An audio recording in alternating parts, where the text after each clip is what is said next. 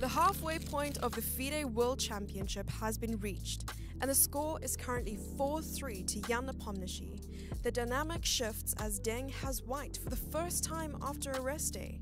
Round 8 kicked off with one of the sponsors, Viktor Dorgalev, making the ceremonial move. The Nimzo Indian. All right, we're seeing the, our first Nimzo of the match. Okay. Very nice. Um, which line? I think E3. Is he going to go for E3? I, I would guess E3. Caruana mentioned that that's like where he would test to see Nepo, uh, Nepo's lines in Nimzo. We witness the Sämisch in full effect as Ding plays the modern Rook A2 and takes control of the center with E4. Like the thing in this position is normally b6, bishop a6, knight a5. And Ding played e4. Okay. Yeah, he played that pretty quickly. So after that move, I guess we can say that for now this bishop is not going to be able to develop. Mhm. Um, so this is, you know, these kinds of ideas are typical in these positions, but I Right. suppose not so much with a knight already over here because then there's just h6, right? And you don't have like bishop h4. Uh, I mean, you have h4 though. So let's say you go bishop a6.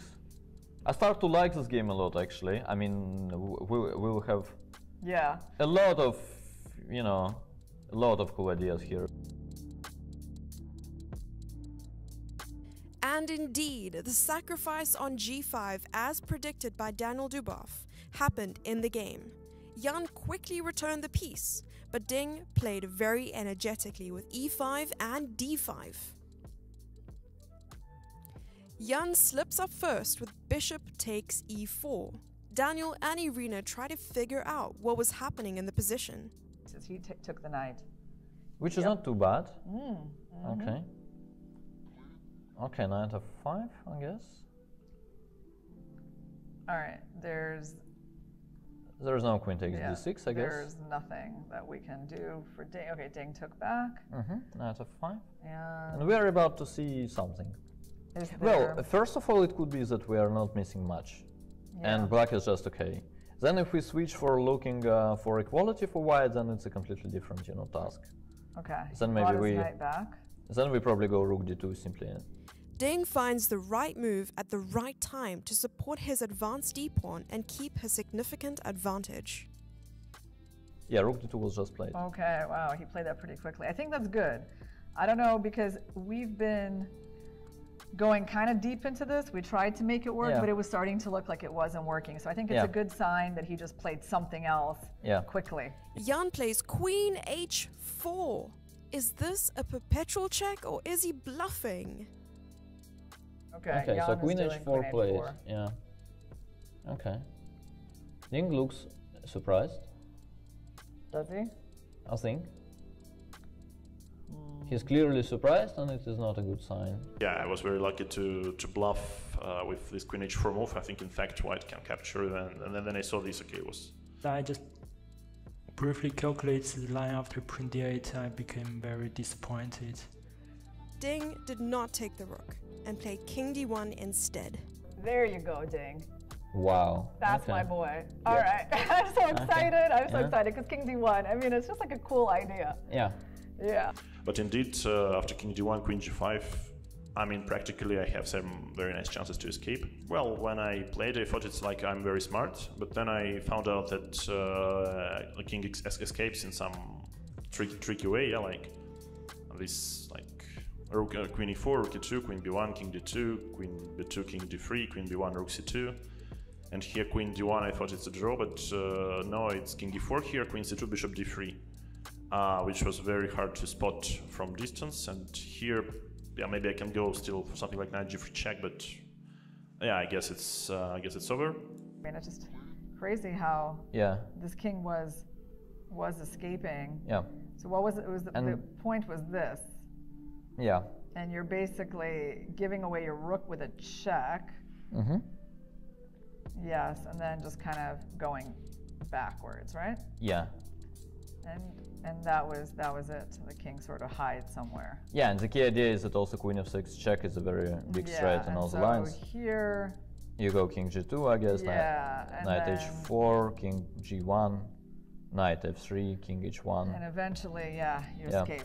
Yeah, Yeah, I mean, it's, it's, it's a lot of calculation, you know, but yeah, I agree. Yeah. You could have spent a bit longer on that. Um, yeah, but he probably thought he's much better in the game. Well, I briefly checked the line, but I just stopped. I think at uh, maybe queen e1, queen, queen b1, rook c2. I I didn't calculate any further, so I just stopped there.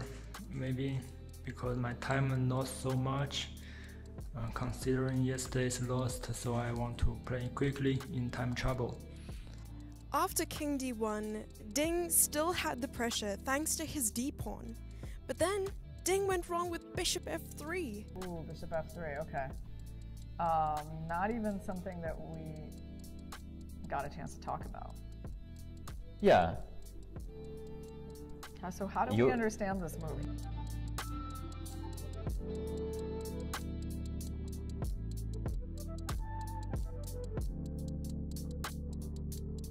He allowed Jan to make a comeback in the game with the brilliant knight takes f2.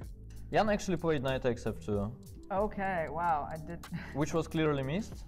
Uh, Yeah. We don't want to lose that pawn, but guess we Yeah, this is actually a great move, yeah. Knight f2 is you like it. Yeah, Ding took on f2, and as a result, Nepo captured the d pawn. Soon after, Ding had to return the extra piece as black had a strong pawn chain on the king side. It led to the game ending in a draw.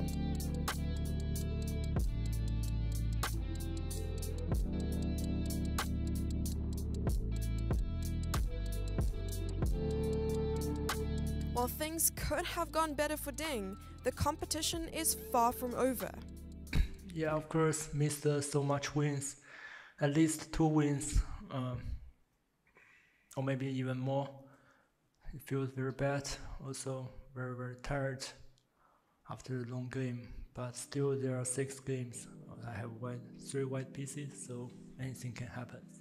Thank you. Tomorrow, Nepo will try to defend his one point lead while playing with the white pieces. Round 9 begins at 3 pm. Check out the commentary on YouTube, Twitch, and Facebook channels. Don't forget to ask questions on the FIDE Twitter feed. Who knows what will happen tomorrow?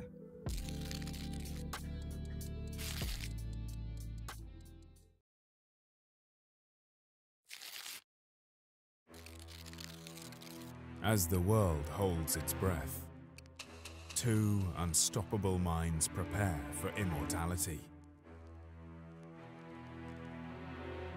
One from the land of the dragon, the other from the land of the bear. Together, they will write history. The patient and precise Ding, carefully calculating every move to gain a strategic advantage. Facing the aggressive Nepomniachtchi, who is always looking to take risks and never afraid to make bold moves to pressure his opponents. Their eyes might be fixed on the board, but their minds will be focused on victory. These two titans of the chessboard have fought their way through the ranks, demonstrating skill, strategy, and a fierce competitive spirit. Now they will go head to head and fight for the ultimate title the FIDE World Championship crown.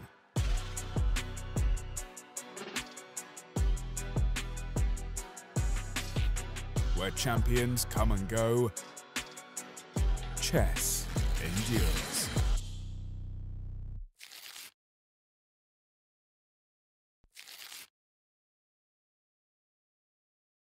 Hi, everyone, and welcome to our coverage of the ninth game of the 2023 World Chess Championship match between Ding Liren and Jan Nepomniachtchi.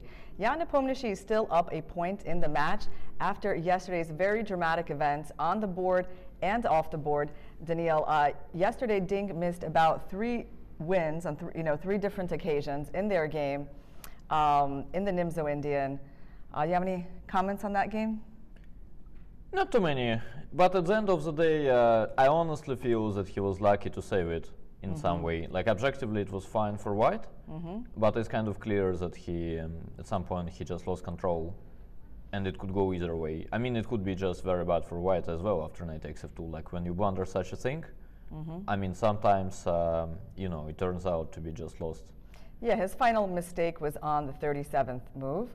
Um, and I feel like you know, the first two wins that he missed, I don't know, for me, they're not so obvious because we also I didn't exactly spot them in our analysis. Right. But the third, the Yeah. third one, I think, was really the one that struck me. And actually, Fabiano, in his um, podcast, did say that it kind of, that blunder, bishop f3, was sort of bad news for Ding's form because, you know, it- it's like hard to see where that kind of move could come from, right?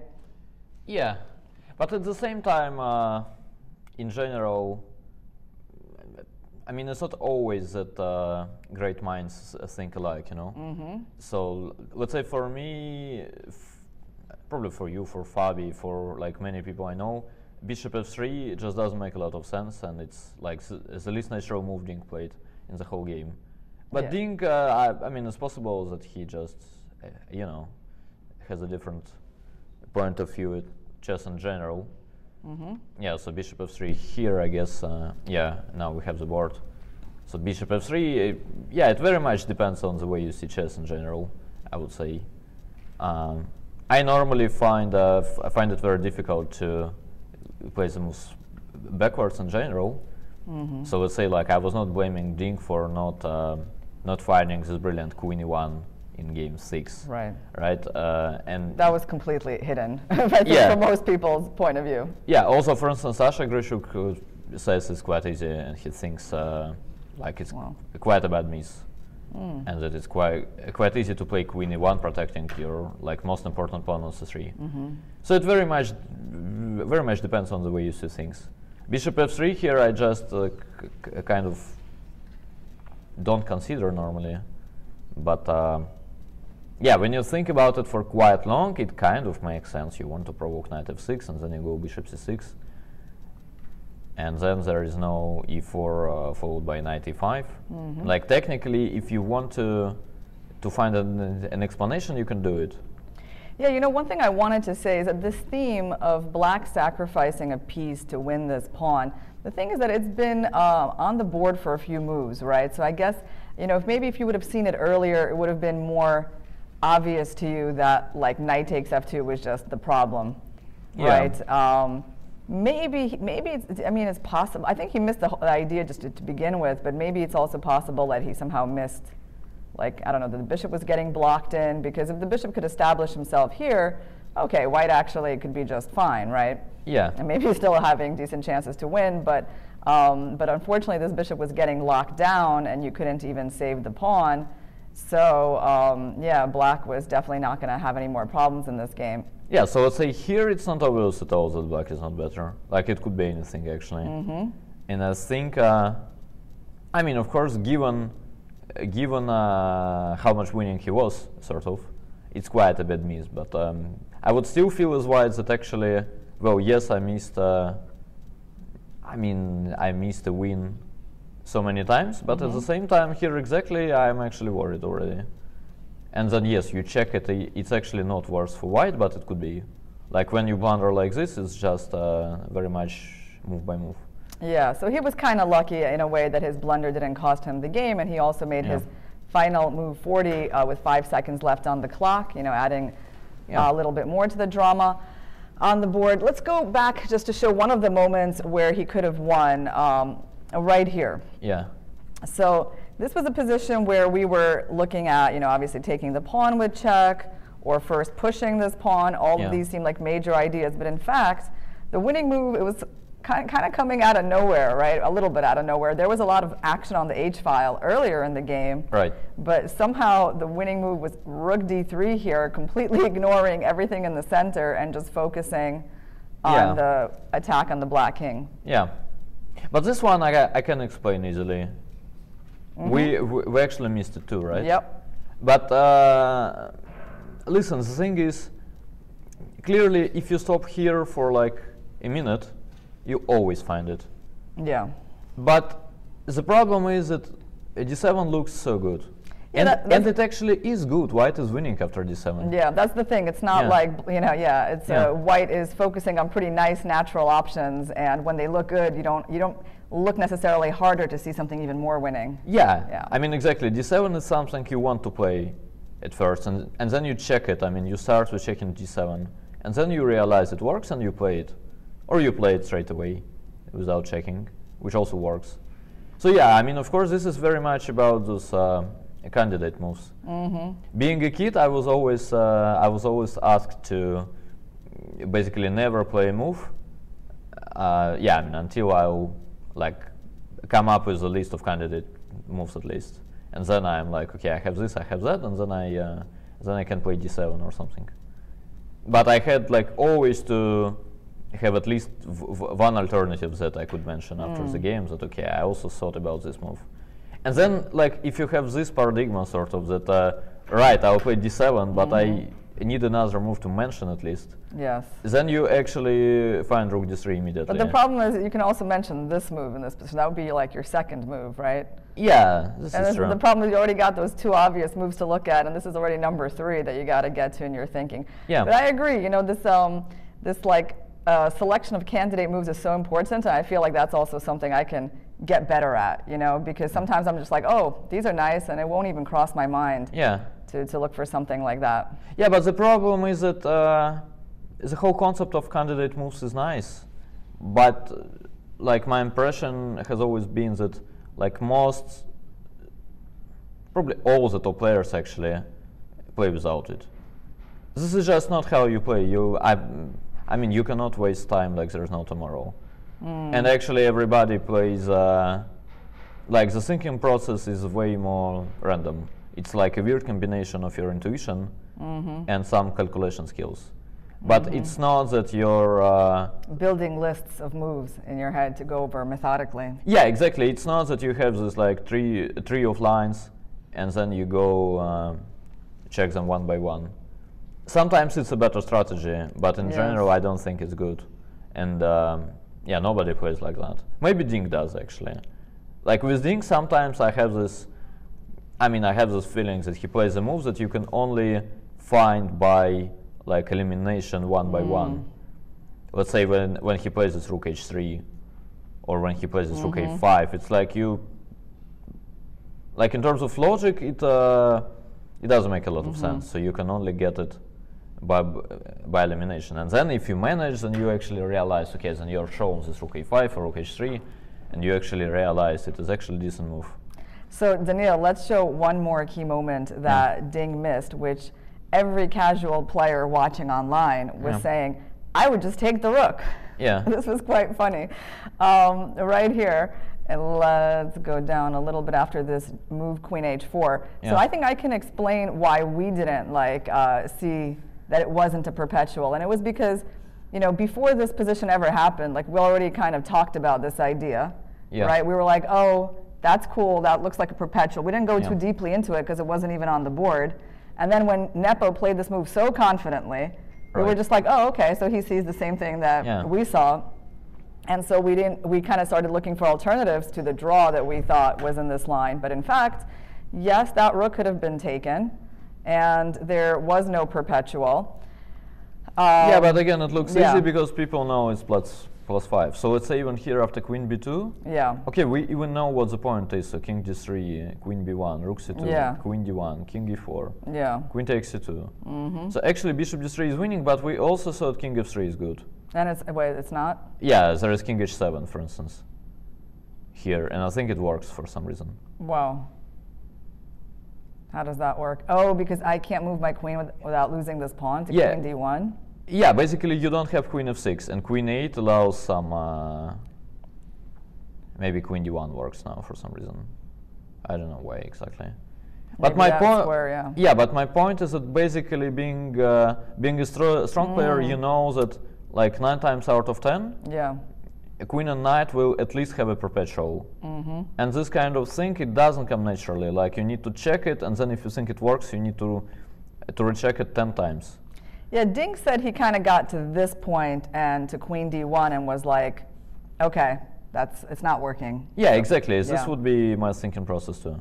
Yeah, and I mean, also it's like it's the combination of that is the fact that your king is, looks like uh, he's getting cornered, and also the fact that you know your opponent plays queen h4 like very confidently, quite quickly, and then Yeah. he, and then Ding kind of just missed this whole idea with a perpetual. Yeah, but then Yeah. one more key point is that actually you have king d1, and it Yes. looks brilliant. And once again, I mean, it looks like it's tough for black, Yeah, I was right? so it's actually okay, yeah. but it's very difficult for black to to come up with a plan, and we had exactly the same feeling. And he was actually winning two moves later. yeah. So from the practical point of view, not uh, not taking on d8 is reasonable. This is not what I, Mm. uh, not the first thing I would be blaming him for. you Yeah, know? so basically three missed opportunities. It was kind of like, you know, the typical three strikes and you're out. The third one was, I think, the, the really big missed one Yeah. that didn't involve something very shocking Right. um, to find, that 37th move. All right, Daniil, so let's talk about the other big news of yesterday, which was the info about the leaked preparation of Ding on Lichess, him playing on these um, beginner level accounts that people through using like Lichess database were able to understand that these were not beginner games Yeah. and they were playing the openings that were actually being used in this match, like the H3 line, like the Nimzo line that we saw yesterday. Um, and it, okay, just very obvious that this is like his training accounts, right? Probably.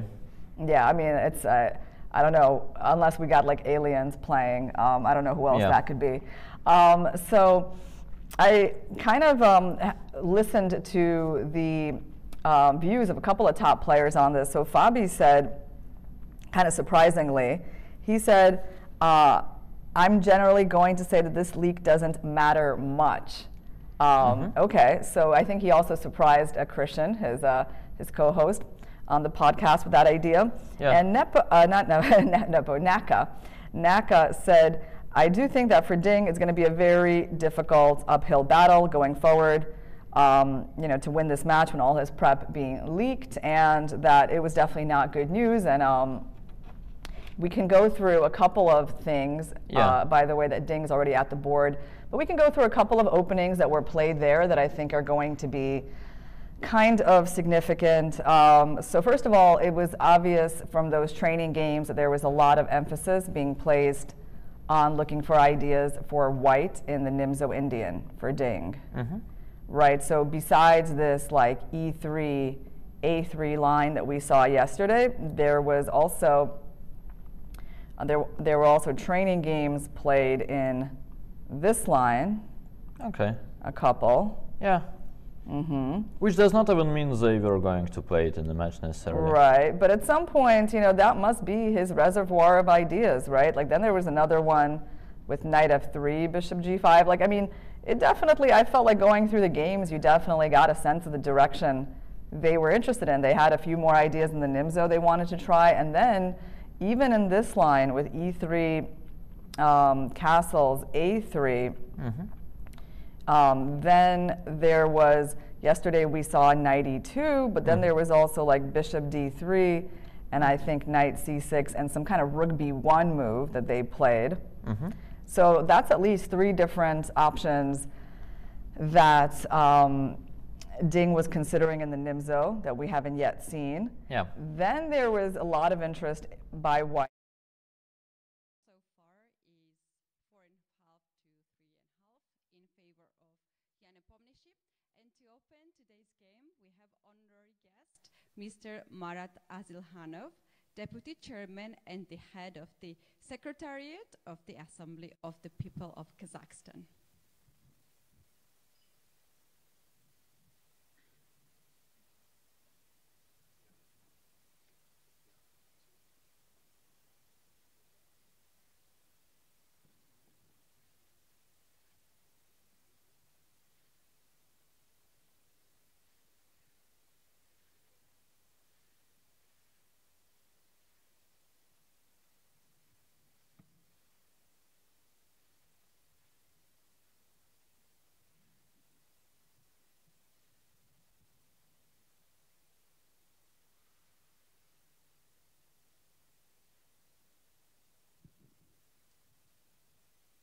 Thank you very much. And now I would like to call the chair, uh, the main arbiter of the tournament on the stage to take over. Thank you.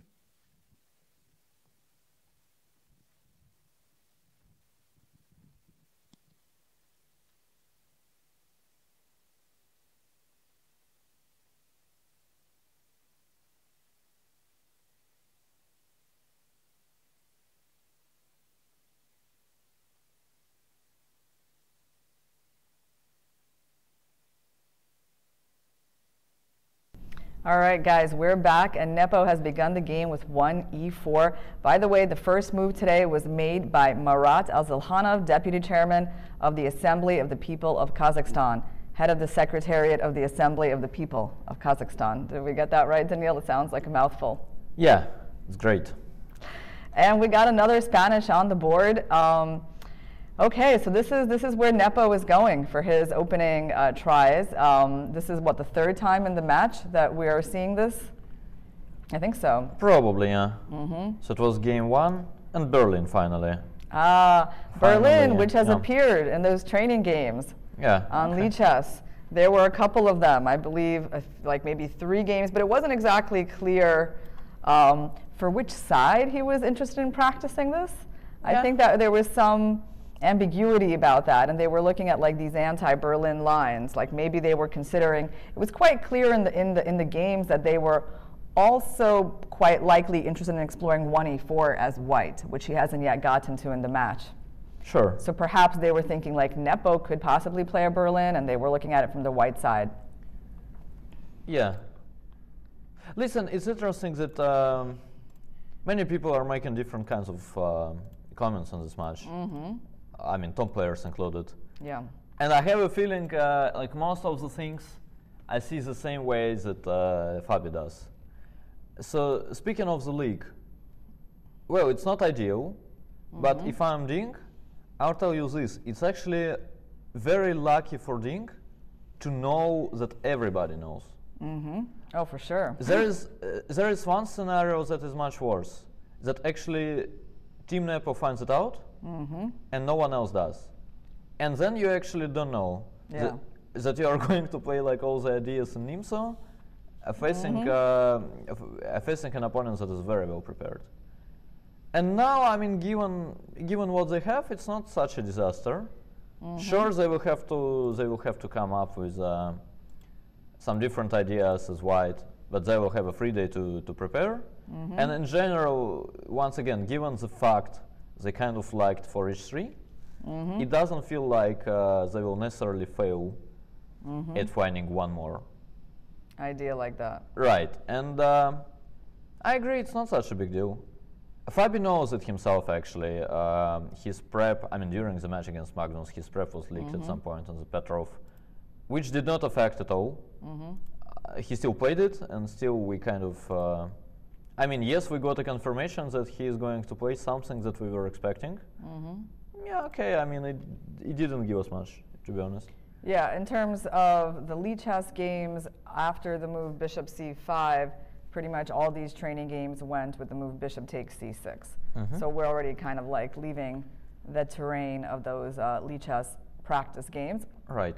So Nepo decides to go for c3, castles, castles, and D5. d5. Okay. Tell us something about this position, Daniil. Well, well, it's a very, very topical line that is considered to be uh, very dry, I guess. Jan plays knight b2, g2, And uh, yeah, I guess the E ed a5 is interesting here for some reason. There is also, I think, uh, rook e8 maybe. But I have a feeling that the topical line is takes, takes, and a5. Hmm, you allow like white to take on c6 and damage the pawn structure, but it's like no big deal. Yeah. Yeah.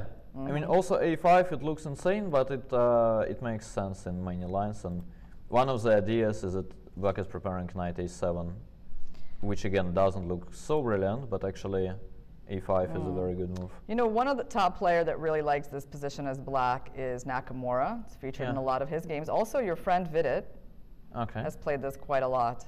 Okay. Um, let's see. So we're. Is ah, Vidit my friend necessarily? No, I, mean think I I, I, like so. him. I, I, so, like him. I like him. Daniil. That- that- that's how it sounded from your stories.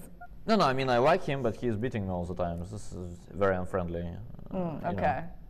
Like once I'll beat him, then you know. Then he'll be really your friend. Then we can discuss it, yeah. Yeah. But, uh, All right, so let's see what we got on the board. After d5, so there were a lot of moves here for white. I mean, white could take that pawn as well, right? yeah. But Nepo went for a knight d2 and this kind of symmetric structure in a5. Yeah. Okay, that's what you were telling us about, right? Oh, no, that's not on the board yet. Yeah. Okay, we're waiting to see whether. But this is like Mhm. one of the most uh, topical positions of the opening theory of last 10 years. So um, definitely no surprise here. And I think, uh, I mean, Ding is not thinking because he's out of the book clearly, Right. but he knows that black has many options and he knows few of them actually. yeah, it seems and, like uh, a5 is by far the most popular, but there's also a move queen e7. Yeah. Well, I uh, like I've never been uh, a Berlin player for real, Mm-hmm. and I normally look at those lines from a side, sort of. Mm-hmm. I mean, sure, I know the games, I know the ideas, I mean, I know some of the lines, but I've never been, um, you know, too too interested in that. And then from a side, I kind of. Uh, well, it would always be hard for me to uh, believe that a7, a5 is like necessarily the best move here, right? Mm. They played. I started to get. Uh, I started to get what the point is at some point, but still, when everybody plays exactly a7, a5, Mm-hmm. when you don't play this position at all, you're li- a little bit surprised. Like, is queen e7 losing or what? I mean, uh, you know. Yeah, c- these two moves um, are like the two main approaches in this position, Mm-hmm. and a5 is like a slightly more popular and a slightly more popular am- amongst higher rated players. But this Yeah. one, other than these two moves, there's like pretty much nothing else played here. Okay. I mean, I guess just because we're are we finally threatening to take this pawn now? I don't think so. Actually, I think their point is that it's b4 that is kind of a positional threat. So basically, by playing a5, you're not protecting. oh wow, uh, b4. Yeah, just okay. Yeah. Interesting. And then you kind of don't want. Uh, But on queen e7, so is b4 not an idea? I'm not sure. Actually, it is played.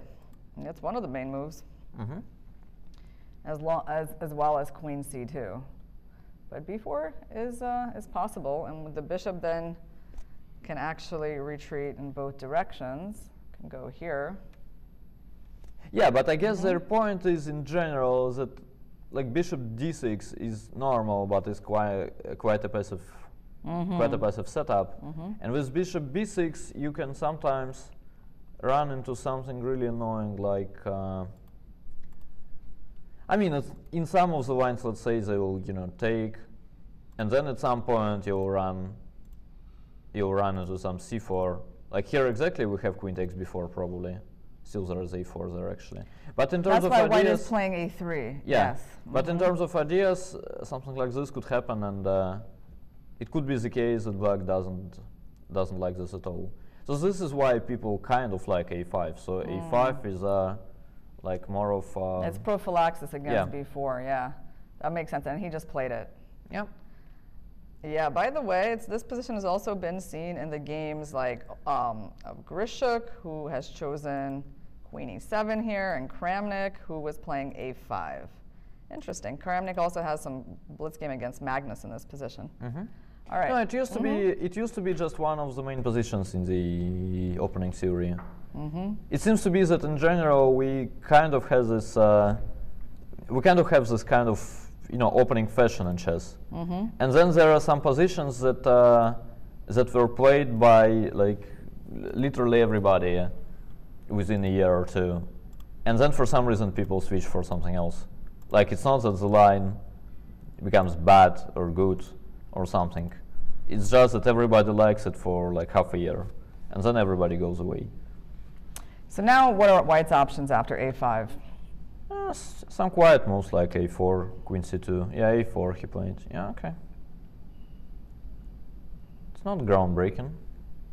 In these positions, do we sometimes see the maneuver of this knight back to b8? Maybe. Like not not immediately, but like later on because it's kind of restricted by this pawn. Yeah. We also see knight a7 sometimes. Hmm. So I guess the move that feels the most intuitive to me here Is? is queen e7. Yeah, I The- tend to agree. The other yeah. one that I tend to agree, yeah. could have been played on the prior move as well. Mm-hmm.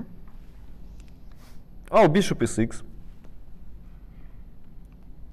Yeah, bishop e6, you just have to kind of make sure this is not a problem. But then you go bishop g4, I guess. Yeah, I thought so, at least, Mhm. Oh, what did he do? I think he did a little. Queen e7. yeah, move with the queen. Okay. Yeah, queen e7. Should be okay for now. Mm-hmm.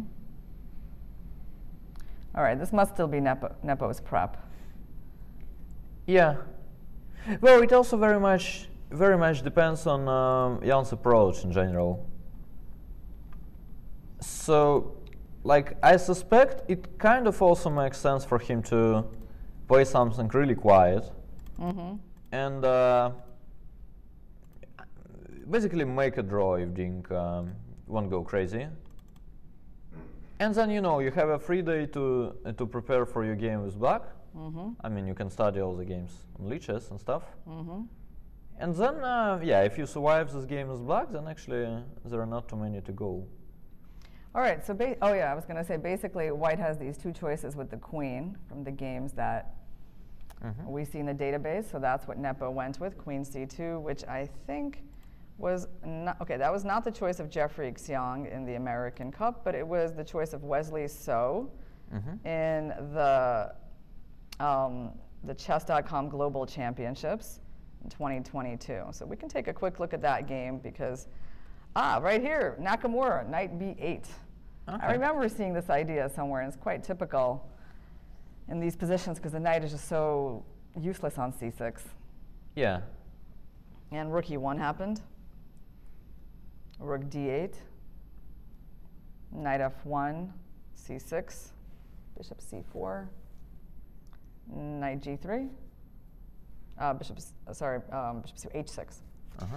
knight g3, knight g4, rook f1, bishop e6. I have to say, I mean, in general, this is a, a very quiet way the game is going. I don't think, like, we're not going to see the kind of fireworks that we saw in yesterday's game.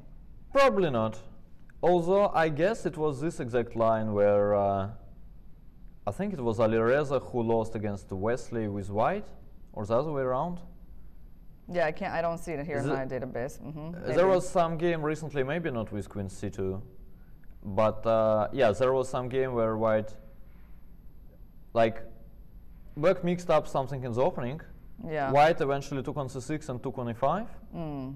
and black played some knight H5, and uh, yeah, I mean it, it started as a like a very bad version for black, and then black won within six moves or something.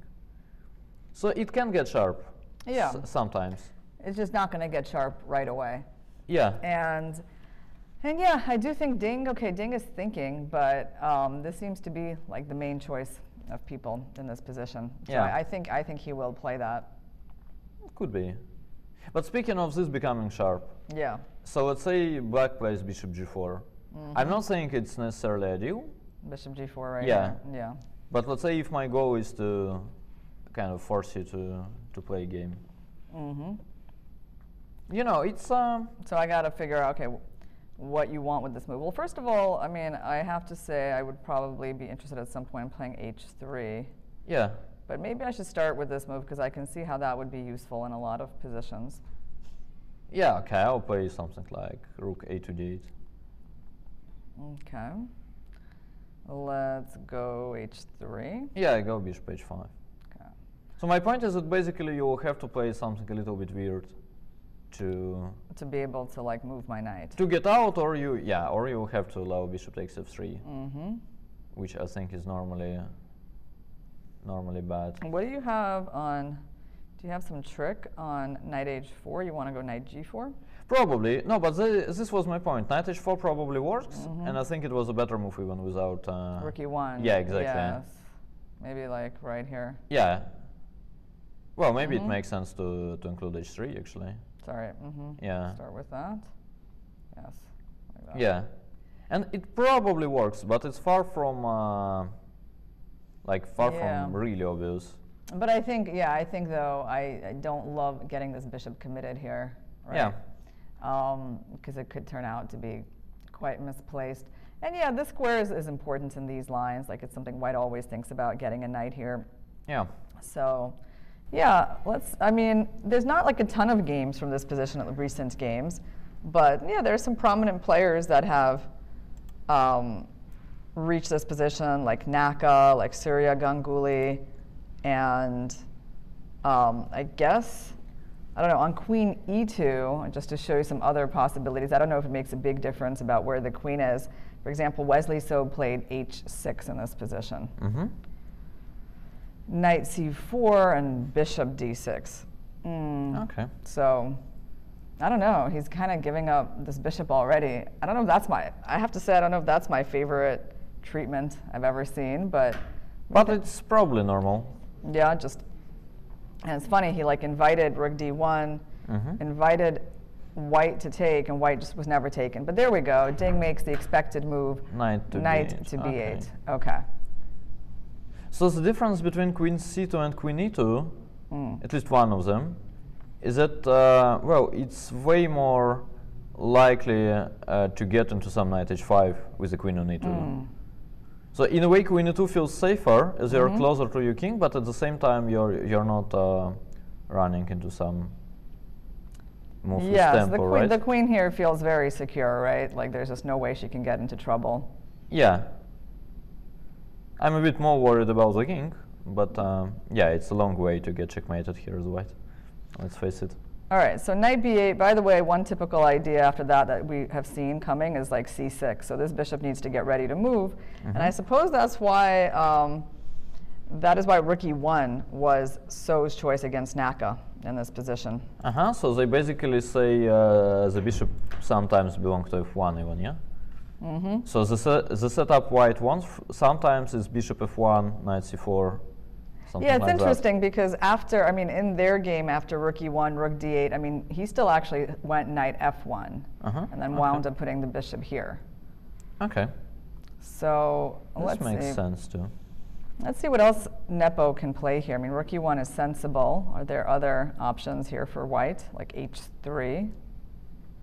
Oh, you have a billion of moves. Yeah, I have H3 I kind of don't like in general as we are. because you're weakening some squares. Yeah, I mean also potentially some bishop uh, bishop takes h3. Mhm. This is last thing you want. Yeah, no, I like rook e1, and he just went for that. Yeah. Yeah, makes a lot of sense. Okay.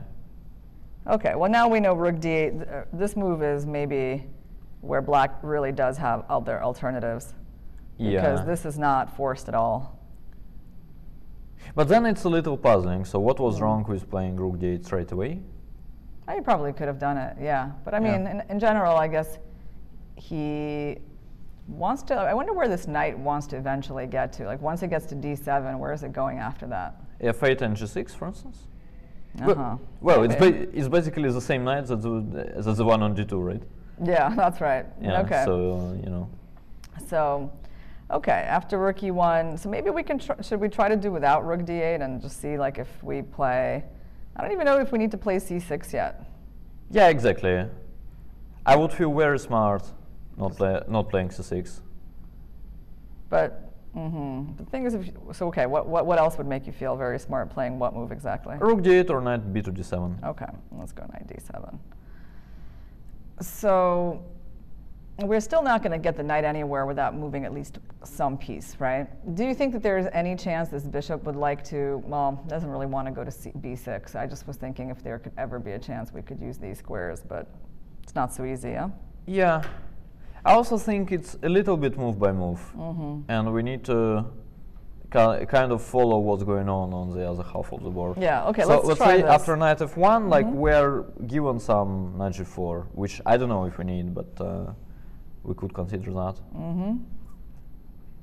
Yeah, and you definitely don't want to like go there and trade off all the pieces. That's kind of like making an immediate draw. Yeah, you'll probably try some rook e2, Mm-hmm. but then somehow your bishop is. Uh, I mean, maybe now we go c6. Yeah, you don't have like too many good squares. Mm-hmm.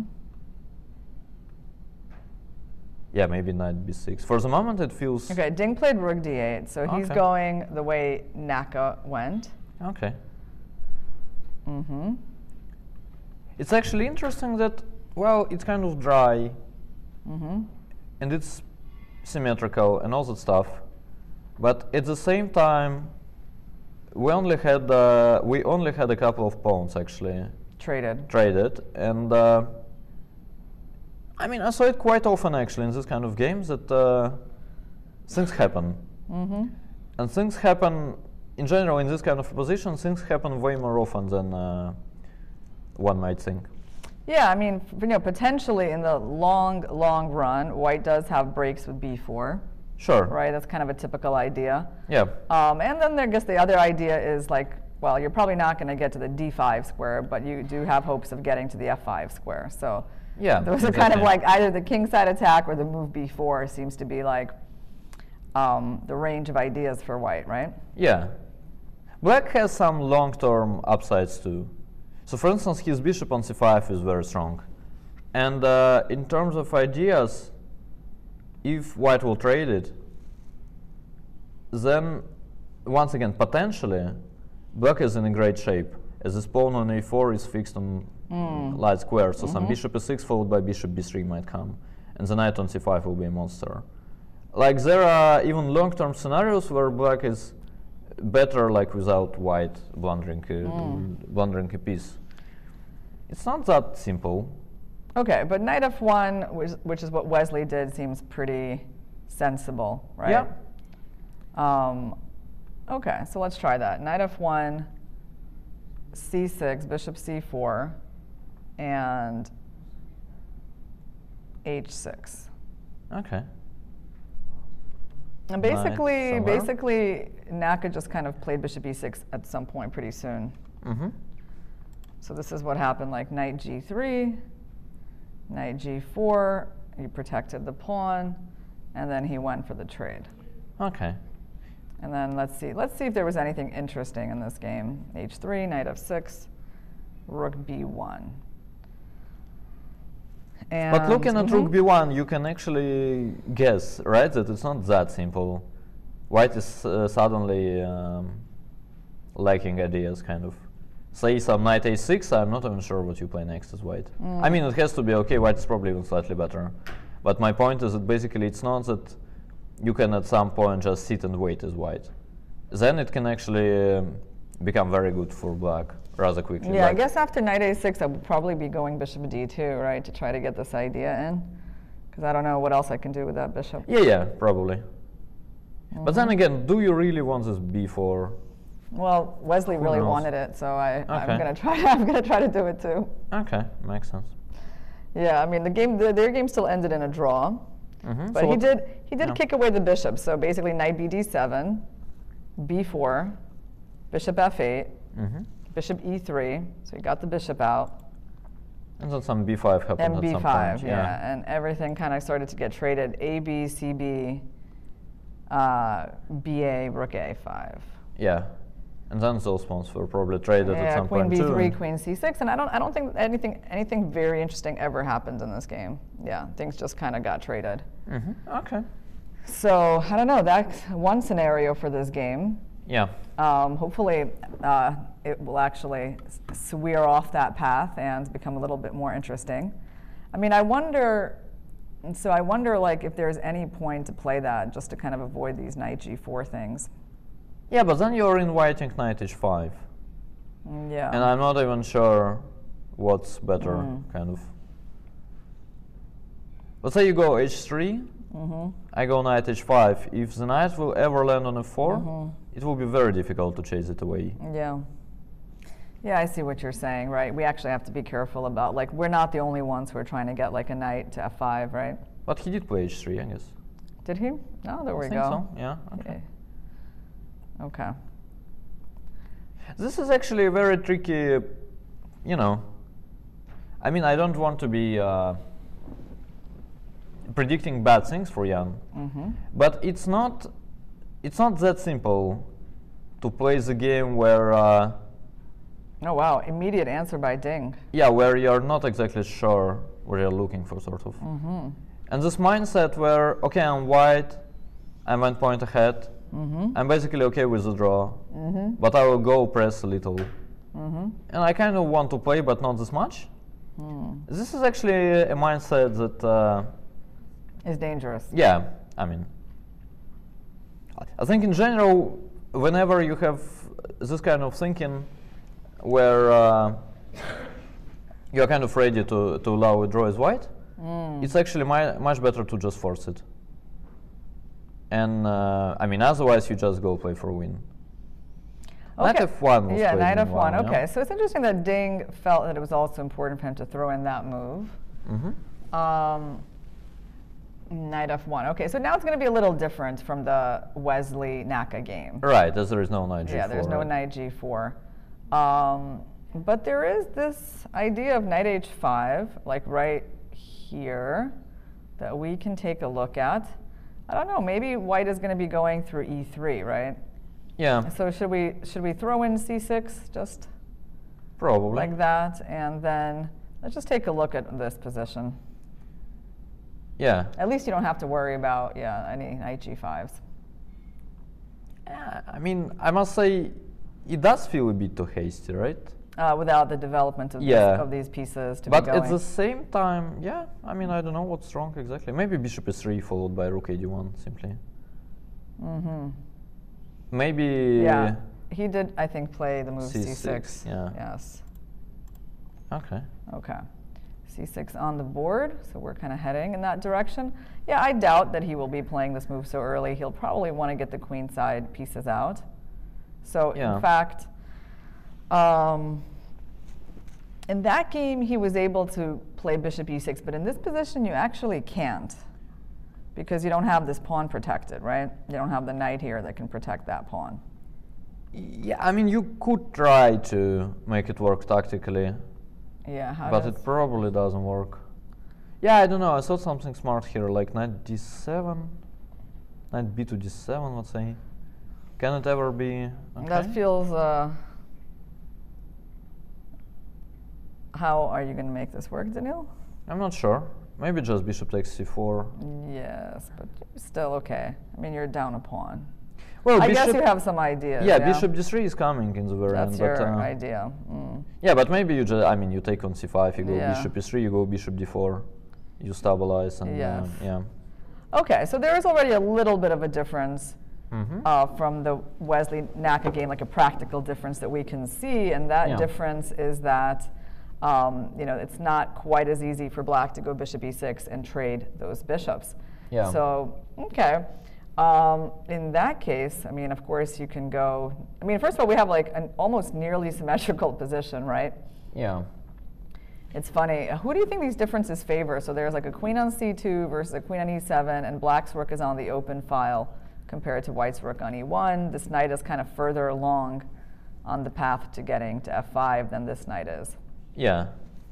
So this is why uh, this is probably good for white, right? I mean, yeah, it seems like. Well, white- it's basically all yeah. similar, and your knight is on f1 compared to Mhm. to the knight on b8. I think bishop c4 was played. Yeah. Yeah. Okay. Did he just? Uh, he made some very fast moves. He knight played a6. knight yeah. a6, yeah. Ah, Okay. interesting. Okay. So this is already like a kind of a new path being laid out here. Yeah. Knight is not, is not trying to go. Ah, this is actually way. wise. Well, I can sort of explain that. So let's say if you go knight bd7, uh, knight bd7 instead, Mm-hmm. knight g3, Mm-hmm. knight f8. Mm-hmm. Then, just in terms of logic, let's say I go knight f5 at some point. Yeah. You probably take. And then the I knight take. is just. And the knight is restricted. Yeah. And in Ding's case, his knight will be on c7 instead of f8 in the same position. that it could go like maybe here. Yeah, so he will play e5, e4, and then uh, his Mm. knight has, you know, brilliant prospects coming Yeah. to coming to d5. Yeah, yeah. This knight certainly isn't very comfortable here in f8. Yeah. Um, okay, well, it's nice to see Ding, first of all, play this move pretty quickly. Um, I wonder, do you think, he, I mean, you think he still has those kind of ideas worked out at home? I would think so, Yeah, of because it's course. not, this is not that obvious that he would just play this in one second. Yeah, of course. Yeah. I mean, also as we could see, Ding is not kind of a person who thinks uh, it's in general a good idea to spend 30 seconds for a move. Right. So yeah. I mean, so he, he must know it if he's Yeah. doing it that quickly. yeah, like Yes. the approach you you can like or dislike, but this is the approach, right? So, Mhm. uh, yeah. Okay, so knight a6. So basically, you're saying that when this knight is going here, we're just continuing an our path, and that when you arrive in f5, we're going to take you, Mm-hmm. and then this pawn is under attack, so we're going to push it. Mm-hmm. And that is And- sharp. Yeah, you can't you can't really like try to win it. Like none of this kind of stuff is going to work. Yeah. um, because I can just take it. And, and then at least this knight could do a good job at neutralizing that bishop. Yeah. That's Bas- really interesting. Yeah, basically the way I see those positions is that as long as you don't lose the pawn on e4 Mm-hmm. within three moves, you you're uh, you're doing very well with black. Yeah, no, I have to say, like, of course, this bishop can have a lot of power in these types of positions, but the way this knight is going to neutralize them is uh, it's going to be very effective. Yeah. Um, I suppose you can also run into potential problems with this pawn, Yeah, exactly. so- right? Like, it's not out of the question. I mean, I, I don't know if you want to be going g4. Um, so here, there's actually maybe like some risk for white in this particular position Yeah. with the pawn structure. Yeah, the line didn't look, uh, you know, like an absolute must for both, Yes. to be honest. But um, yeah, at least it makes sense. But it, it shows kind of like the concept of what black is going for. Yeah. So black is basically preparing for uh, for knight f5.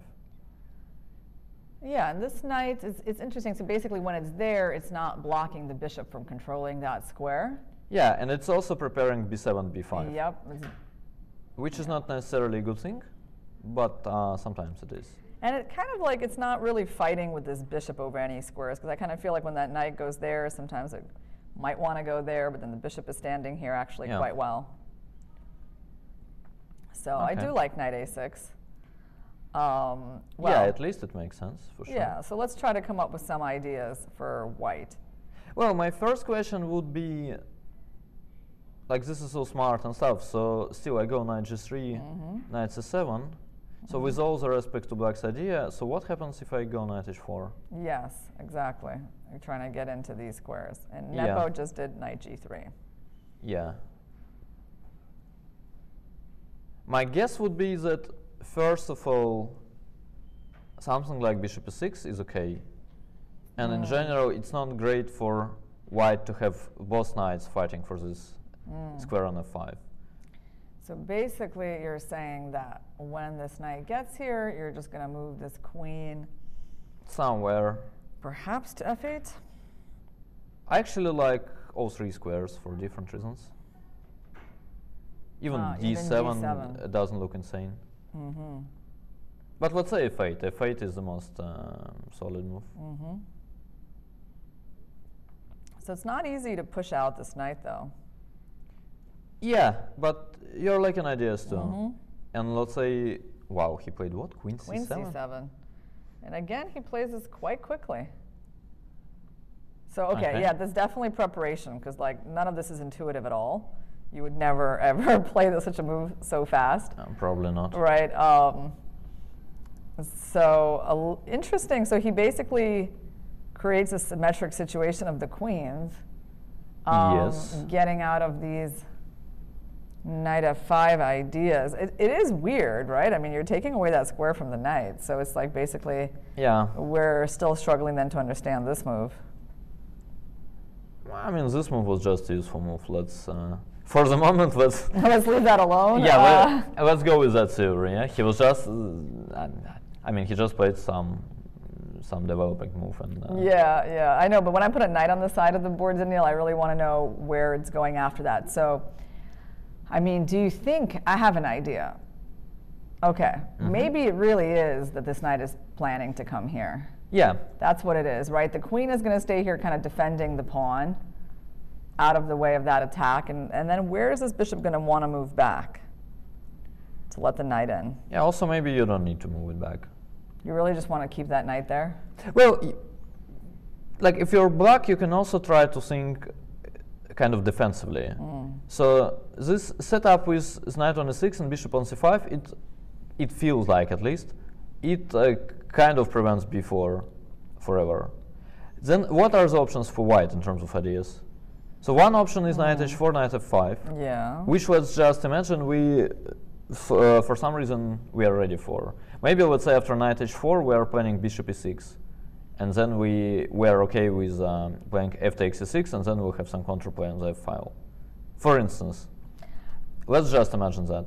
And then if we have some uh, some antidote to knight h4, then basically white will have to play bishop e3 one day, and then we'll trade and play knight c5. Well, I'm definitely interested in this idea if you don't do anything. Mm-hmm. Well, I, think- will do something, right? Yeah. Well, hold on. Let's just imagine. Okay, well, let's make a move for white. So basically, white still doesn't want to like come in here, right? Because you're going to take, Yeah, probably. you're going to take, and then still this is looking like a. But it's not as pretty as it used to be. No, It's definitely not the same as when this knight can go to d5. no. Oops, I can't make that arrow. But Um, it's first of all, it's probably still good. Yeah, and then you'll run into some. something to do with this, right? Yeah, I have some queen g3s. I think could happen actually. Also, e3, just in terms of ideas, e3, mm-hmm. f takes, and then just playing it. Just playing this position. yeah, looks kind of interesting too. Like Yeah. like b5 or something. Yeah, I mean, I doubt that white is going to be like leaping in with a knight with no preparation. So, And secondly, after knight f5 or knight h4, but like especially after knight f5, we actually have uh, bishop e6 too. really, Yeah.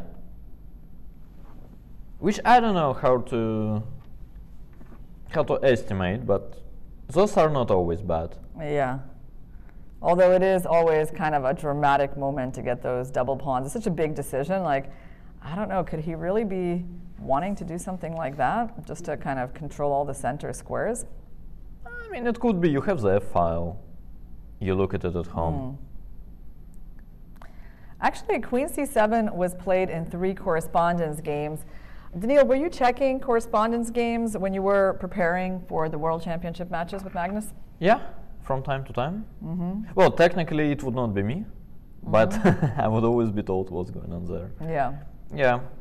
Did you guys discover any interesting ideas from the correspondence games? Like any uh, good sometimes. directions? It's normally not about the, the direction being being interesting. It's mm-hmm. more about the direction being dead. Like let's say mm. there is some positions that looks like a fortress to you, and the engine says it's like much better for white, but you don't see a clear plan. And then you check the correspondence games, and it was played like 20 times, and in 20 games nothing happened. Ended in a draw. Yeah, and li- like exactly nothing happened, and then you're like, okay, sure, then it's probably just a dead draw. Um, but yeah, sometimes the way they play is uh, very, very, very unhuman. And then, like, even, let's say, as black, even if the line they play is a draw, you actually realize you're just not capable of uh, playing the same moves yourself, kind of. Then it's always like m- move by move, some study like defense and stuff, and uh, it's interesting from the theoretical point of view. But uh, yeah, I guess all the board players and correspondence players do I actually need. All right, I find this structure pretty fascinating that you would be willing to look at it, which is not obvious to me at all, right? Like, I gotta say that for me, this idea, uh, not the most intuitive. I totally get that these ideas exist in chess, but I don't think you're gonna, uh, you can, you're gonna find any games in the database of mine where I have pawns like that. It, actually, do, do you have any games like that, Daniil? Yeah, Yep. From what kind of uh, uh, positions? uh, I played many games in the in the Italian as black with uh, bishop e7. Yeah, but And then the- you have another pawn, right? Don't you? Like, it's not Yeah, just yeah, but yeah, but then I would very often go bishop e6 takes takes, and Ah, then I would play d5 and take on yeah. e4 or something. That's right. Yeah, actually, looking at the Italian recently, I did realize that um, that you can play with those kinds of pawns. So here we go. Let's Yeah, but it's moves. normally it's very much once again it's very much move by move. Like you don't want to sit and wait as black. You Yeah. you want to do something like maybe let's say bishop a7 followed by knight c5. You want to play aggressive moves and you want them to work. Okay. Yeah. So try try your aggressive moves out. Bishop yeah, bishop a7, I Yeah. guess. Yeah. Okay. But I'm not saying I like this Yeah. at the same time. You're just saying it's like maybe some possibility. Yeah. And so knight c4, you're going to be going like knight d7 or No, I mean I want knight c5 to work.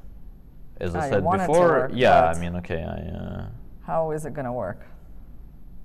I don't know, but if it doesn't, I'll just give up. Okay. Okay.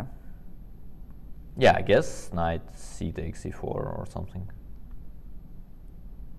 You can even play bishop e3 though. Yeah, I'm still trying to under. I still want to get your idea.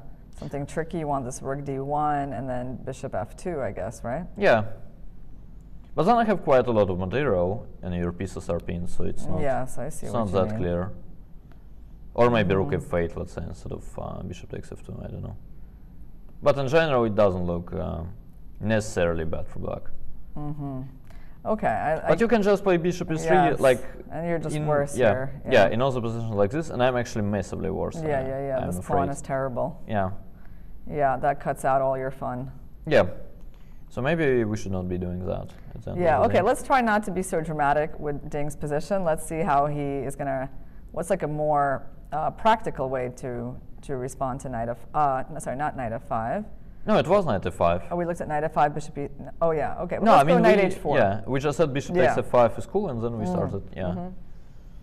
Okay, so h4. knight h4. Okay. I really, for me, the question is, I want to know what you're doing with these pieces. Mm-hmm. Yeah.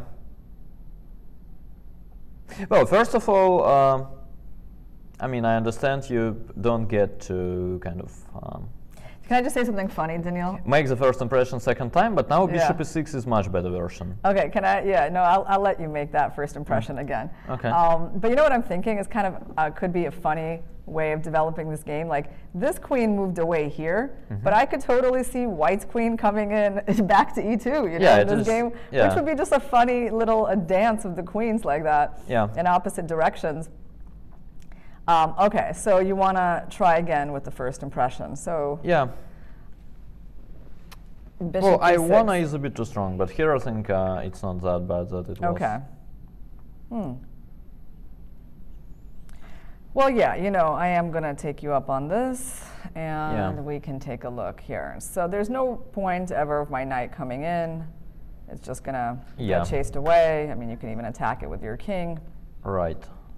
So basically, this knight needs to go back. Yeah. And then this knight, yeah, this is like a much worse version of the one that we kind of just looked at for yeah, white. yeah. In the previous line, you were basically I allowed. was just attacking your pawn. yeah, you were basically allowed to play uh, knight g3 to e3 Mm. in this position, and then you go knight f3 and bring it bring it to c4. So basically, you're saying my knight is like completely useless now on Yeah, that square. Yeah, I guess you'll go knight f3 anyway, and you'll Mm-hmm. be doing like all the same thing, hmm um, but it will just um, it will just take you more time. And then I don't know, some rook d7 or bishop a7. So you want to try to Some- get in on that square. Yeah, I mean sometimes it will work. Sometimes Yeah, yeah, yeah. Okay, I find it at least uh, like a lot more plausible in this version. Right. Rook, rook f8 even followed by some you know knight h7s. Hmm. All right, so bishop here. And should I go knight d2, but then you go knight c5. You're kind of getting into d3. Yeah, my guess would be that you still play it simple. You go knight f1, you go bishop e3. Mm-hmm. You basically um play all the same moves. And they are probably good enough to actually help you even in this version. But here I need to be careful with this pawn somewhat. Or do you just go, yeah, you just go Rook like here. d1 yeah, you're maybe, yeah. attacking it. I mean, still, you have some knight f4s. Knight f4, It doesn't work yeah. here. Okay, you just take on A7, a7. yeah, yeah, and then then- it gets, yeah, it gets awkward for black yeah, because they have problems with this pawn. yeah. So maybe rook f8 instead of bishop a7. Maybe we actually need to try. Mhm. So after knight f3, Something more aggressive. yeah, maybe we try to come up with something there. Mhm. But in general, black's main hope is that white will spend time bringing this knight from g3 to e3. But then, yeah, And we'll that have gives you some ideas, right? Yeah, and then we'll try to use yeah hmm these two tempests to come up with something. Hmm. Yeah, knight h5 is an interesting idea. Yeah. Still, I must say, having said that, Okay, I let's try. Let's just keep, let's Yeah. just play the most absolutely natural way. yeah, yeah, exactly. I mean, having said that, I must say I don't really buy it, unfortunately. hmm Yeah, maybe rook a to d8 or something. I mean, I guess if you've studied these structures a lot, then maybe you can afford to go it go for it. Like, if you haven't studied it, it feels very like shaky, right? Like you have to have a Yeah. really good idea about how you're going to get counterplay to compensate for those pawns. Yeah. No, but it's always bad, I think, long term. So it's just very much. I mean, you don't need to make uh, like a very big work trying to figure out how the structure works. It basically never works for black unless he is just like in time with some uh, some immediate attack, right? And here I don't see this attack coming, to be honest. Okay, so in that case, if we're not such fans of bishop e6, then let's Then, see yeah, how else black can meet the move knight to h4. Uh, ah, How we- about bishop f8? Can we just try one of my routine like moves here? Uh, kind of Yeah. solidify the king side and then like try to get this knight in. Let's just see how that Mhm. works. Okay. Okay, so I guess I'll uh, let you taste your own medicine. Yeah, I go queen e2. Mm-hmm. Okay. Right. So you basically want to come in and then just make some simple sacrifice here to show me the Yeah. problems of my position. I, I do see it. Um, I mean, by the way, I have to say that, like, look, if I didn't know, um, yeah, if I, this move is like not intuitive by any means. Like, if I didn't know that it was all Ding's prep, Mhm. I mean, it would just like literally never pop into my mind to take away that square from the knight.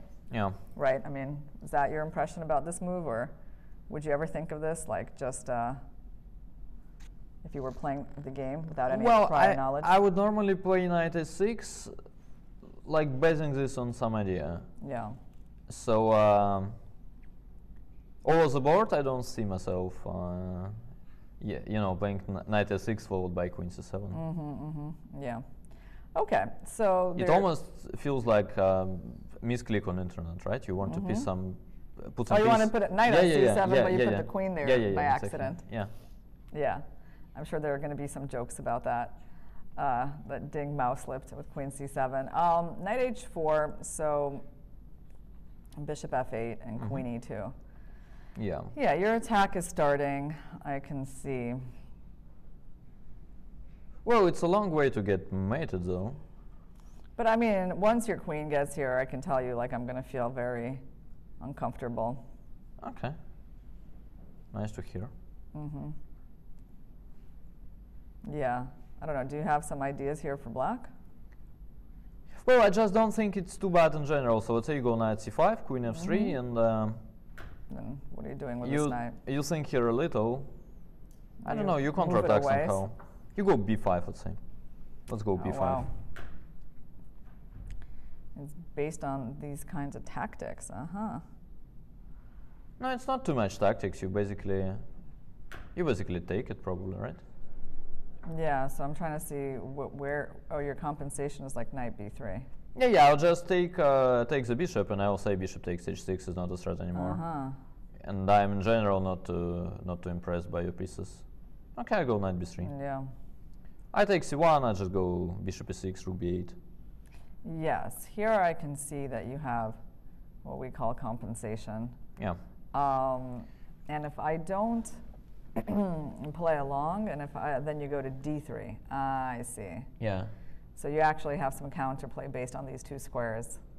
Yeah. For instance, I'm not saying this is necessarily great, but this is one of those. But it, I mean, it's actually very logical. Like it, it almost feels like you have to have something like that. I mean, and to use the knight on this square. Well, let's say you could make an argument for playing knight takes a4 instead of b5. To, I mean, it's not that. I mean, as I said, it's a long way to like exactly lose this as black normally. Mm. Like as long as you keep playing reasonable moves, you'll normally have some counterplay. Like here, Mhm. maybe knight f5 is a problem, but not bishop takes h6 and not- Right. Yeah. If you take with the bishop first, then the problem is like you're losing that pawn. Yeah. But the problem with knight f5 is that black has knight b6, let's say. And then, I mean, again, you're trying to prove some compensation as Which white. knight you want to put there? This one? yeah, I don't know. I'm just saying there is knight Mhm. b6, and then, uh, I mean, I won a pawn as black, and I'm not resigning yet. And yeah, you can't. You still can't really Yeah. uh, take care. Let's actually have a look at Vishy's thoughts. Yeah. Uh, We are thinking about to see his tweet on our screen. All right. Vishy, the king says, Ding's preparation looks very effective indeed. Okay. All right, so that's good news for uh, Team Ding Okay. that his preparation is looking good right now with this uh, Queen C7 idea. But yeah, I mean, I really like these ideas of the B5 that you've like brought up. Mhm. So let's just take one more look at like how this works. Because I mean, yeah, I agree. Knight knight takes a4, also cool. But let's see this, this, this, and then Yeah, this one was more solid, right? I mean, it felt more solid. Mm. Well, so you're basically getting this bishop, right? Yeah, and if I do, then I'm not too worried. Like knight takes c4, I can actually believe that I'm in trouble there. Here I take Mm, on c1, take on c1. I go bishop and e6, like and that maybe. yeah, Mhm. bishop e6, let's say. And you know, I've been playing Sveshnikov for my whole life. Mm. I'm not worried. I'm used to having uh, basically the same position with a bishop on g7, Yeah. let's say, So the good, of a8. the good news for black here is that white's attack is completely over. These two knights like are on the king side, but it's really, I mean, okay, it's not dangerous these ideas at all. Yeah. And and these bishops now going to exert some pressure on the queen side. Yeah. You get a lot of compensation. Yeah, I mean, so you wouldn't really be very worried down a pawn here, huh? Yeah. No, I think I even take black here, maybe. I'm not worried at all. Really? Yeah. I mean, black, black. uh, black has all the good news in the world except for uh, being down a pawn. You have Yeah. to. You have two bishops. You have uh, But I, you brilliant know, pieces. Yeah, I can have like c4 somewhere. Yeah, yeah, Still. yeah, but then I'll play bishop c5, and you never win this. I mean, it's just All right, let's play a little bit. yeah. Okay. Uh, let's start improving this knight. Okay. Let's go here. Okay. So let's say. Uh, Don't So- forget my threat. yeah. So first of all, like, should I be instructive or should I play well? Be instructive. Okay, then I just uh, then I just prevent knight takes h6 by playing um, something very h7. something very simple. Yeah, we'll take king h7. Okay.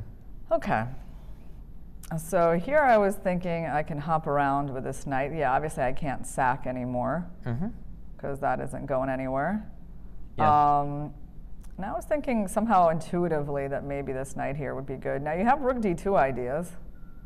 Yeah, but as I promised Sometimes. you, as I promised you to be instructive, I will not play it. Yeah, I mean I, I would still have knight f1. Okay. Yeah, I'll just play bishop c5. Mm-hmm. Okay. Okay. Okay. By the way, we're seeing a move from Ian, And it is bishop a2. Bishop a2. Okay. So what is? How do we understand this move? It's a little bit. I mean, okay, it's not the most intuitive move to me by any means because like you're actually letting that square go, right? Yeah. There's it's a little more likely that black's knight could arrive here, and it's a little easier for black to play b5. So I don't mm-hmm. know. Yeah. At the same time, b5 was only effective being a tempo, right? Mm-hmm. Um, like b5 itself is not a big deal. Like it's not that we, we go b5 here as black and Right. we and we start clapping for some reason. Yeah. It probably makes sense, but um, not more than that. Mhm. No, I think his logic is uh, kind of simple. So there there was some elimination process. Mhm. So he doesn't want bishop e3 in general, as this Mm-hmm. allows black to trade and play knight c5. He didn't like knight f5 because of taking followed by e5 e4, Mhm. and we completely understand that. Mhm.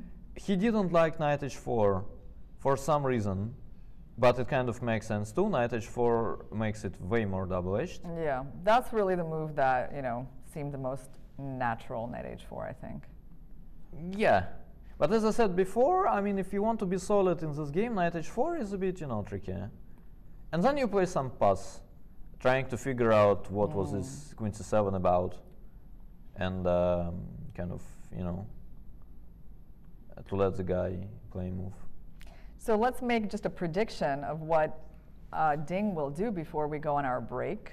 Mm-hmm. What do you think? Um, would you s- like? Would you say this bishop is going to move to somewhere in this diagonal, or?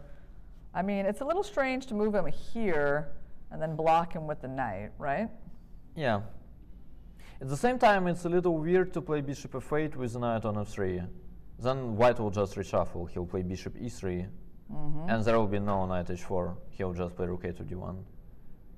So in terms of logic, it kind of makes sense to pass back. Mm. Something like I don't know, even So you're saying that if bishop f8, it'll- I'm allowing you to just develop, yeah, and then if I go here, you're going just rook a d1. yeah. I can't get in, and and I kind of let your bishop have a better square. yeah. Hmm. And then I still have to like make. I mean, I guess the question is, how do we just evaluate this position? Because this is a move that you know black probably wants to get in. Yeah, so your point is that it allows bishop takes c5, right? And then you you will have your favorite pawns Yeah. on a6 and e5, but yeah. Unfortunately, unfortunately, I was kind of considering this, but I realized like now my bishop gets trapped. Yeah. hmm A little sad. I can't take because then you're gonna like throw in that trade, and at the end of all of that, you're gonna trap that bishop. It's not exactly what I wanted. Yeah. I would say that that was not the plan. Okay. Um, f- but actually, I don't know. No, this Actually, with the bishop here, yeah, the bishop Yeah, kind of unchallenged. yeah, Maybe yeah. we can do this. Yeah, it is not the worst position in the world for sure. Like there are some queen b3s that will Mm-hmm. be annoying. But I must say I changed my mind a little.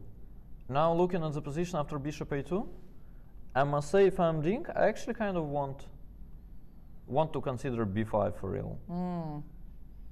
Especially Yes. especially because I don't see I kind of don't see too many reasonable moves instead. hmm And then b5 is at least, you know, I'm doing something. Yeah. I guess I'm in general quite often happy to take on a4 even, hmm and then play bishop b6, knight c5 with the tempo. So I would like hmm very much like to examine that. Like maybe white has a better version of knight f5. I think he just he went for it. yeah. There you go. Okay. So you're going to get to examine that. Yeah. it makes sense. Yeah. First, I would prefer to to examine the break. To be honest. All right, so guys, we're going to go on our first break.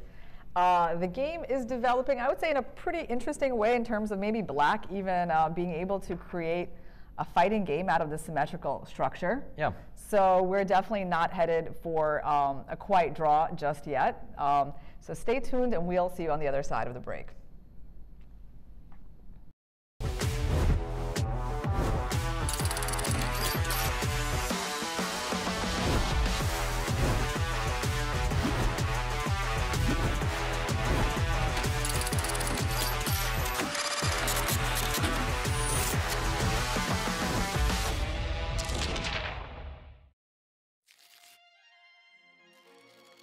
At that point was uh, some mixed feelings uh, because it's a big challenge for me. But now I can see I'm, I'm ready for this challenge.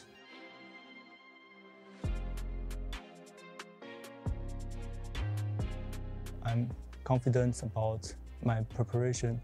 Also, I think I, uh, I grew up a little bit. I'm more mature, so I can handle the pressure I didn't feel any nervous right now.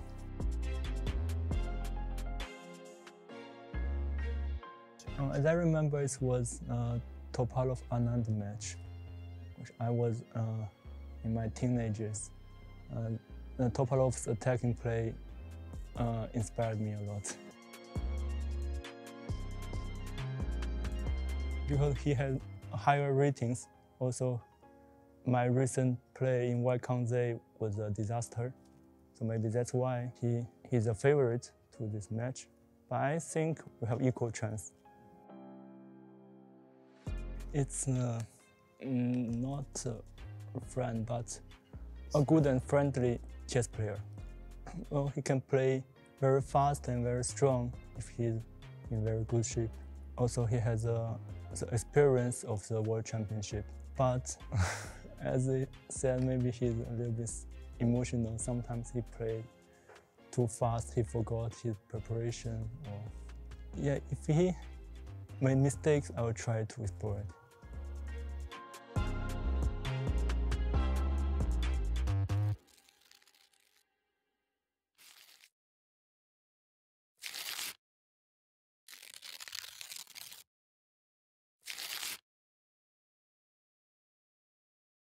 Match is, uh, is developing in a, a very uh, unexpected manner. Uh, players are trading blows.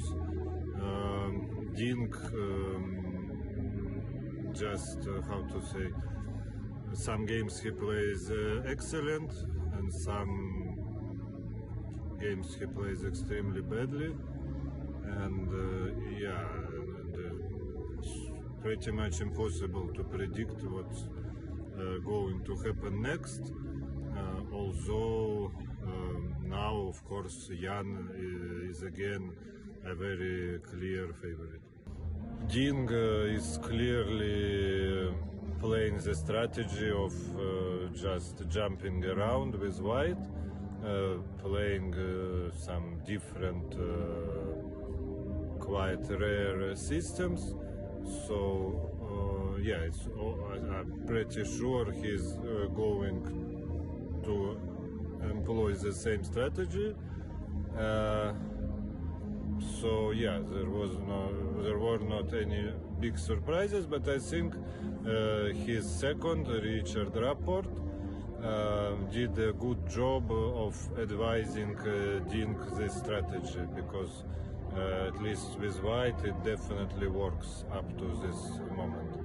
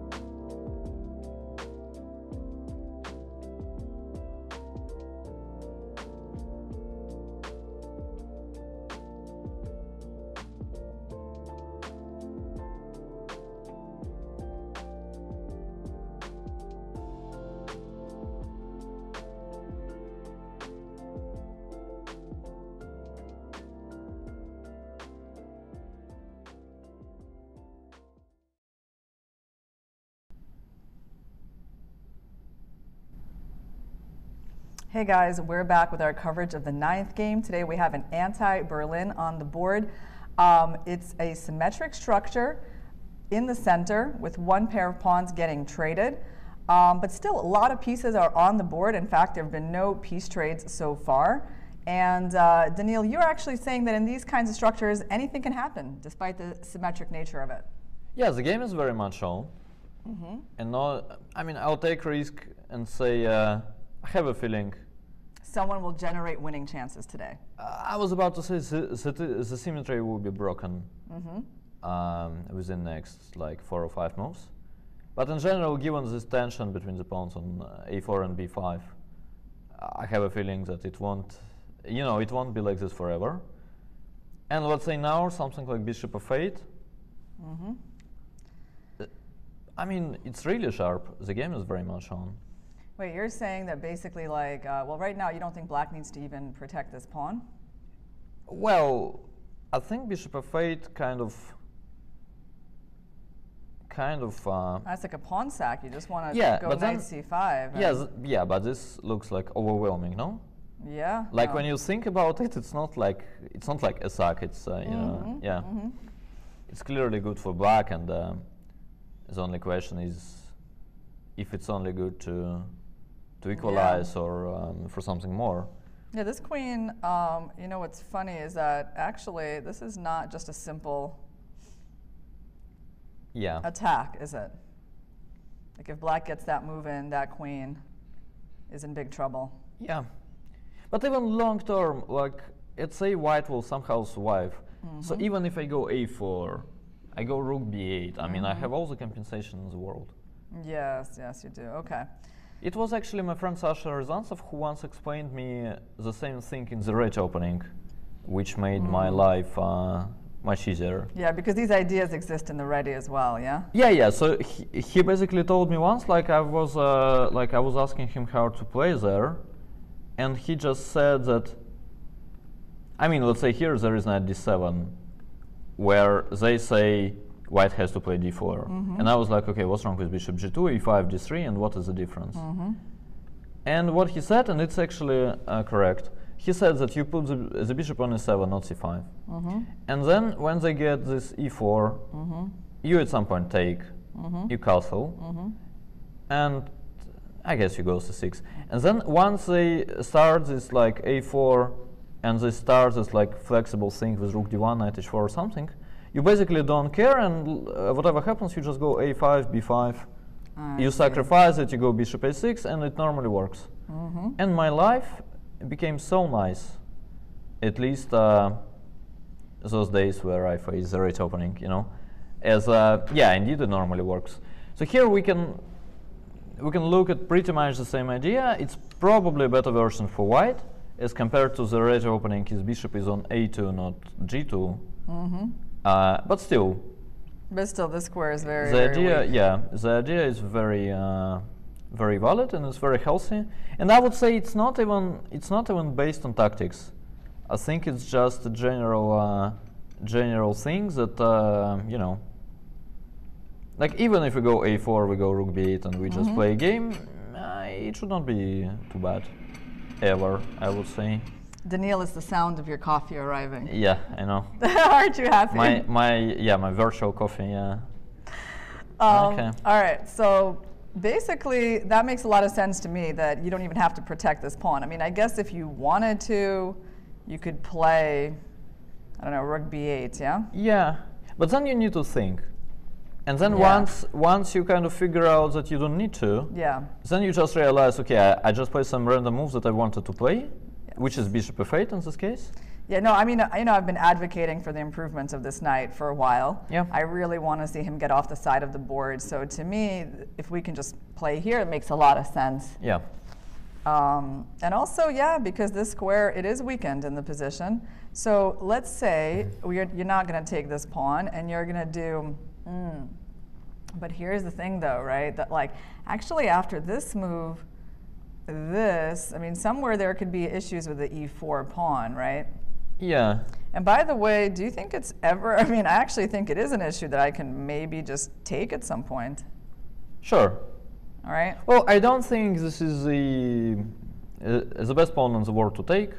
I don't know. I think it's not a bad one. Me- Yeah, yeah. You, you want your knight on c5 mostly. Yes. I mean, this is the thing. Yeah, I agree. I you mean, because if I can use my pawn to like support my knights, I mean, it's not even like you're getting this this guy back that No. easily. no. So there's even that for uh, Ian to kind of consider. But actually, one second. So let's just um, talk about the obvious then. Why can't Black just take this pawn? He can. And this is probably one of the things he is considering. I personally never played, but then again, we have someone who is um, thinking completely different way. Maybe it's because here the bishop just comes back. And you're not quite in time to, let's say, protect it. I mean, obviously you could play a3, but that's not like necessarily. the Yeah, but then one, then what are the priorities, right? I mean, you still have bishop f8 followed by knight c5. Yes, it's just not like the beautiful version that So we you're just had, basically but saying it's not bad. Yeah. Yeah. So you're basically saying you only take a4 when you kind of protect it afterwards. No, no, I see. You can take you can take it take it here. It's just not. Yeah, it's not quite as like awesome as the, what we had. But even this, like I would say, doesn't look I mean, bad again, at all. we go rook b8, we go a4. Yeah. Um, yeah, I mean, in general, I would prefer not to not to trade this One way. thing we don't want to do is this move. Yeah, show this. Yeah. Okay. Little tricks, and then positionally, this is actually not really what black wants because this knight gets kicked away. You can't even go here. Yeah. You're pinned, so you don't have en passant. And um, yeah, that's like a kind of a positional blunder from black, and that's why Daniil is saying that rook b8 is like the more accurate way to do this, and then go Yeah. a4. But then it's funny is that in many lines, white can do exactly the same. So he can Mm. play like here we'll say he can play b4. And then it sometimes also makes sense. You like open the lines, you open diagonals, you play something like bishop b2, you go bishop b2 or bishop a3, rook c1. Like normally, the best scenario for black here is that white will just pick up the pawn on c6, Yeah. and- and we shake hands, Mhm. which is also the most likely scenario.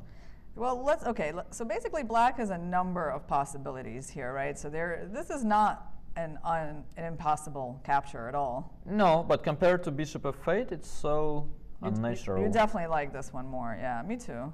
Yeah, I like it in general too, right? We are Mhm. just we just make sure we are not getting checkmated there. We kind of Yeah. say don't even think about the whole knight h4 thing. Mhm. Like it's rock solid on that side of the board for black. Like after bishop f8, if you don't take on b5, then your queen e2 looks a little stupid. As you could basically play any other move, and still we were planning bishop f8. Okay, b, c, b. I mean, taking is it really is just too dangerous, right? It's just too much. Like we can't I mean, neutralize this at all if we try. No, I mean it could be that white will calculate this, and uh, he finds a path to, to equality. But it's not something that we need to be worried about as black for Mm, sure. Yeah, I agree.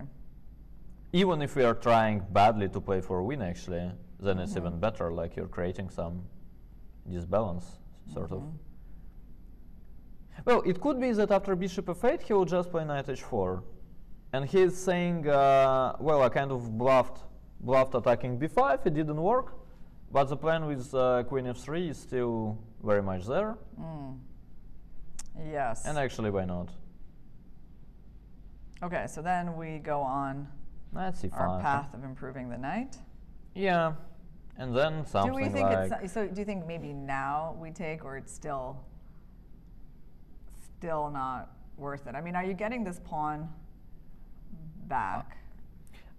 Um, well, my guess would be that black is okay in Mhm. many ways. Mm-hmm. And I also find it hard to believe that b takes c4 is an attempt to be better. Mm-hmm. Probably same goes to knight c5, but knight c5 just looks more, Natural. yeah, kind of. I think, um, I mean, again, it, it's a long way to actually get in trouble as white in the anti-Berlin. Yeah, here we wanted 93, I guess. Mm-hmm. But then again, we had the same position, right, with the bishop on c4 and white to move.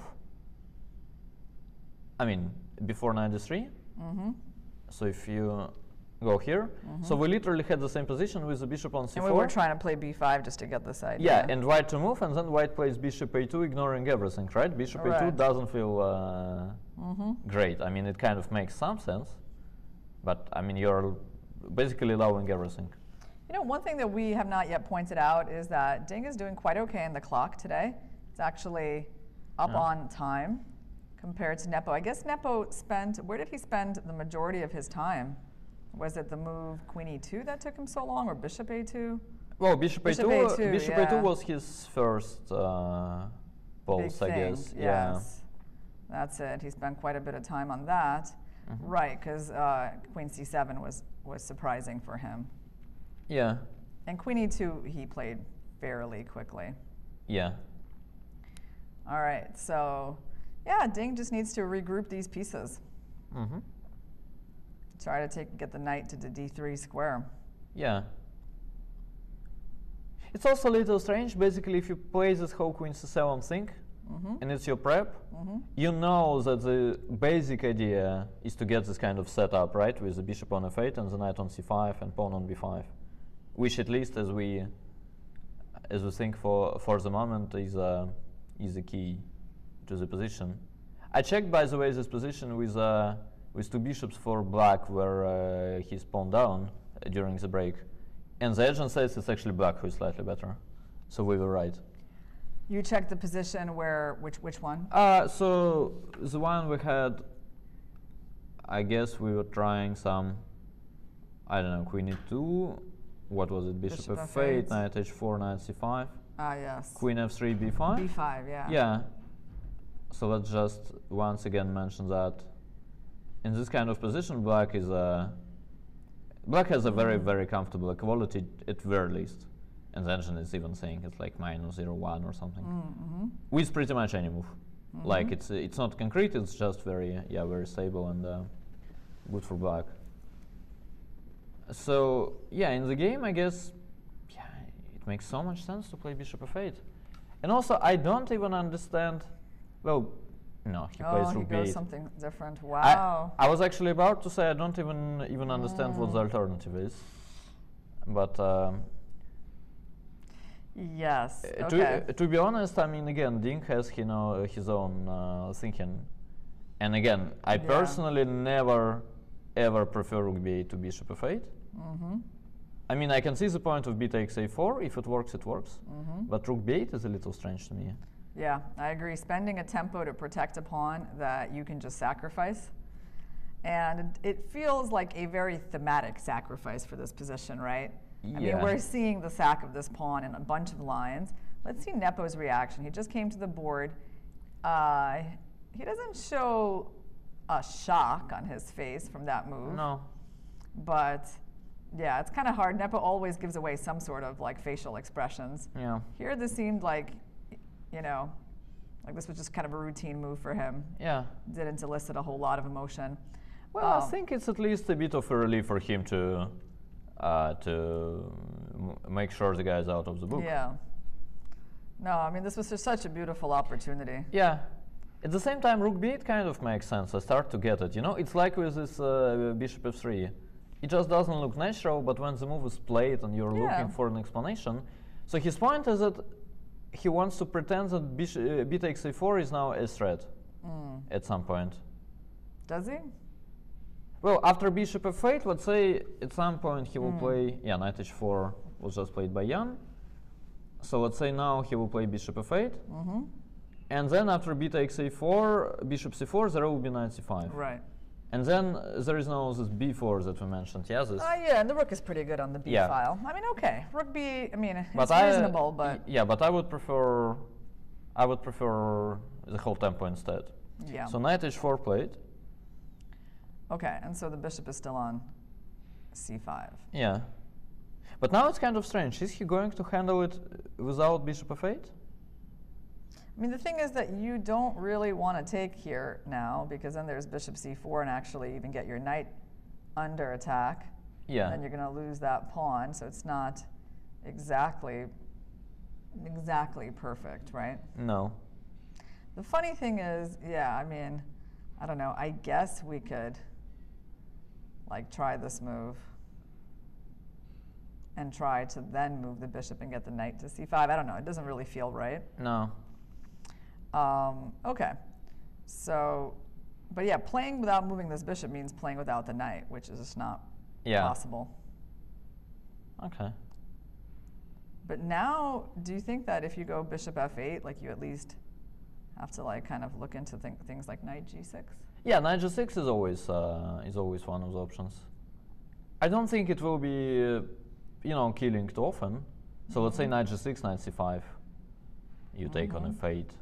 We take back with a rook, I guess, or something. And um, Or maybe even the king. I don't know. yeah, maybe, but let's not show off. Yeah. I mean, Okay. uh, Rook takes f8. Yeah. Um, then if some bishop takes h6 is not killing, and we are in time to get some bishop e6 or something, shouldn't be too bad. Also, I mean, in general, I just don't get this whole rook b8 thing. I, I don't know.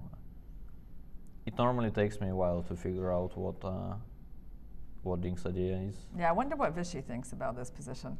Maybe it's a good moment for Vishy to tweet something about what he thinks about this rook b8 move. Yeah, but can we then tweet Vishy, Vishy please tweet? I mean, You know that Vishy actually might be listening to us. yeah, this would be great. Yeah. We, Vishy, please be so kind. If you're, if you're listening to this, please be so kind and tweet that Rook B8 is a little bit strange, but Ding is still a great player. Something like that would be nice. Yeah. Um, all right. So we got rook b8 on the board, knight h4, Yeah. and yeah. So what other options do we have? I mean, right now you want to come in with queen f3. Yeah. Yeah, somehow again and again I get this feeling during the game that I simply lose the track. Like they play they play moves, we kind of see the ideas behind them, and then some rook b8 happens. And then you lose the track completely. Like even if rook b8 is okay, you just cannot figure out uh, you know You know what this move reminds me of in this match? What other move? It's like remember I was okay. Oh, Vishy. Okay. Thank you very the much. tweet has come has come miraculously. Okay. I don't like rook b8. There are lines where the knight a6 isn't defended. Also, knight h4 and white's moves are easy and black's aren't. Yeah. Okay. Okay. So Vishy uh, came to the rescue with that tweet. Yeah. Um, You know what I want to say this reminds me of? This reminds me of his move knight f6 a couple of days ago. You know, and it's like I was tell- I, my, my whole point was like he shouldn't give Nepo this easy initiative where Nepo can play moves quickly, like he just played knight h4 instantly. He knows exactly what he wants to do. Yeah. Even if Black's position is okay, right? That's what got him into trouble uh, two games ago. Yeah. And I feel like, you know, he should try to seize the initiative from Nepo, right? And this position was definitely giving him the opportunity to do that, yeah. Right? And so you slow down with rook b8, you let Nepo play this move, and suddenly you're like, oh, I'm on the defensive again. Like, I got to figure out what I'm doing Yeah. against all these ideas. Yeah. And it's, and it's a bit of a pity, you know, because, um, Yeah, it is strange. Well, I'm not sure that rook b8 is that bad objectively. It could be just okay. But it's just that uh, for like most of the people who don't want to be like playing like a dozen of only moves after knight h4, mm-hmm. it's just, you know, strange not to play bishop f8 in advance yeah. to kind of make sure you're not getting checkmated there.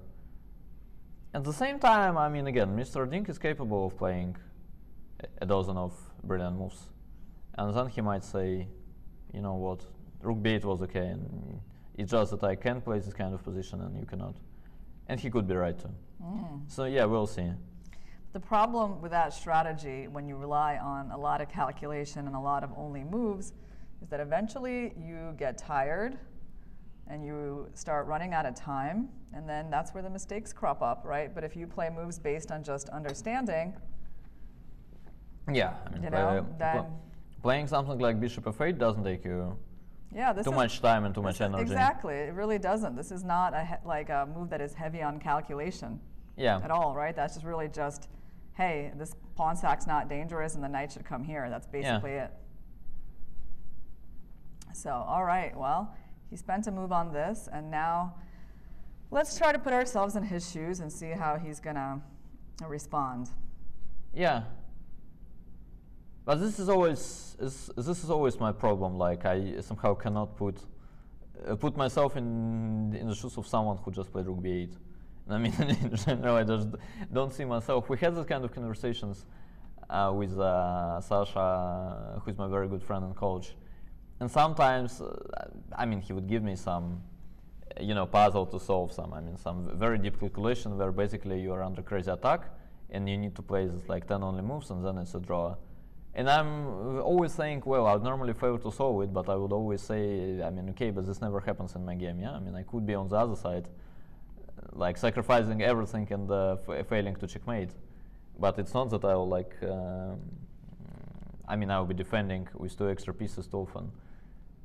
So here again, I mean, rook b8, knight h4, okay, I normally play bishop f8. If there is a problem after taking on b5 there, I'm ready to to I'm solve those problems. Yeah, yeah, yeah. I, I, mean, I'm ready to try those shoes. Yeah, but these are, uh, you know, these are different shoes. All right. Well, let's try bishop f8 anyway. Let's see how it works and move later.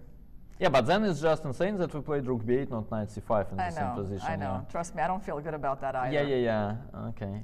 So, so as white, I'm very happy. Okay, let's try. Uh, I mean, which move do you want? I, I don't know. We looked at this. We haven't yeah. looked at this yet.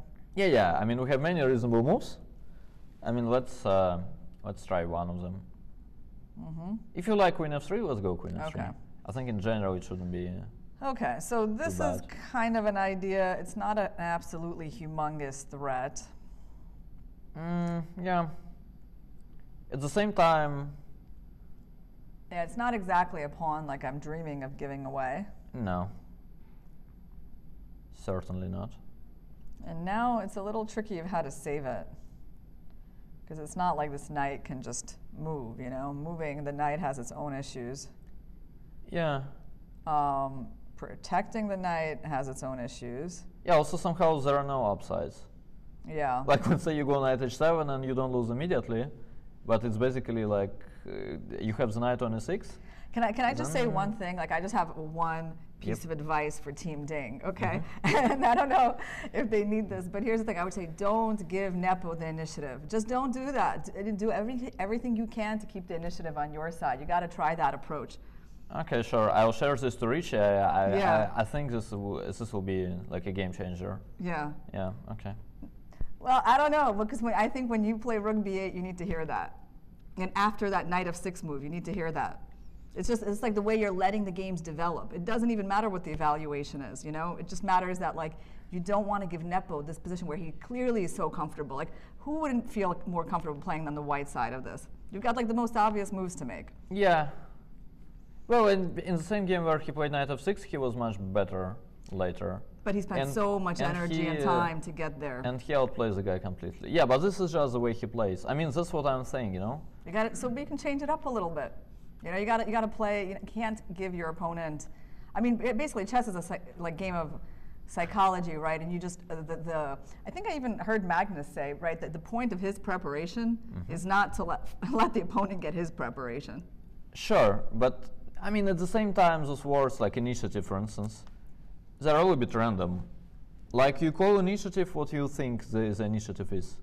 But the initiative could be completely different thing for Ding. Mm. He's saying, okay, I'm about to take on a4 actually, and like you need to attack with uh, with some precise moves to you know to uh, basically make up for it, kind of. All right. So it's yeah. I mean, I see I see what you're talking about, but I think Ding is in general a player that belongs to to a completely different school of chess. In mm. general, he's a brilliant player, but he thinks completely different way, and we keep saying this mm-hmm. every day. And let's say, uh, yeah, I mean, if someone who uh, who grew up, let's say, reading the same books that uh, I mean, I was reading being a kid, or you were reading being a kid, then sure, this advice would probably, uh, you know, fit. Mm-hmm. But with Dinka, it feels like he has a completely different metrics, even, you know. And then um, I personally just prefer to to watch this and uh, not interfere, kind of as uh, yeah i mean you're trying to you're trying to uh, provide some piece, piece of advice for someone who just came from like i don't know mm, venus or something right? I mean it's just uh, he, think, he thinks completely different way. And then you know let's just let him play the way he wants he's actually doing pretty well let me ask you something i heard in one of your interviews you were saying um, what was it like that uh, you worked for someone who basically like never, um, like you basically don't have to give any advice to. I don't know. I think I even have it written down somewhere. Um, do you remember some, saying something like that? Oh, I'm used to advising the guy who doesn't need my advice. It was your exact yeah. words. Yeah, yeah, This is funny. Yeah, I've said many stupid things in my life. Yeah. This, this one well, is I, I'll. I'll still ask you to comment on them one by one. okay. So, I mean, basically, I mean, uh, what, you- what are you saying here? Like that, I mean, you don't really, do, do you give Magnus advice? Did you give Magnus advice? Or you just kind of like do your opening thing and he just knows what to do himself? No, I mean, of course, uh, uh, I mean, of course, normally these two things are hard to separate. Normally, let's say, I mean, if you come and um, kind of try, try to present your Catalan as a good weapon, and you say, I think it's a good idea uh, to play it in the match, then of course uh, there are some certain kinds of positions where you give him advices of, of uh, you know, some general nature. You say, like in general, I think this trait is good for white, and this trait isn't, and all that stuff. And I think it's kind, it kind of makes sense to um, normally be, you know, trying to get this plan going, not that one, and stuff. But at the same time, he's a brilliant player, and uh, yeah, I mean, of course. I mean, even if he gets to some positions that we have not discussed, which happens, uh, in- I mean, most of the times normally, right? I mean, clearly, um I mean, normally he's capable of, you know, finding his own way. So these terms, it's funny. Yes, I mean, I could say, yeah, there is this position. Like my point is that, uh, I mean, I I suggest we play it this way and that way, but it's not that Magnus wouldn't um, um, manage it himself, right? Yeah, I gotta say that you kind of followed up on that. You were saying that basically um, you could tell him, go play, it's fine, you're a decent player, most probably you won't lose. Sounds like you Yeah, have yeah. the easiest job in the world being an advisor to a guy like that. No, it's uh, yeah. no, I mean it's very it's very nice. Seriously, it's like you are paid for uh, basically. uh, I mean, playing and looking at chess with uh, like arguably arguably the greatest player ever, who is ready to play uh, like the worst openings, But basically, and uh, who is always winning. So I mean, there are not too, too many ways for you to to screw up, you know. So yeah. So the way you've described it so far, like you're talking about like specific opening positions, how they're played. Well, obviously, yeah, that's that's kind of clear. But did you ever have to give him like more abstract or global advice, like like uh, I don't know, play these types types of positions, or you know, play faster, play slower, like anything more um, more general? Well, I think we could discuss that, but um, in general, he's very good at it himself. He kind of has this inner, uh, like inner s- spectator inside of him, who is actually following the match, and uh, I mean he's playing, but at the same time he's like following it from the side, sort of. So what's going on? Where he plays well, where he doesn't? What happens when he's um, short on time? and so on. And he's very good at uh, kind of adjusting. I think this is actually what makes him the very best. Like to be frank, I don't think uh, it's the case that he is like the absolutely best player in all the kinds of uh, you know positions. But it's just that he can always adjust. And then, uh, like people like me won't get uh, some crazy attacks going, and let's say people like Ding won't get uh, some straight calculation going, and people like Ian will always have to play those long games, nerve-taking games and stuff. So what you're saying is that he has a very good idea of his opponent's weaknesses, and he's able to steer the game in those directions. Yeah, and he's sort of good at everything. Mm-hmm. He's like top three, top five at everything, absolutely. So basically, Magnus is a very, very good chess psychologist. Yeah, of course he is. Yeah. I mean, if the thing exists at all, then yes. Yeah. Yeah. Well, I think it does, right? I mean, you, so basically, it's like you can't say about Magnus that he doesn't like he doesn't have like the right approach to the match, or you know, chose like the wrong strategy in the openings. Like at least from what you've been able to observe. Yeah, I mean, normally, uh, well, normally yes. I mean, in general, I like the strategy. I got to ask you uh, an interesting question that I've had in my mind. Um, so maybe one of the most talked about moments in Magnus's World Championship matches was that decision. Uh, I guess it was Game 12 against Fabi to take the draw with the black pieces, right in a position where he was up on time Yeah. and uh, had a better position, Yeah. and basically take the game into the tiebreak. So first of all, uh, for you guys watching from your training, uh, from your I don't know training camp, or that's not that's not training camp, but whatever you were, w- um, helping him prepare for the match. Um, what was your impression and the impression of your uh, fellow seconds on that decision? Um, well, I mean, I don't want to share too much, and also Yeah. we, we're watching a different uh, World Championship Oh, no, no, match. but we're allowed to talk but about other yeah, things. but uh, but let's say in general, my my original impression was uh, mm, I was really surprised, Mm-hmm. and I di- and I didn't like it at 1st and then I actually realized that. It was completely correct. I mean, it took me it took me more than like a week or two, let's say. So it was not like the result oriented thinking. It's not that he wins the very next day, and I start praising him. But then later on, I just realized uh, that it is correct, uh, and this is a very smart and mature decision. And just given those, like both were like numbers, given those, given the mass, I think he did the right thing. He just thought he is a massive favorite in Rapid, and in Rapid you play four games. And uh, I mean, otherwise you're basically gamble it all in one game. Where sure you're better, but it's just one game, and it's actually playable. It's sharp. You're doing well for the moment, but uh, you know things could hap- uh, happen. Sa- same, let's say, when he played Karyakin, right? He made this famous uh, draw is white and the Yes. yeah, very much the same.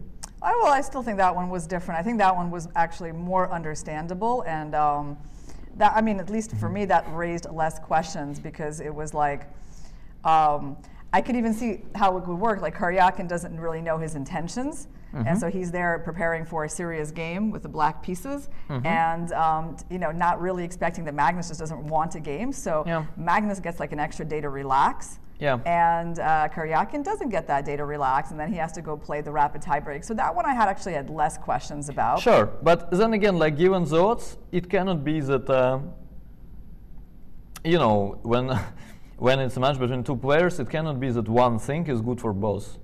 So I think given the odds, it would uh, it would actually make sense to, for uh, for Karyakin to gamble in the last game. Y- You, you go you go play some Pirc, Yeah. and then it's you know this is really tense. that would have been a very, I think it would have been a very difficult decision for him to take. Also, not knowing what Magnus's approach would be, right? Like if Yeah. he would have known that Magnus doesn't really want to play, then what you're saying is kind of Yeah. easier for him to come up with. If he's just thinking Magnus wants wants a game with the white pieces, and then to still Mm. to have the strategy to like try uh, to play something risky. I mean, yeah. Yeah. it's not the most obvious. I get it that he could try that, but Yeah, but mathematically speaking, I think I think it's clearly the best. Like given the fact that Magnus is clearly a better player than you are, it's like much easier to win one game with black than to win uh, a match of four. Just uh, you know, So if you were on his team, you would have like pushed him to do that.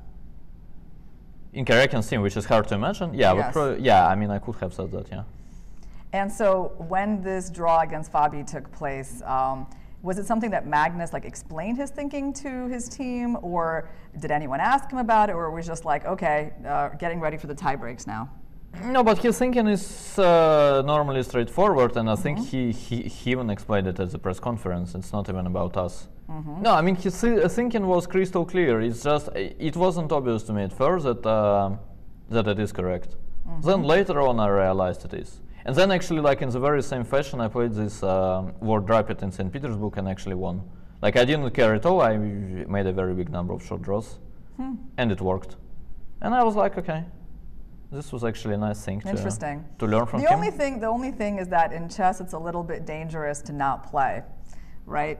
I mean, we know that the game of chess tends to reward, you know, fighting in every game, and so yes, it's nice to be strategic, but it's a pretty risky strategy to work with. I mean, whether it's making a draw with the white pieces without playing or taking a draw in a better position. Yeah. I mean, it's, it's, it's interesting that it worked for Magnus both times. Yeah. But overall, uh, I don't know. Is my experience as a chess player is that it's a quite risky thing to play, um, to play with that strategy. Well, it depends, right? It really depends on the situation. It uh, very much depends on uh, like you being a better player or a worse player uh, compared to the field, and uh, many other things. But let's say I'm pretty sure what I learned is that uh, I mean I honestly think that let's say for me, w- when I'm let's say tired and I'm not feeling great, like in general, not some exact day, but let's say like in general, I come to uh, to, a- to, tourna- to a tournament being tired.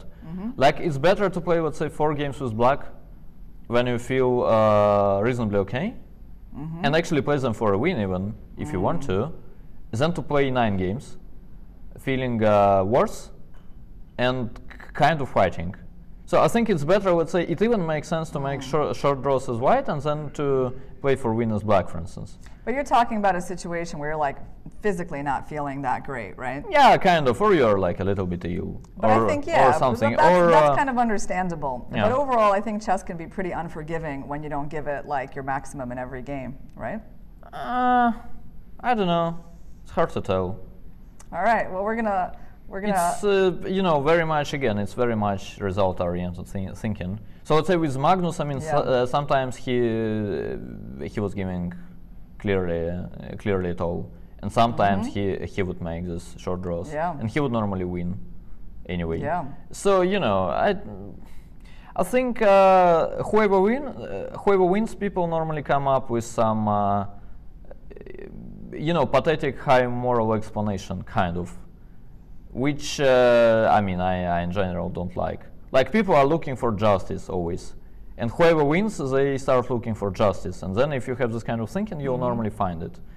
But I mean, in sport, I don't believe in justice. I mean, it's just that there are different people who can win, and then someone wins, in the, at the end of the day, and someone will win anyway. And you know, there is uh, there is no like justice or something. It's not necessarily the case if you look at the tournaments, if you like examine the games of the candidates. Let's say there is no like justice in Ian winning candidates, for instance, like with all the some short draws and like playing Petrov and winning in 20 moves. It's not what you expect. Or let's say here, if we are talking about like justice exactly, then it's very unfair that uh, D- Ding is behind. But then again, if Ian will win, they will come up with a, like another explanation that he won two candidates in a row, and it's like very fair that this guy, after Magnus leaving, is a world champion. At the same time, if Ding wins, they will say yes, he had this legendary streak, his rating was so cool, and uh, you know there is fate, and he won like so so many games in the candidates to catch Ian both times, and uh, I mean he was one of not too many people who were actually praised by uh, Magnus, who said he is brilliant, and then people will find their justice too. I have to say, I um, just prefer not to believe this story. one of one of the nicest uh, blitz matches I, I ever got to see was the one that he played in the tiebreaks in the Sinquefield Cup against Magnus. yeah, And you know that was the first I think playoff that Magnus had lost in like uh, in many many years. Mm-hmm. And of course, you know he's kind of a massive favorite going into any rapid playoff. And to see Ding win um, that blitz playoff like quite convincingly and very stylishly with this, Yeah. you know some nice tactics there, I was really impressed uh, with that because I had just like you know not really seen anyone but, but uh, uh, being able to do that against Magnus. Yeah. No, but it's you know like every single time if you're looking for justice, you can look at the result and come up with some logic that that explains it. I just prefer not to think this way. Say when Fabi played Magnus, Yeah. let's say Fabi wins. Uh, I mean the rating difference was like five elo points. So I think i- if Fabi, I think if Fabi wins classical part, he he's actually number one in the world. Hmm. And then, I mean, it's also fair. You, I mean, looking back, I mean, he had this uh, perfect St. Louis where he won seven games in a row, mm -hmm. and you can say it was clearly him. He's the one, right? And then uh, if he beats Magnus, everybody would say sure, and he like overtakes him in the rating and stuff. At the same time, when Magnus won, still you can say yes, Magnus is the best. He won the tiebreak convincingly. Like he basically has uh, hadn't been like too close to the line. He hasn't lost a single game. And then again, like something happens on the last day, and then people come up with some, uh, you know, very, very, Yeah. very deep explanations. Well, okay, let, let me let me interject a little bit here. No, I get what you're saying that you can create a story to explain anything that happens, Yeah. right? But still, some narratives are a little bit more compelling than others. Like I think when uh, Kramnik won his 2006 match, you know, against uh, wait, uh, against Topalov, right? It was the whole Okay. Gate thing. I think Okay. overall the chess world was pretty happy about that um, because they saw certain logic in that. I mean, he had been basically kind of forfeited a game. I mean, the chess world didn't like to see that somebody getting a point for free, and all these kinds of like accusations of uh, I don't even going to the toilet too much, and I mean, just seemed, Yeah. um, you know, without actual any any um, evidence of of cheating or anything, and people basically just thought it was like a scandal meant, you know, to um, to kind of distract him during the match. It kind of worked, and um, Yeah. and, and overall, when he won, I mean, okay, I think it felt uh, pretty right. Yeah, but the case you're talking about is an exception, where, uh, well, I'm not the one to judge, Yeah. but in people's minds, uh, like there was a good guy and there was a bad guy. So we are talking some like human justice, not sports justice. But when it's about sport, let's say you have Ding and you have Nepo and you like both, Yeah. Which is a different story, right? Like no one is being dirty or something. And then you know, like whatever happens, I mean, same in football. Well, it's, me- it's like yeah. everywhere basically. Let's say there is a, I mean, there is a f- football, right? We just had this world championship. So l- you have the final between um Argentina and France, and France was the current champion back then. Mm-hmm. And Argentina has Messi, who has his, uh, I mean, probably uh, the last shot of his life to win the world championship. You're talking about the last World Cup, or Yeah, World Cup. Yeah. And then and then you know then it's great either way. Mm-hmm. And then uh, I mean it's a brilliant match. I liked it a lot and stuff. And, And uh, Ar- Argentina won that one, right? yeah, I mean they they won the the penalty shootout, but Yeah. like I mean in general, yes, Messi played very well and stuff. Mm-hmm. And now that Messi won, like I mean I like him a lot. He's my favorite player. Like everybody is saying this is like overall justice. Yeah. He he gave it all. He was trying for his whole life. And like in the very end, he, I mean, he, he was finally, uh, They won against France. yeah, he was Yeah. finally given it. At the same time, France was good, like crazy good. They were current champions. The-. And they got that they- guy Mbappe. eh, who, He's a great who- player. Who, was doing Yeah. insanely well and scored, I think, twice in the final. And uh, I mean, if they win, they win two times in a row, which is also, uh, I mean, it makes history. Like I don't remember the last time when it happened. And then people would also say it's fair, you know. But that's not okay. But hold on, Daniil. That's not what I'm talking about. I'm talking about like some basic things in chess, like you know, fighting with the white pieces, right? We kind of consider that like a big no-no, right? To give up draws with the white pieces. Although I guess, I guess, yeah, sometimes it can work and you can still get the results you want. But you know, if you let's say you look at a match, Okay. right, and like someone. I don't know, someone takes the lead, Yeah. right? But then they basically like stop doing anything with the white pieces. They're just like Okay. okay with the draw. Okay. And then ultimately it doesn't work out for them. They lose. Yeah. For example, they lose the final game. Sure. I mean, the chess world will be like, okay, that's some justice because you got to play your games. That's just what chess players are supposed to do. But then again, you know, if they manage, then uh, people will say, you know, it was a. Good job. It was, yeah, it was I mean, strategic. exactly. But but but but overall, For- they're not uh, gonna they're not, not gonna love that. You know, and they're not gonna they're going to look at that and be like, hmm, yeah, okay, but no, uh, that kind of decreases the interest for chess, right? All right, let's get back to our BDXA game. 4 played meanwhile, Yes. so we finally can, you know. We can come back to the game, but you know what's really funny? This scenario, it's like exactly the scenario you don't want, right? He he was up on the clock. Now he's down on the clock because he got himself into some issues with this Rig B8 move. Yeah. And again, you know, almost 20 minutes down on the clock compared to Nepo. yeah. And Yeah, he took the B takes a pawn. four, okay. Yeah. Yeah, going back to the topic, my point is that basically it's good play and bad play. And it's like good moves that bring you trophies, not the Mm-hmm. fighting spirit. And, um, you know, I personally don't like it too much. And let's say, uh, look at, let's say, Naka or like all, all those people who play online. This queen e4, queen d4 became Yeah. normal. Like, I mean, I, I was used to Mm. like the paradigm where it was basically a shame Yes. And there was a period where I mean I was saying I will never do that, and Mm-hmm. this is just too much. You know what? I still then think that then way. you- the- yeah, but then you just realize everybody does it, and uh, I mean these people are still invited to like all the tournaments, and everybody loves them, and, the, Mm. and the organizers are uh, you know okay with it. And then you think, okay, sure. Hmm. You know, then why would uh, why would you be the Robin Hood sort of? Right. And why would you play Naka with uh, like extra odds that he's allowed to do that and you're not, Mm-hmm. right? Yep. And then yeah, like my m- my would say original paradigm about online was that uh, this is basically exhibition. Um, there are no ratings, and I thought like even when I need a draw in order to like qualify somewhere or something, I thought I will most probably play, as we are uh, trying to like entertain people, and I'm paid for that, and there Yeah. is no even rating, so I mean I have to do that. And then I came all the way to uh, basically make, uh, making as many draws as I want, as everybody does it.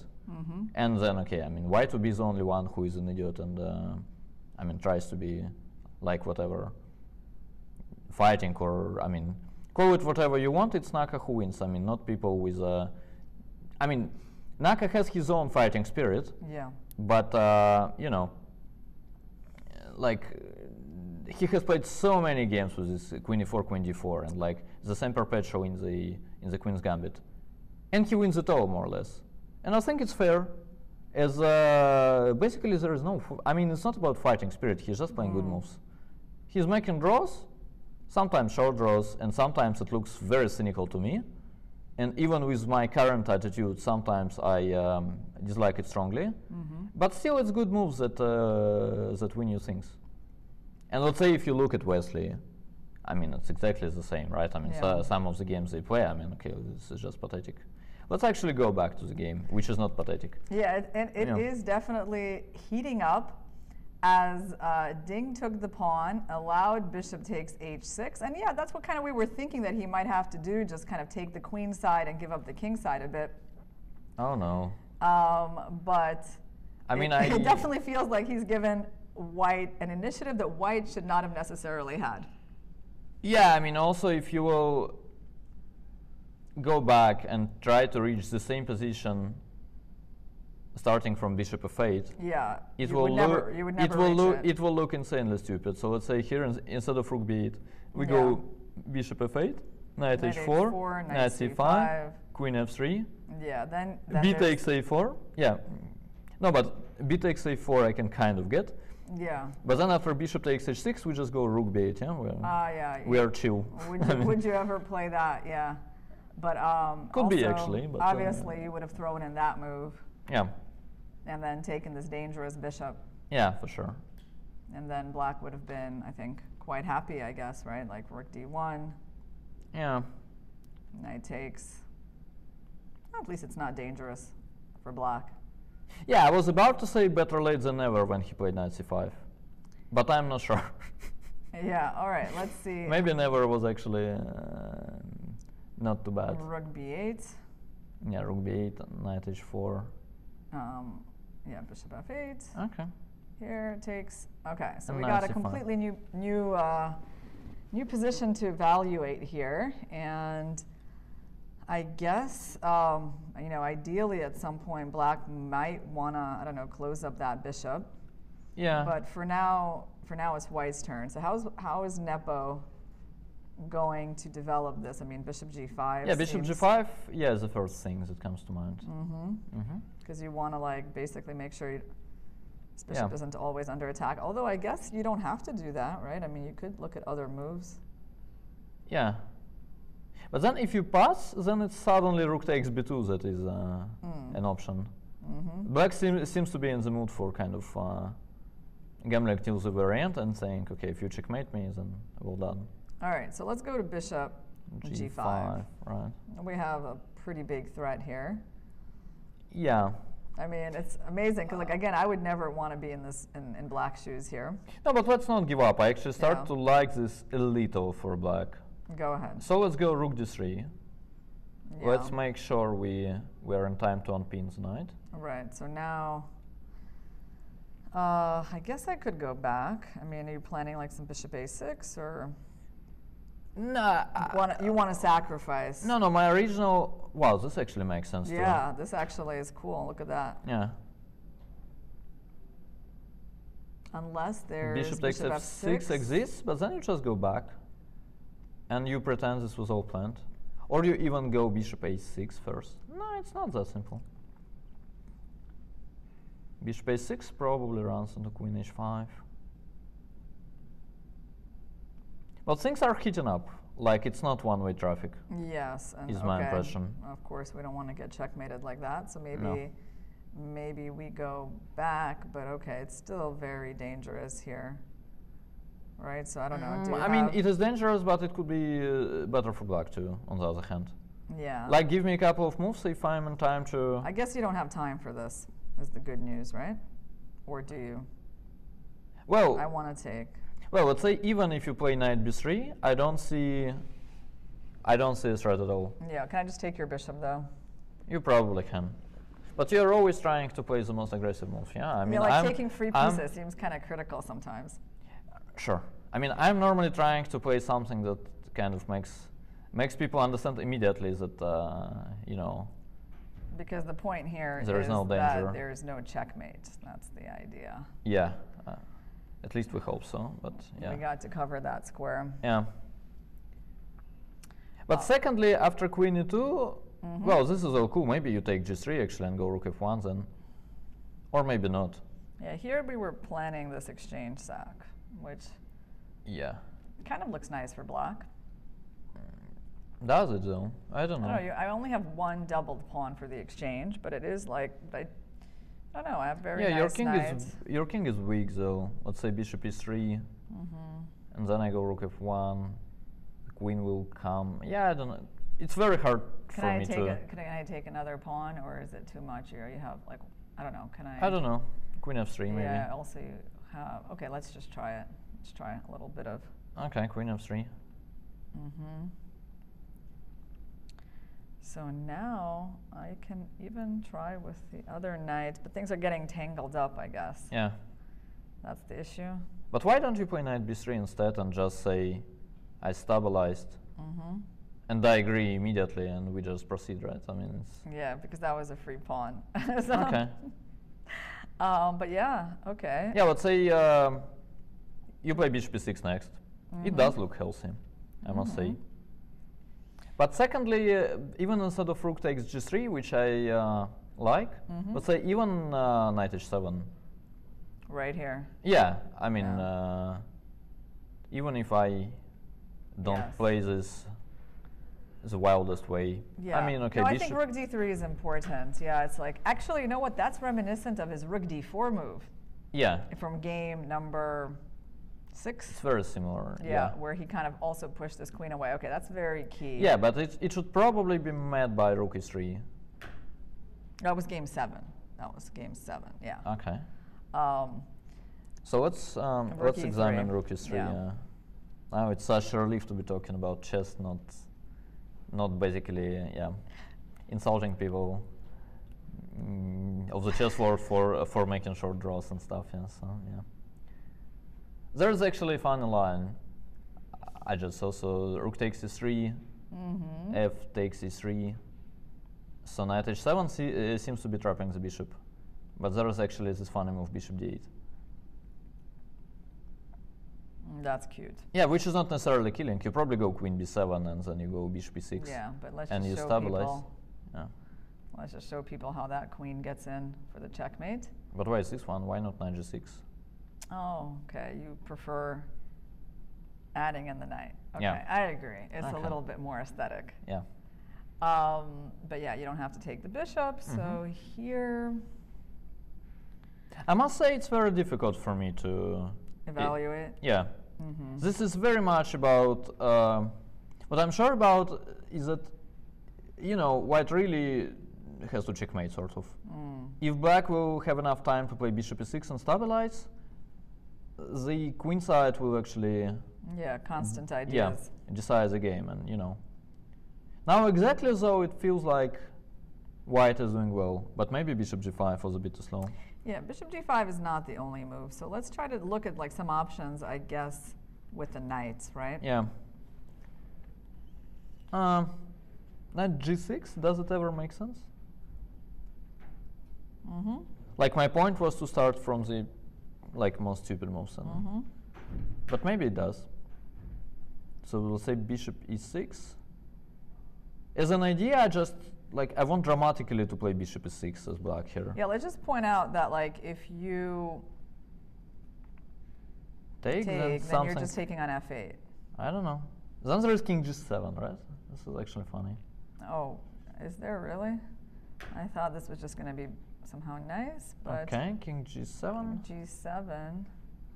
It's Wait. funny. I'm protecting knight on f6 and also You I'm basically just want to win my knight. yeah, I'm pre-waiting knight g6. Yeah.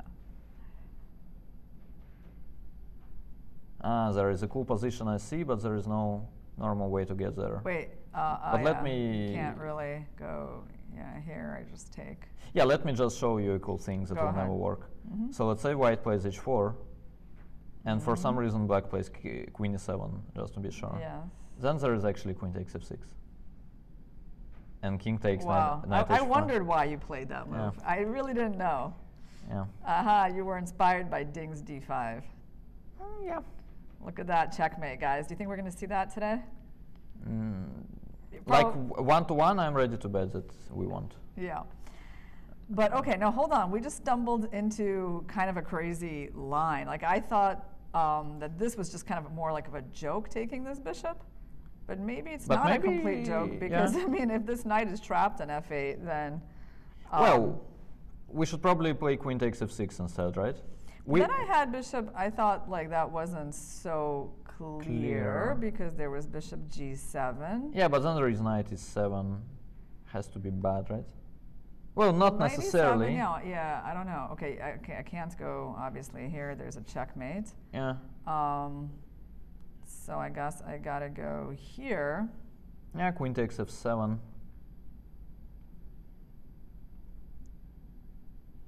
And you're kind of you want an important pawn.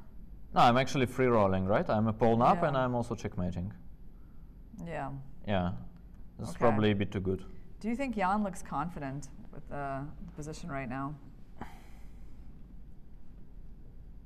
Well, I, I know him for quite a long time. I don't know, like, it's hard for me to judge his like current level of, of confidence, like this exact minute.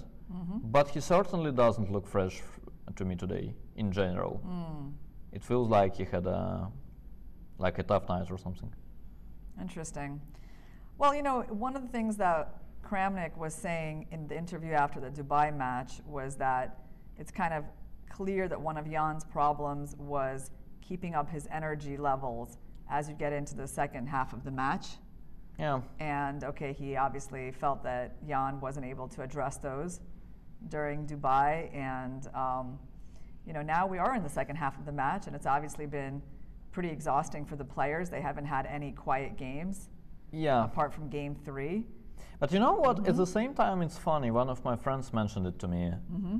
He said, "You know what? Like everybody's saying, they're fighting so much, they're Mm-hmm. fighting so much, and uh, how do they keep their nerves and stuff, and blah blah blah." And he said, "Sure, Mm-hmm. but actually, like pretty much all the games were kind of finished by move Short. 40. Yes, Yeah. yes. I mean, um, Mm-hmm. you would normally don't have uh, many things happening. So Ian played knight g6, Yeah. Which Yeah, we just started looking at that. which so. exists. hmm So basically, if we just try to understand White's next move, what do you think that next move is? Is it just taking the bishop? Probably. I mean, that looks quite nice. Yeah. I suppose there's other moves you can throw in, but like I guess the moment like you try to move in a knight, it gets captured, right? Yeah. But Still. knight g6 is kind of admitting that there is no checkmate. Like bla- black has now many moves that kind of uh, secure him from straight losing, like knight b3 or bishop e6. Ian probably played a good move. He's probably better, but I'm just saying, okay, this is not an attempt to Mm-hmm. to win quickly. Yeah. Let's actually start with rook takes b2. I Mm. mean, I understand it's a very optimistic move and stuff, Mm-hmm. but actually we need to look at it anyway, right? Because actually- actually, somewhere you could just take that bishop then, and then take the knight. Yeah, I mean, moreover, if you're such a such a chicken as I am, you're basically uh, pre-moving rook takes a2. Mm-hmm. And I am like, I mean, whatever, I'll give you everything, just don't. Just don't mate me. Yeah. Okay. All right, so rook takes b2, definitely a critical looking move. Um, so let okay, let's just take a quick look at this one. Yeah. So you're definitely um, taking, by the way, Such a yeah, weird you, position, you can't right? do stuff like that just to show people. yeah. Um, so you got to take with the rook, Yeah. And then fortunately I there's had no rook- bishop g7 just yet. Yeah, I had rook takes a2 too, just in case I'm getting mated here, which is kind of unlikely. Mm -hmm. So I mean, here black looks fairly safe for the moment, actually. Yeah, I guess white will just play bishop c1, let's say, and then Mm. um, you kind of reshuffle for a slow positional game. You go bishop a3 next, maybe queen e3. It actually Uh-huh. looks oh, very interesting. You have this look- idea of bringing the bishop here. yeah, looks very good for white actually. Hmm. hmm So this And I don't have any. I don't have any brilliant moves like that because you're always basically. Uh, you're always like basically having this bishop a3. Uh, well, always is a bit too strong, right? When you look at it, I mean, again, if I'm in time with, let's say, bishop e6 followed by knight f to Yeah. d7, then who knows? So here I just don't really have the time to make this work. It would have been kind of cool to play rook b3. I mean, I love these exchange sack ideas. Okay. Uh-huh. No, I like I like rook takes b2. I mean, if we're not losing, then I like it. No, but we probably are, yeah. I mean, after knight takes f8, still we failed to come up with a move. Ah, after bishop c1. Yeah. Okay, hold on. So how bad is this? Actually, how about I'm trying to do something really cool? So I rook go. takes a2, bishop e e6. No, no. Here I just give up. I mean, like I cannot uh, have it all. But instead, after rook takes b2, knight takes f8, let me play knight b3. Uh, you said after what? Rook takes a2? No, no. Instead, No. uh, after knight takes f8. Ah, right here. Yeah, I, I just go kni- knight b3 for the moment. Wait, so uh, let's just make it clear. You took the bishop. You Yeah. don't want to recapture it. You want to attack this. Yeah, I just want to chill. Yeah. Yeah. I'm saying, okay, you have too many pieces next to my king. You're you- saying this knight is trapped. It's not going anywhere. Yeah. I can hold off with taking it, which is very cool. It is actually not a joke at all. Yeah. Yeah, I, I see that. I yeah. see. Yeah. yeah, definitely. I stopped laughing once yeah, I saw that this yeah. uh, yeah, yeah, yeah. I is mean, not going anywhere. This is not funny. Yeah. This is not funny. Wow. I mean, That's you a very cool idea. Yeah, I mean, you have things like bishop g5, yeah, but it's. Uh, I mean, I can even try to keep ignoring you, like rook d6. So you don't want to even consider taking this guy. No, I have to consider, but I'm just worried about being mated after b- after bishop takes f6, which is not Yeah. necessarily the case. But let's say I go rook d6. Mhm. I mean, I just like it as a concept. Right. I basically, you know, defend 1st Mhm. and then I take everything slowly. Wow. Well, that's very nice. Yeah, I mean, it looks. It actually kind of works, doesn't it? I mean, is Well, it, works is a bit too strong. You have a billion of moves here. Yeah, I mean, I'm not that, that brilliant to like figure out immediately if it works or not. But I mean, at least it makes sense. I don't see. I don't see a way to like crush it hmm uh, with a couple of moves. Oh, we're gonna take here next. Yeah, I mean, also a1 is hanging, Yep. and uh, you know. Wow. So maybe he's This like is s- enticing Nepo to attack, but he's got Uh, his this own. is uh, such a funny position, isn't it? I mean, Yeah. uh, knight takes f8, knight b3. Mm, he's taken off his jacket. I think Uh, that's a that's a sign that the temperature is rising on the board. Yes, that's probably a sign of him. Uh, Calculating like an engine and yeah, I getting mean, a little hot from yeah, that. yeah, yeah, yeah. I mean, exactly. As the depth was, you know, Too high. yeah, exactly. so yeah. All right, so rook takes b2. Yeah. Yeah, no, I, I feel in his body language that Ding is seeing some interesting things. When he sits Yeah. up like that, like he is, Stranger, stranger things, right? Yeah, and he's he's not unhappy about his position. He's uh, he's really into it. He might have seen these amazing ideas. Yeah. All right, And then b2. again, I mean, Yeah. imagine this works. Yeah. It probably doesn't, but let's agree, like by this point, we are not sure it's like problematic for black. Right. It could be just good. And then it was rook b8 that brought him this rook takes b2 resource. Mm-hmm. That's what I'm saying, you know, he plays completely different way. And, um, you know, Mm-hmm. we shouldn't use our, you know, primitive human metrics to judge him. Yeah, no, I, I haven't seen ideas like that all too often in chess. You just like leave the knight there. Um, I, I think there is a game, one of my favorite games actually, uh, Tal Panno, I guess, Mm-hmm. where uh, I- I think Tal had a queen for, for a rook and uh, two minor pieces, or maybe three. But two of them, Tal was white, Mm-hmm. and uh, two of them were black knight on a1 and black bishop on b1 actually. Mm-hmm. And then he went on to win a fantastic game. I remember myself being uh, really impressed by this game as a kid. I mean, in general, people tend to over overestimate. Yeah, rook takes b2 played. There we go. wow. I don't know if it's good or bad, but uh, But it's yeah. going to be interesting. I'm That, that know. uh, I'm certainly having fun here. Yeah. Yeah. All right. So rook takes b2. No, I mean, of course, the rook has come into the game, and it does make a good impression from that point of view. Mm-hmm. Um, I mean, the knight is here to take the bishop. That's literally the main mission of the knight. Is there something else that we're missing that white? What other idea could white have here? Like at some point, because I, I am interested in taking, right? That's not a joke. Like I, No, I guess you. I actually will take yeah. and take. Yeah, I guess good to bad. You take on f8, and Yeah. then and then you see what the response is. Is Yes. I mean, knight b3 is cool, but it's not the only move. Yeah, well, rook f8 is kind of sad to play because you're taking your rook off the open file. Yeah, but and now. king f8 is impossible. yeah, but now now given the fact that knight b3 is interesting, we can actually realize that uh, like most of random moves are legal. Rook d3. For black. Yeah, I mean, for instance, it's not that we don't have moves. Mm-hmm. I mean, knight b3 is interesting indeed. Yes. But let's say you can start by playing rook d3. Mm -hmm. No, the queen actually doesn't have almost any squares. Yeah, I mean, rook e3 is probably the move. Yeah, you can also go bishop e3 if you want. Yeah, which is not attacking anything. Yeah. But um, yeah, It's kind of like making sure you can't take the knight. But yeah, okay, Yeah. you want to go rook e3. yeah. So then. But then I can continue like showing off like rook d2 d2 for instance. I mean, I can just pretend, you know, as a bishop on h6 and as knight on f8 are kind of dead. um, also, and, uh, bishop is under attack. Yeah.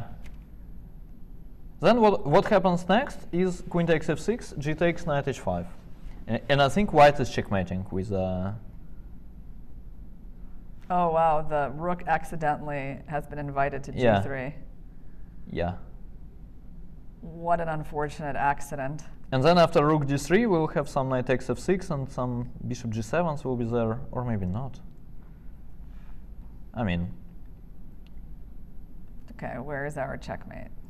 We might not have one. no, my point was that like at least we have bishop g7 here, followed by knight 8. We take a queen, but we lose the game, right?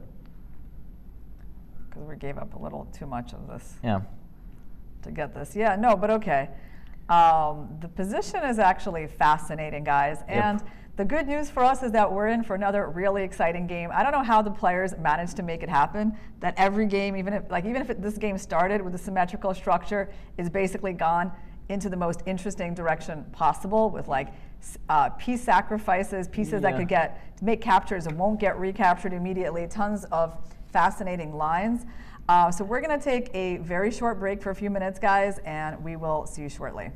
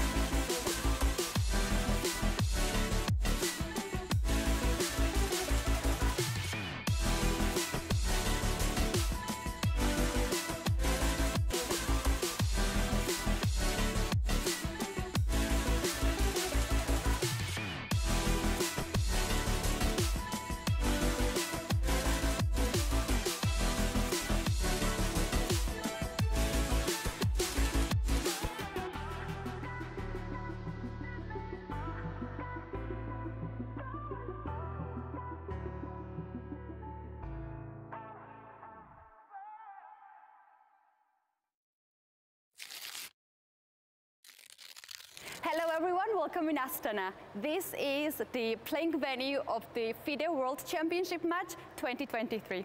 I'm Katie and in this video I'm gonna take you to the players area as well as spectators area. Follow me.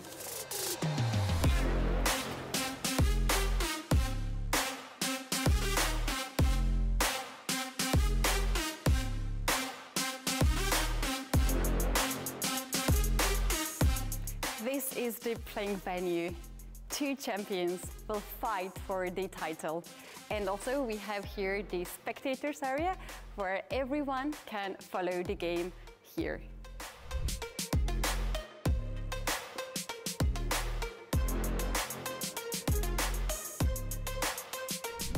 In the first round, Ian takes white pieces and he will move the first. Ding will take black pieces. Also, the chair that Ian Nepomniachtchi chose is the similar design from the World Championship match from Spassky and Fischer in Reykjavik.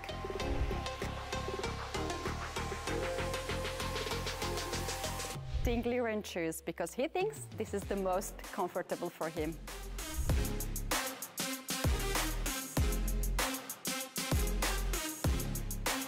Compared to the previous World Championship matches, here the players will have more space during the game.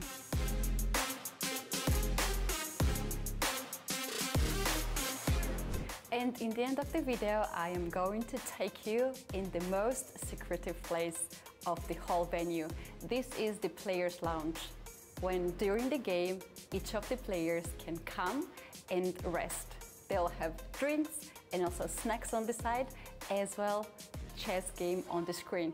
For the first time in the World Championship match history, the players will be observed by the cameras.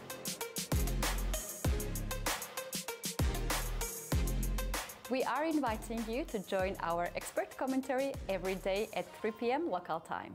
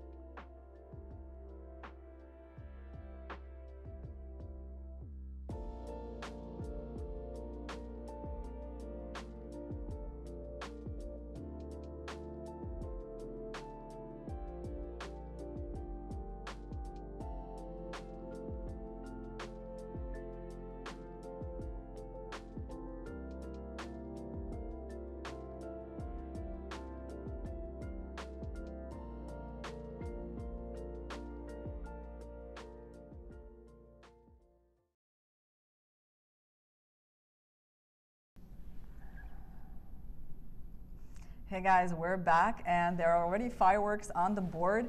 White is trying to break through on the king side and black is obviously doing better on the queen side, having just captured the pawn on b2 and infiltrated with the rook to the second rank. So Daniil, you checked some lines during the break. Do you want to tell us, give us a general idea of What is going on in this crazy position? Yeah. Well, first of all, I didn't have uh, have an access for my normal computer. Yeah, we shouldn't even know what is what is as a, as a thing.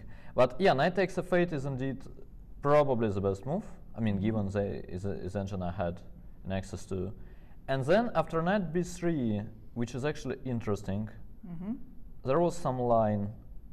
Uh, I guess you can start with taking, takes Bishop bishop G5. g5, and then the only problem with rook d6 Is c4. is yeah knight takes f8 uh, played by Ian is c4, Mm-hmm. and then one idea is playing c5, forcing the rook to go away and taking on f6, and the second idea is queen c3. So But- only that little pawn move is like, it's not the fact that uh, black is down a piece there still. That's Yeah. the problem. It's the fact that like maybe the rook on b2 is, uh, is a little bit awkward. But I Yeah. mean, it basically shows that knight b3 No. is a, is a No, real come move. on. But he, he did not go for any of the fun stuff like rook d3 here. Yeah, rook d3 was probably the best move first of all, but Mm-hmm. it's very disappointing that he didn't even consider that. So rook d3, rook e3, rook d2 Mm-hmm. was actually the line we looked at, Yeah. and they, I mean, this weak engine approves uh, approves that black is okay. Queen takes queen takes f6 actually doesn't work, Mm-hmm. and the only problem here is bishop e3, and then the the evaluation was jumping from like knight b3 you have to go, right? from uh, yeah something like that and the evaluation was jumping from plus one to zeros and uh, i kind of uh, stopped quickly thinking okay it's crazy anyway and The funny thing is, like, yeah. you still can't. Well, I mean, you can't quite take this knight yet, but I mean, White has to make a decision here. I guess they got to take yeah ab AB, and so the problem is you still can't quite take the knight because of Bishop C5 check. yeah but you don't need to you're going Yeah. to, to promote maybe first you just want to play rook c2 then you go b2 this knight is not going Mm-hmm. It's anywhere not going anywhere. So No. basically, the coolest lines we looked at involved not recapturing that knight on f8 and trying to go for some sort of intermediate move. Yeah. Um, the position was definitely really rich in those possibilities, but Ding very quickly went for rook takes f8, which you know it's a kind of a normal looking move. It's not uh, most. What I said about it earlier was like it's sad to take the rook off the open file. yeah but we thought bishop c1 is a problem right Yes. First of all, we didn't like it in general, and secondly, bishop c1 was like a big problem with thought. Hmm. So what is he planning here? Well, are there potential exchange sack ideas with a3? Yeah, but then white just takes, and I kind of Go rook b1, and Yeah. it's not going anywhere. So let's just, well, I think the exchange sacks are like a big part of this position, so let's just take a look at a few of them. And He Ian bishop went g5. bishop g5, Okay. which is, I think, not, uh, yeah, not the engine's favorite move. okay. So, How do you know? because look, there's this, like, this little bar, and it went Uh-huh. down a little bit.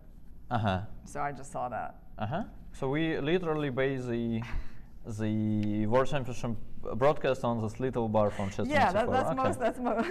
okay, sure. That sounds uh, very reasonable. Okay.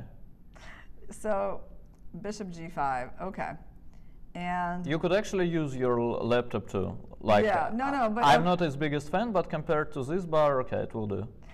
so let's see. Let's see if the bar is correct here. So, what what option does Black have here that is so amazing? I mean, I guess I don't know. Do you want to? There's like Knight H7, which doesn't look awesome because Knight just gets worse, and then you can go back to C1. Yeah, What other cool move does Black have here? I'm not sure. I Can mean, we just ignore this whole thing? This is, a, I mean, it's a very big threat. Yeah. Hard to believe, Yeah.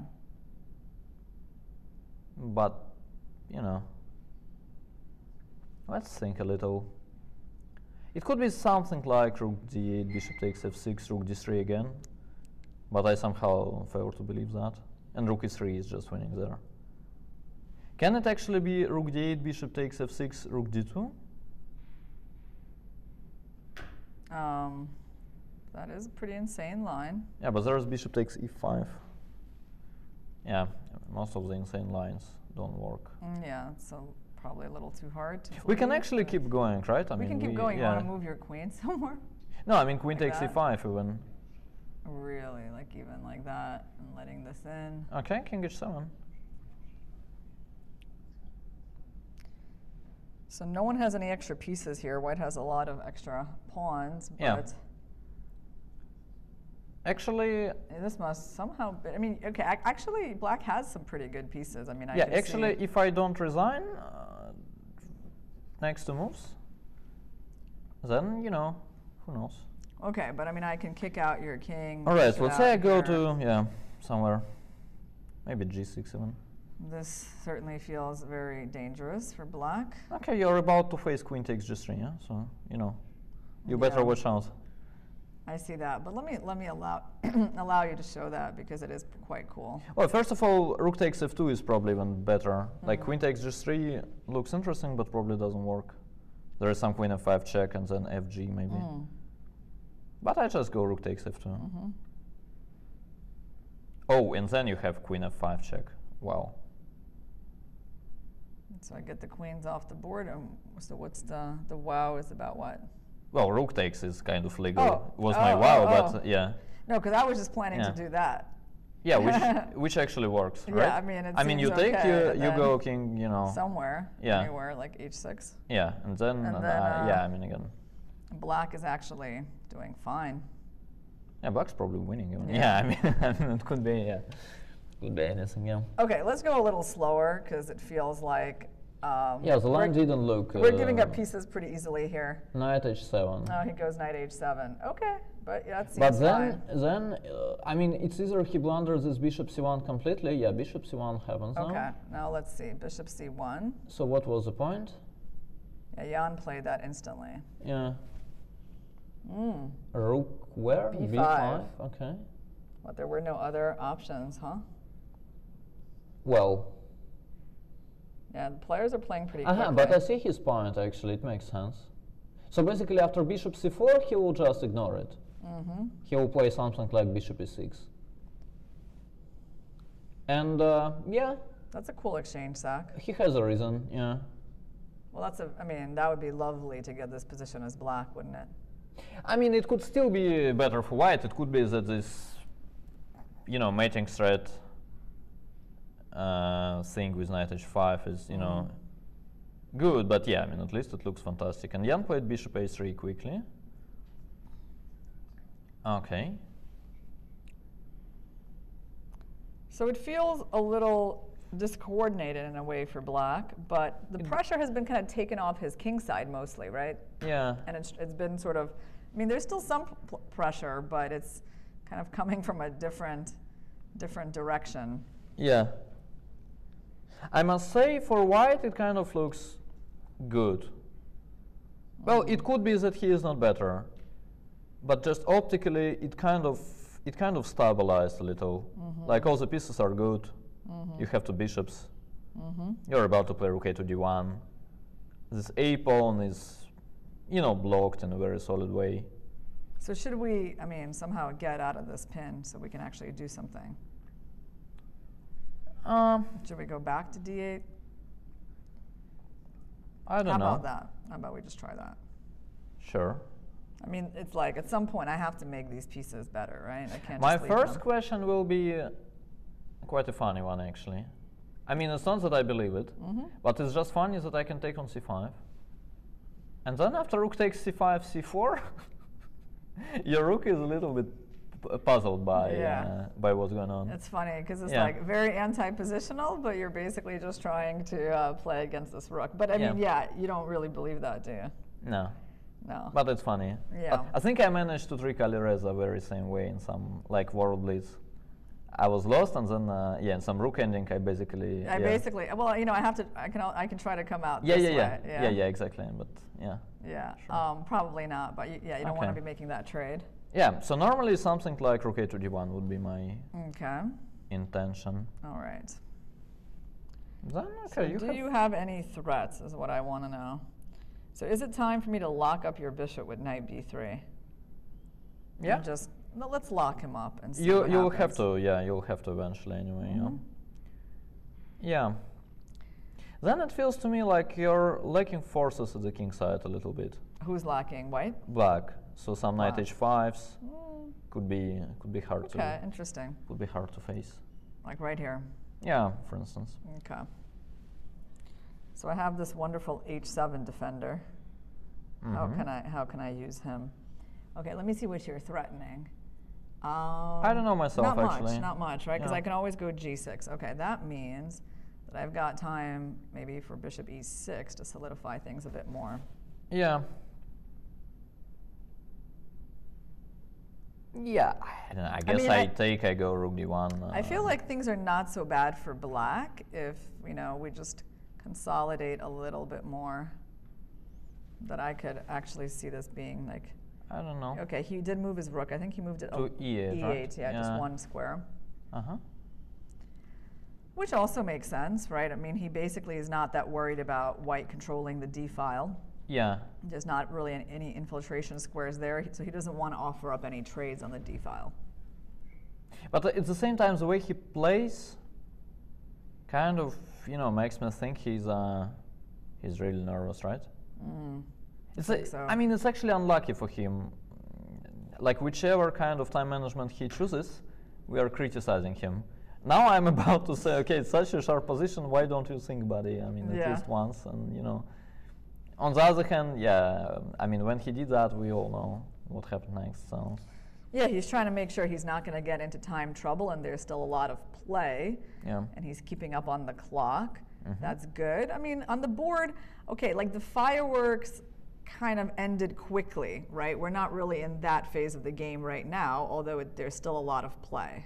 yeah, I mean, The fireworks were like a few moves earlier, I think that yeah, but the fireworks can yeah. be back in two moves. I mean, it's uh, you know. Like right here, things looked like they were just going to explode, and then when he played this recapture quickly, it really slowed down. And then I don't know, maybe after bishop g5, there was still something that he could do that was kind of cooler than knight h7. Could be, yeah. But since he went for this, okay, he kind of went on the defensive a bit, just making regular moves to defend his pieces. Yeah, but it's just in general kind of. I mean, I don't like this for black. Okay, try to show me how you're gonna like. Let's count the material. You've got five pawns, and I've got six pawns. Okay. So black is actually up a pawn, even Yeah. though one of his pawns are doubled. Yeah, but this is not what I like as white. No, it's just that in general I don't see a plan for. Um, I mean, I understand this sounds very old-fashioned and stuff, but I honestly don't see a plan for black long term. Like I don't see how you can ever uh, how you can ever make the pawns go. And um, now I start to think that I mean, given the fact that you're about to play knight b3, blocking my bishop, it probably even makes sense for me to play bishop c4. And then after bishop e6, I'll probably even consider uh, bishop f1. Oh, interesting. Okay.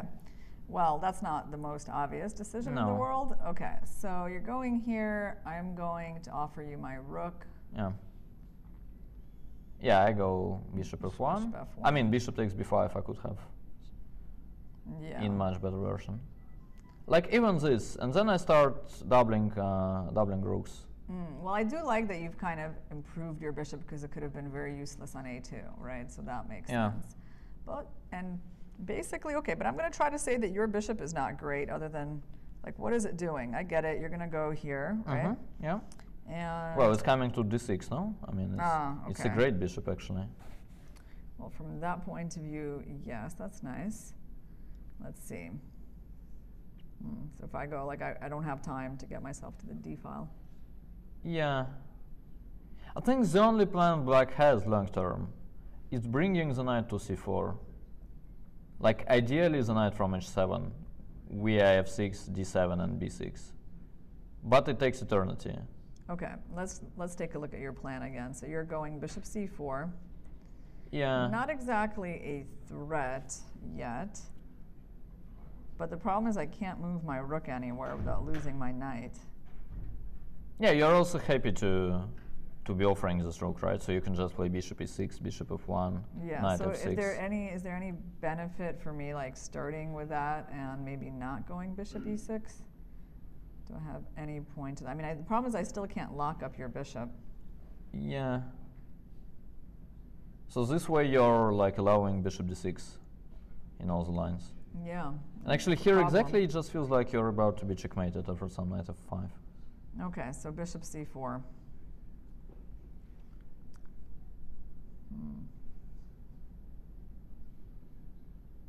I'm probably being a little bit too smart as white actually. Maybe we should just examine something more straightforward like rook a to d1. So let's say bishop e6. No, no, no. But if I So if what I do you go do? here, Ah, this is you what you have want. Okay. because bishop d6 is not like a killer yet, and then your bishop is left out. No. Knight two. Still I'll play bishop d6, let's say. Mm-hmm. And maybe queen b6. That gets my rook trapped. Yeah, also like at some point I will just uh, I'll just go knight h5 in many Yeah, lines. Queen a7. So let's say yeah, but it starts to look really bad. So I don't know. But I still feel like with this, I like your bishop out kind of more. But okay.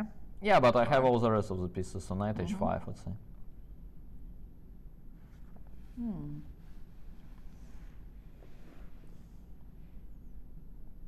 I think first of all white is better, and secondly, it's incredibly difficult for black to play. Okay. I'm still feeling happy with this bishop blocked. Yeah, but then I'll checkmate you, and you'll be No, s- no, no. sti- still bragging about no, it in you're the not, very you're end. not yeah? going to do that because I always have Yeah. f6 and I can connect my queen and my bishop will come in. Things are not so bad here. Hold on. Let's defend a little bit. Let's go f6. Okay, queen g3. Okay, so what are your threats? No threats yet? No threats yet. Okay. maybe you promised me that you were going to checkmate me, but Yeah, that's, queen- that's not going to happen though, Daniil. Queen f7, yeah? Okay, queen f7 is a good move, yeah. Yeah, Yeah, maybe. Look at that beautiful defense. That's the thing. I think I, your first idea of improving this bishop kind of Yeah. feels a bit more convincing. Yes, this bishop c4, bis- uh, bishop f1 somehow clicked, I must say, yeah. But it could be that, uh, I mean, it's easy to come up with such ideas in the analysis, but over the board you're like really worried about uh, being a little too smart and, and just w- wasting two tempes for. Really, I, I love this idea because I mean, I don't know. The moment I see this and I'm like, this bishop could be kept out of the game forever. Mhm. Uh, you know, I get kind of concerned. So let's look at this again.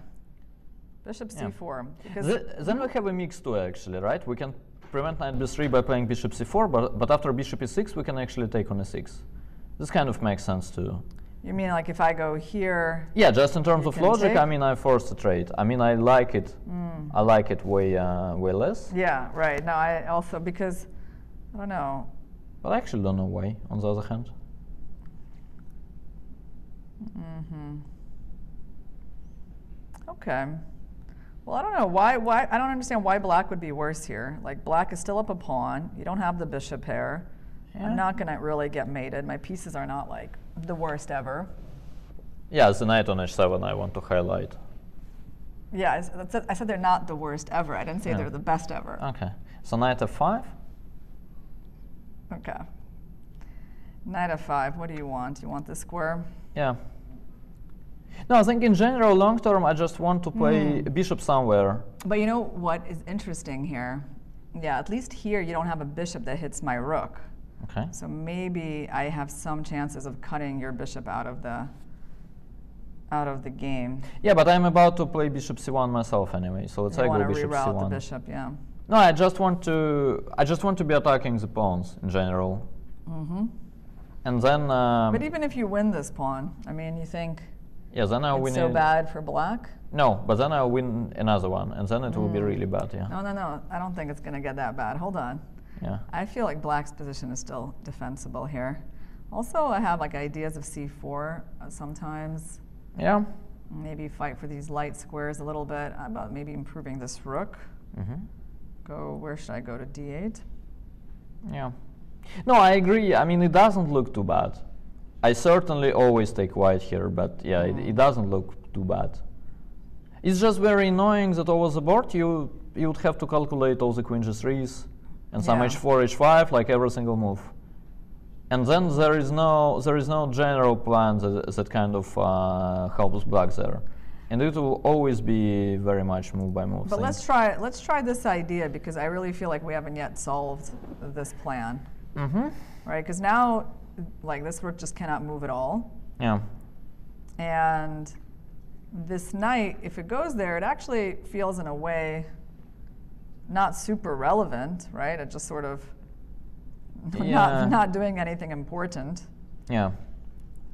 At the same time, basically, what you need here as black is to have c6, c5, right? Without you don't have that, yeah. but you could have protected your rook first then. How? Well, somehow, just in terms of logic, bishop e6, bishop f1, Yeah. you somehow overprotect the rook, like rook e to b8 maybe. Okay. But like you're just never moving anything here. Like No, if I'm to move, I go knight b3, yeah. yeah, no, but you're not you're not getting that. Yeah. That's why I love keeping that bishop on the board. Look at that annoying Yeah, but attack. okay, I go knight f6. Yeah. Now let's switch the roles. Why would I resign here as black? Why Well, am you're I? willing to defend black's position now. Yeah. Well, now at least I see that I'm not getting checkmated. Mm-hmm. Like there is no knight h5. There is no. I mean, I, understand what white is doing, but it's a slow plan. Like you probably double on d file or you go queen e3 maybe. Mm-hmm. No, it's a deep concept, but um, even if it's good, it won't. Do you think maybe we just go knight f5 here? Yeah, could be. This is one more thing that I'm not sure about. Like if you want this or not. As black, I would be really worried that you do. But um, because I, it's hard to move these pieces. yeah, And I, Yeah, I, I do mean- feel like, like, look, if look at the look at the picture here. I mean, White's position is feeling very harmonious. yeah, and also black is doing exactly nothing, right? You you have these two two rooks doing nothing. You you cannot move like Mm-hmm. The any of them actually. yeah. You cannot move the knight, and yeah, white is just improving slowly. Okay, let's go back a little bit. It's somewhat counterintuitive to be like praising bishop c4, bishop f1 so much. I mean, I know I came up with it myself, but still, it's. But yeah, I mean, could be that it's it's such a good idea. I don't know. I'm pretty sure Ian is actually, uh, I mean, considering it. Mm-hmm. I think once again, in general, we see chess, I mean, pretty much similar way. Mm-hmm. And um, I mean, it's a Soviet school. And um, I mean, this bishop c4, bishop f1 is actually like, I, I mean, I saw many exercises of this kind where, um, I mean, having a pair of bishops, you actually need to spend two tempes to, Preserve them. to yeah, to, uh, to prevent your opponent from, yeah, from trading one of them, yeah. And just to like show people, I mean, we have shown very little interest in taking that rook. That might be surprising for people like who don't understand why would we prefer to retreat than to take the rook in this position. So let's try to um, evaluate this position a little bit. I mean, here we kind of improved black's pawn structure. We got rid of one of white's good pieces, the bishop. And you know, we are giving this pawn is kind of weak. I suppose like there's some outpost squares. Yeah.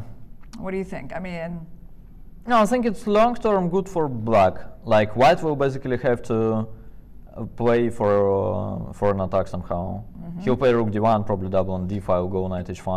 and by the way, they have to constantly watch out for this because I mean, black Sure. can try to prepare just advance of those pawns. Sure. Long term, uh, long term, black has very good prospects here.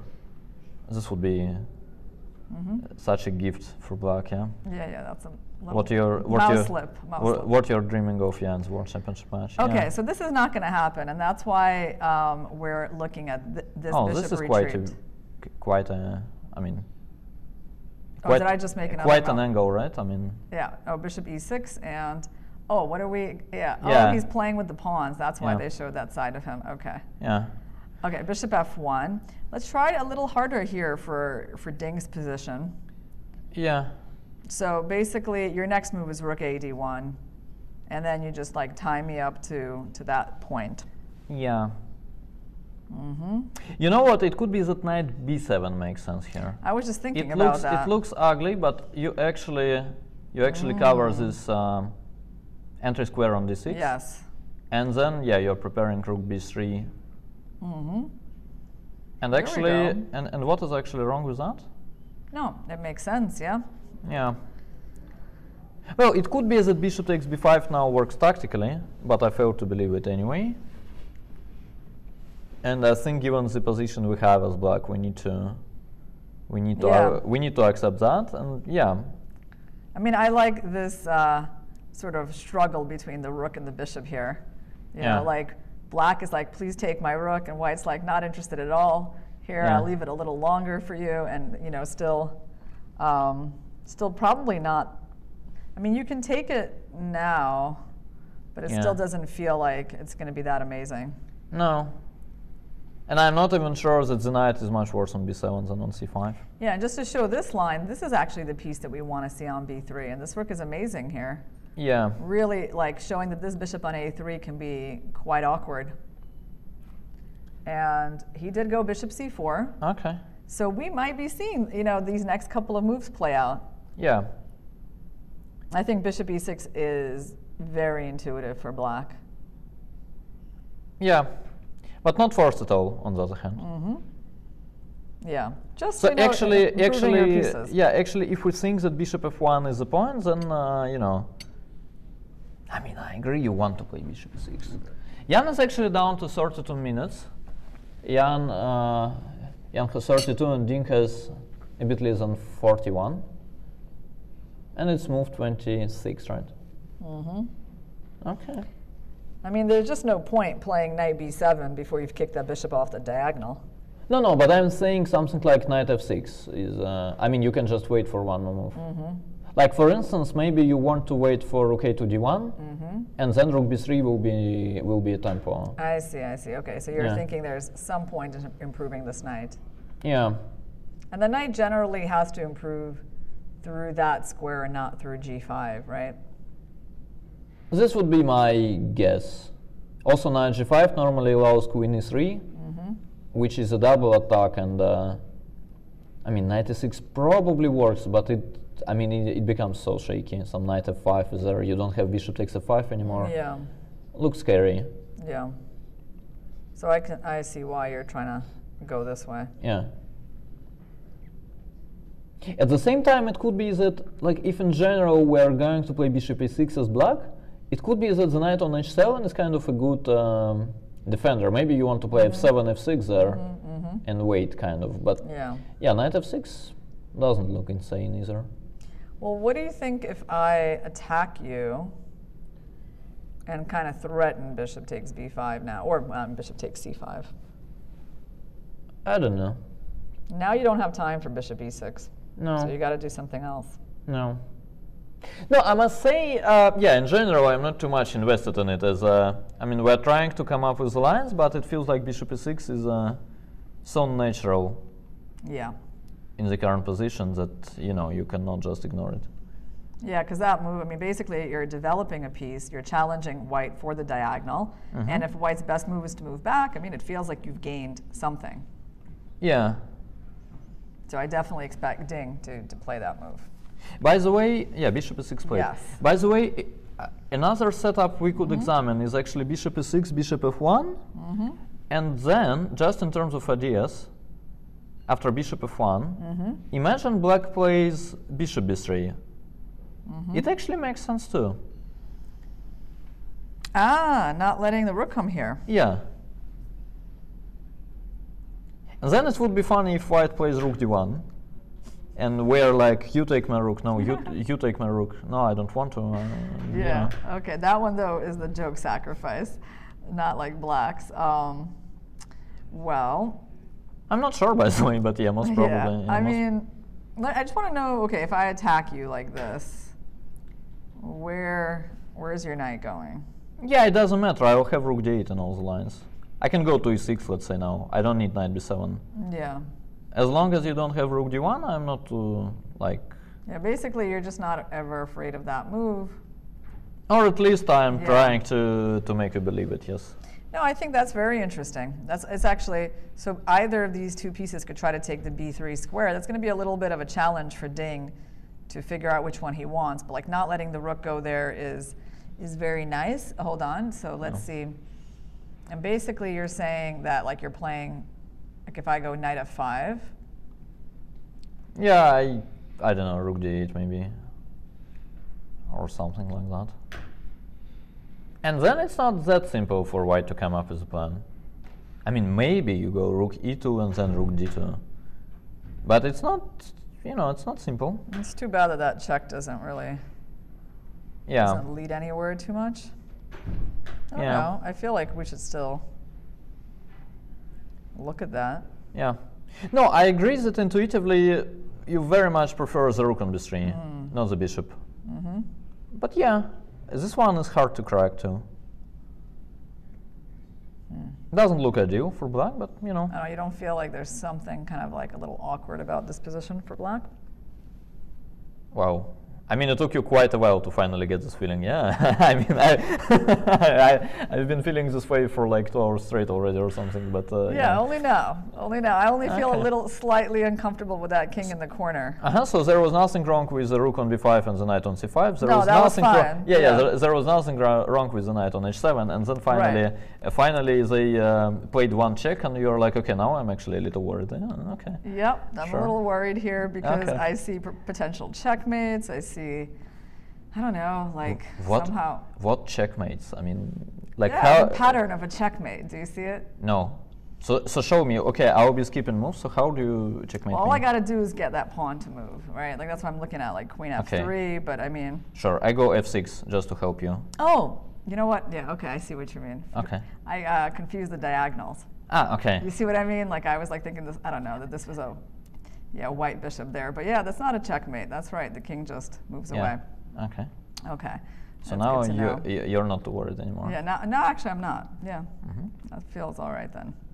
But it's cool. I mean, you know, working with you, I actually realize that you have very, very clear uh, priorities, which are basically that it's only checkmates that you care about. And I think it, uh, I mean, it makes a lot of sense. Like all the rest, you can survive. Yeah, it's funny that you think so, Daniil. Yeah. Um, all right. Now, um, So Ian took on a six actually, Mm-hmm. which I kind of like. mhm. I think I mentioned it too, right? Mm. I mean, we had this. And uh, yeah, this looks like a safe option for. it's safe. Yeah, safe, White. but not not super ambitious. And I mean, okay, the square square is cleared for the rook now. Yeah. So um, But how did we survive this as black? So knight takes c6, knight f5. What was our? we looked at this, right? Yeah, a little. We even tried c5 here. Ah, c5. Uh-huh. So we were like trying to not to let Sure. your piece into d6. Mhm. Yeah, I missed it at first, and I missed it again. Yeah. For some reason, c5 is counterintuitive to me. Although. Yeah, yeah. it's because we couldn't do it earlier because there was a bishop attacking the rook. But Yeah, probably. after the trade, Yeah, probably because of that. Yeah. yeah. So this seems not so bad.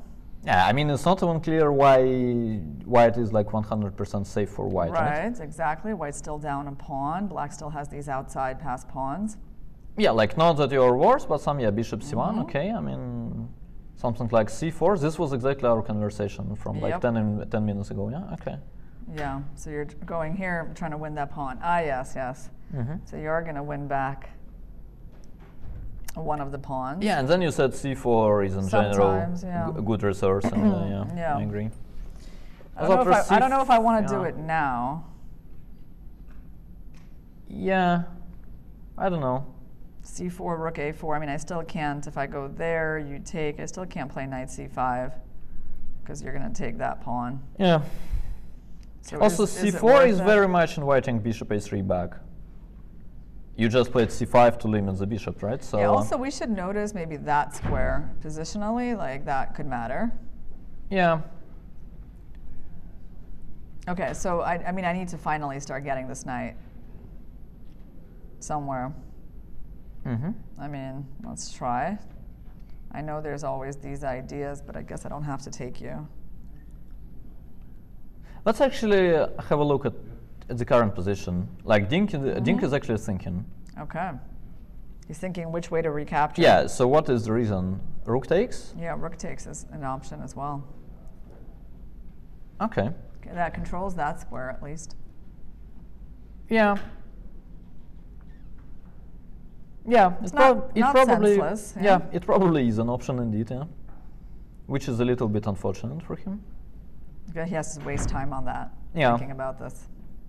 This kind of allows bishop takes c5, which is super solid for white. Mm. And actually, uh, I would be optimistic even here.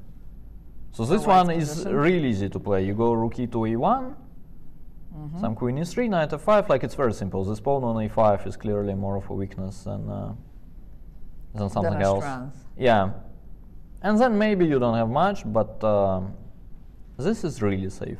With knight takes e6, black is saying, you know, I'm probably worse, Mm. but I'm not ready give not ready to give up on uh, you know trying to win this game.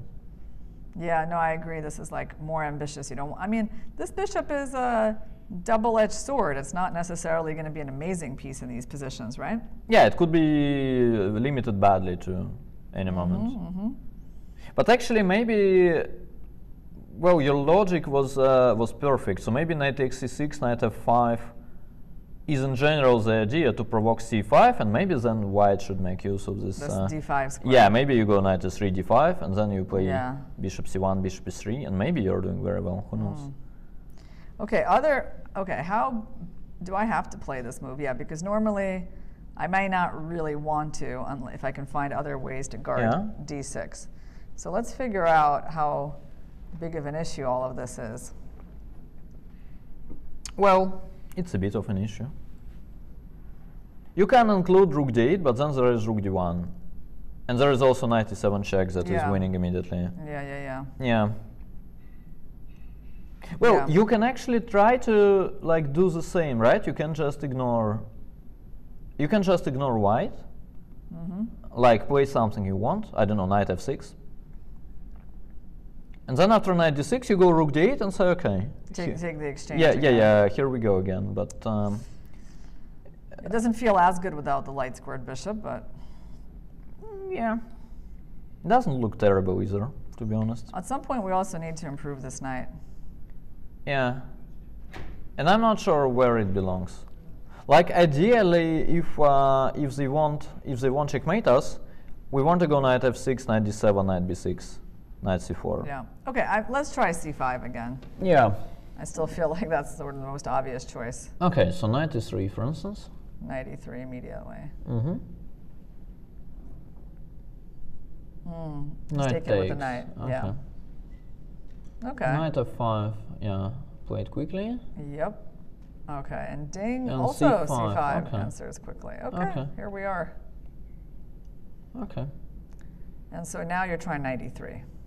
Yeah. And the funny thing is that even a knight of six, um, you can go knight d5. Yeah, you're, this move doesn't Yeah. actually stop you. Like you can still go in. Yeah. Go in and get that trade. So this square. And does Ian do it? No, he plays queen e2. Okay.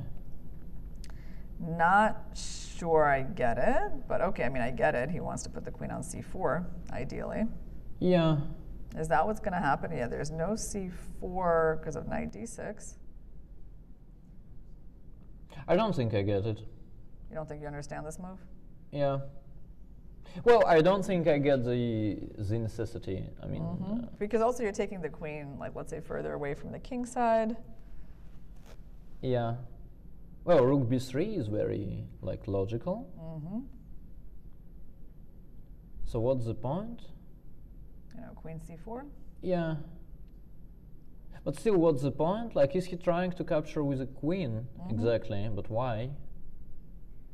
I mean, it does make some sense, but why? Uh, why is it necessarily worse to Tempest? So let's say I go queen c6. hmm So how do you proceed? Like bishop c1 at some point?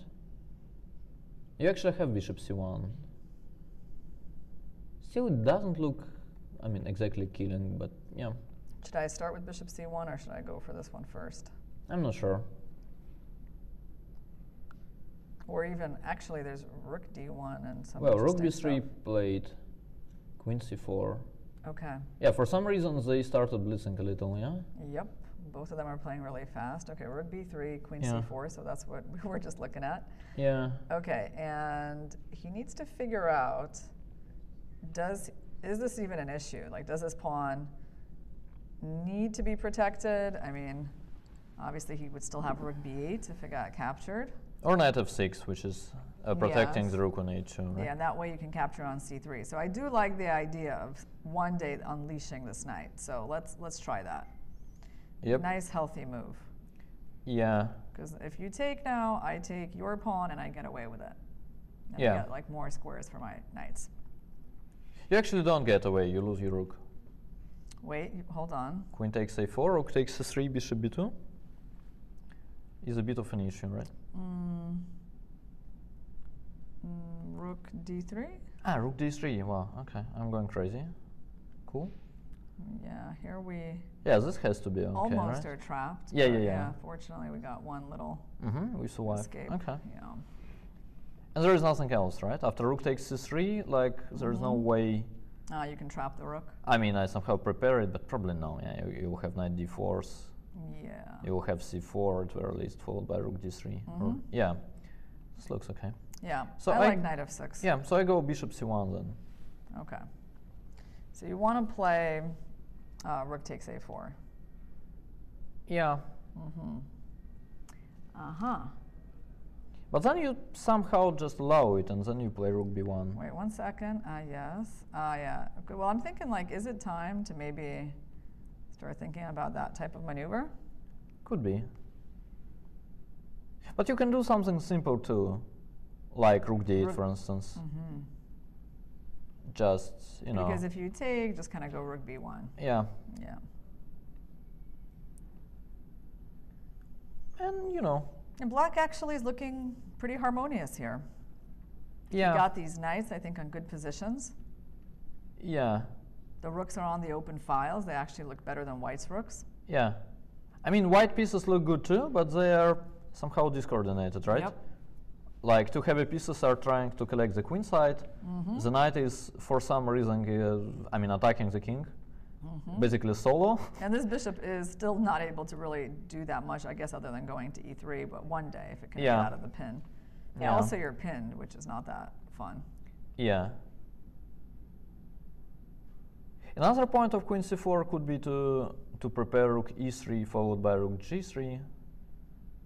Yeah, here I thought we go queen b7. Yeah. Somehow the there are some harmony problems starting to appear for white. Just like some Well, I mean, here. yeah, rook takes a5. A5. Yeah, I guess you can try that. hmm Yeah, knight a4, rook a7.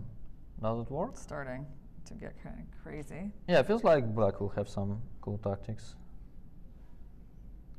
Um, But unfortunately, I don't have knight c3. no. Actually, are you sure that we have tactics? Maybe we don't. But Well, if we don't, we have queen b6. okay, he played queen c6. Okay. So we were talking up this move. Yeah. He decides uh, he's just gonna calmly defend that pawn, which also mentioned that. Yeah. So what's his point after bishop c1? Oh, well, his point is pretty much the same.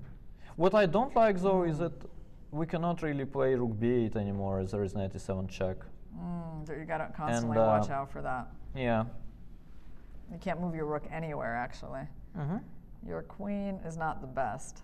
Yeah, he probably wants to do kind of the same thing. He wants to play knight f6, rook a4, rook b1. Can I ask you something? Do you Yeah. think that maybe when rook a4 happens, he wants to have like that trick somewhere? Ah, yeah. Then you are giving up e5 on the other hand. But But but yeah. here's the thing: I'm going knight f6, so I'm, Yep. we're gonna see if those tactics work. Yep, so takes, Yeah, takes. you take, and then we do a deflection tactic. Okay, takes. Take, take. I want a pawn, and now the question is, what happens on this, right? Wait, what did you call it? It's called a deflection tactic. Deflection. Okay. Deflection, yeah. When Okay. we deflect that queen away from protecting the rook, and we call that deflection. Okay, so takes. Takes. Queen takes a4, queen Mhm. takes e5. Mm -hmm. Now, where's my discovery? Yeah, I mean, it has to be there. I mean, even if it's not, probably this position is not too bad for black, but Well, if it's not, you basically need to make sure white is not going to to create an attack. to go bishop b2 and like sack on g7 or something. Yeah, yeah, yeah, or some knight takes Bishop g7. h6, yeah, yeah, yeah. bishop h6, all that stuff. So you want Yeah. something like knight d4 to work. Ah, yes, we want this to work. Yeah, but then there is knight e7 check, and yeah, I don't know. Maybe we pray and we go king of Eight. Yeah, that's what I was thinking. and we actually Mhm. pick up the knight, and I mean, it does look scary, but maybe it just works. I mean, queen takes c5, rook takes c7. Like in the moment, it, like at the moment, it doesn't look good. But bishop a3, Mhm. maybe we have some, you know, cool move, and then it will work. Yeah, like this one. Still looks, I mean, a little bit scary, right? Here? No. Yeah, but then you're in time to go king g8, I guess. Yeah, maybe and the we, and we survive. yeah Yeah, okay. Actually, bishop c1 is on the board. yeah. So we're going to get Okay. a lot of these questions answered. Okay. So this pawn cannot really be protected anymore. Yeah. Well, this pawn wasn't meant to live for. Okay, there we go. He goes with knight f6. Mm-hmm. Always happy to see piece improvement. Yeah. Knights don't belong on the side of the board. Okay, so knight f6, and now, yeah, I do like where these knights have settled. Yeah. Um, at some point, yeah, he's going to have to make a decision about that. Is there anything he can do? He, it's not easy for him to move the bishop here anymore because then he has to consider the d e4 pawn. Yeah. So in terms of like what white could do other than taking on a4, um, what else do you see? Well, the question is very much if black has a plan at all. Let's say I go f2, f3, Mm-hmm. Uh-huh, okay.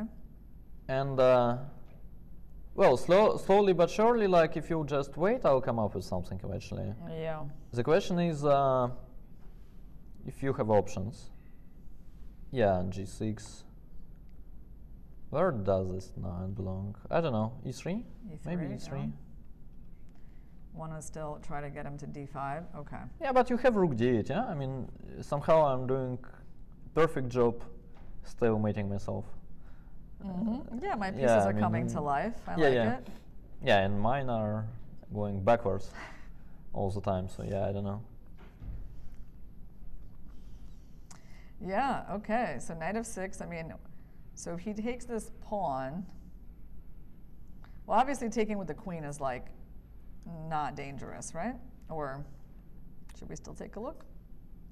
Yeah, not for too long, but we can. We so can. yeah, I guess we just take we take on c3. Yes. Now, do we want to? Uh, let's try that. Let's add that guy. Yeah. And then we calculate something. And by saying we, I meant Ding, not us. Oh, I, and I thought you meant you for sure. No, I was no, like, that's no, definitely your job, Daniil. No, no. No, I thought rook c2. I mean, rook c2 pretty much forces bishop takes c5. Uh huh. And then from far away, the, the move you want to work here as black is normally knight d4. This would be my uh, kind Yeah. of kind of intention. To get like you get th- that pawn in the end. Yeah, but here exactly, first of all, knight takes d4 is a tempi, unfortunately. And then, and then what? Then we have this rook ending that uh, is most probably a draw. Like which one? Yeah, you just take f6 and take take d4 basically. Oh, okay, this one. Uh huh. By the way, we're getting a move from Nepo. Queen- queen takes, Queen A4. yeah. Okay. Oh, look at that. So Ding will take, I'm pretty sure, and then uh, then we'll try to And we'll figure- we'll probably continue this uh, streak of games where they don't go too much longer than uh, the time control. What do you think? I mean, unless someone will be a little bit better. better. But yeah, I mean, right now I'm pretty optimistic that Ding will be able to neutralize this. Okay. Yeah, but I'm not. Uh, I mean, I'm not convinced at all that Ding is necessarily The one who's trying to neutralize. Yeah. Maybe he's I mean, the sending is a little bit sharp. Mm. You don't need to take on c3, right? You can play, I don't know, rook 8 or something. I mean, you can think here. Okay. Yeah, I agree. Yeah, one thing you don't want to do is defend the pawn like that and step into the fork. Yeah. Um, rook 8 is an interesting option, actually. Yeah. I think that's quite quite a big option for black. Yeah, there is some weird 97 check there. Mhm. But then again, it is weird. And I mean, okay. And then your knight is trying to go where exactly? I thought suddenly c6. Mm-hmm. But, um, I mean, again, it's playable. Even rook takes c3. I mean, okay, Mhm. I'll give up. I'll give up one of the two. You can also just go knight d7, right? Yeah. And maybe it was also reasonable to play king h7 actually, not to be running into, Into some checkmates on yeah back ranks. rank. Uh huh. Yeah, exactly. Yeah, like that. And then if you go here, at least just like that. Yeah. Yeah. And then let's say if you take on a5 and black takes on c3, let's say takes takes, Mm-hmm. then it's not necessarily a dead draw, no? Because black is still trying. Yeah. I mean, here it's probably not a draw at all, to be honest. I mean, I mean it's probably this just knight is not yeah. amazing. We're gonna Yeah. play f6, and we're gonna like get the knight in, start pushing the pawn, and uh, yeah, white is still gonna have to struggle here. Yeah, I mean, black's pieces actually just look a lot better. yeah. Um, okay, I kind of like that line So after black. rook a8, what else is there? Yeah, no, I mean, he probably needs to do that if he wants to keep this game going, right? Or No, I think at the moment his thinking process should go like, I play rook takes c3 if it's a Mm-hmm. comfortable draw by force. And if not, okay, I go rook 8 and I... Mm. but maybe uh, rook eight is like even trying to be more ambitious, though. No, I mean, at the moment it's hard to believe that you can be better. I don't know. In the end But game, we know the outside pass pawn can be good, right? Just if we use that basic principle. Yeah, at the same time, if you don't win c3 pawns, then let's say something like bishop d2 happens. Okay. The problem is that you will win it. I mean, you have moves like rook d8, just tactically it feels like you will win it. Mm-hmm. But let's say long term, if white is in time, Let's say I don't play any tactics. Yeah. Or, well, let, me, what do you see, let me see what you want. You want c4? no, I want rook e2, e1, and then I want f3. And then I basically want to stabilize and get a5. Yeah. And then actually I don't win too often either. but uh, this is my dream, but I need I need a little bit of time for that, yeah, which I might not be able to have. yeah, yeah. Let's go rook d8. No, looks good. Rook d8. Yeah. Hmm. Very uncomfortable to face Where was this rook to begin with? It was on e8. It was a It was e8. yeah, but we we All right, provoked. What did he do? Did he take the pawn? Oh, okay. Yeah. He's going for the very concrete move. Ah, so he wants maybe bishop b2, rook b3, bishop takes e5, rook b4, Bishop b2. rook b3 maybe. Okay, all Yeah. this is getting played. Rook b3. Bishop takes e e5. Yeah, rook b4. Yeah. Yeah, then it's um, well, it looks convincing. Rook b4. Yeah. Mhm, Yep, and that's what he's calculated. So now white's going to be taking that pawn, right? Yeah, but then we take e4. Yeah, and black is completely fine, yeah? Or, well, okay, let's look at it. Yeah, rook takes e4. You're Takes, definitely taking take. with a rook, right? You don't want to take with a knight? Oh, because of what? Just some danger with, I don't know, f3 or. Yeah, I think in general it's normally the side with, with the bishop who is trying in those, and I think in general it's way less dangerous uh, with uh, with like a small number of heavy pieces, zero preferably. so um, so, yeah, he went yeah. for your move. mhm. And yeah, I think the players know where this is heading. And let's say rook takes, knight Yeah. takes. I guess the question for white is how to like they get some more pieces off the board, right? Or really, yeah, I would think it's white who is. You think white is trying to play for something here? I mean, not play, but I think as white you, I mean, kind of wait for black to play one one decent move in a row and Mm. Yeah, it. here, but I, I, I might play f6, and you might not like that decent move because I don't know your bishop is getting a little in the way. Okay, let's say e- even if it's black to move, like f6, I'll have, Yeah. I don't know, bishop d6 maybe. Or knight d6. Yeah, well, that's what I mean. Pieces are going to come off the board. Yeah. No, but I Um, guess as white I go f3 here, right? I mean, I can play too. Okay, so he traded. Yeah. Knight takes e4. So after f3, what is it actually? White has a little pressure, maybe. Okay. I mean, of course it's a draw. But let's say as black, from this position, Yeah. I mean, some rook ending 3 against 2, I probably don't, I don't even mind. Sure. I mean, I, I honestly think it's White who is like showing off a little, Mm-hmm. and I think, okay, I mean, you you deserve. Uh, I guess knight d2 to try to get at that square. Yeah, knight d6. Mm-hmm. And where are we going to put that rook? I guess No, but that's what I'm saying. It's not we like go to d8. okay. Okay. He goes for rook a Four, four. which is probably also a good move. Same kind of idea as f3, right? Yeah.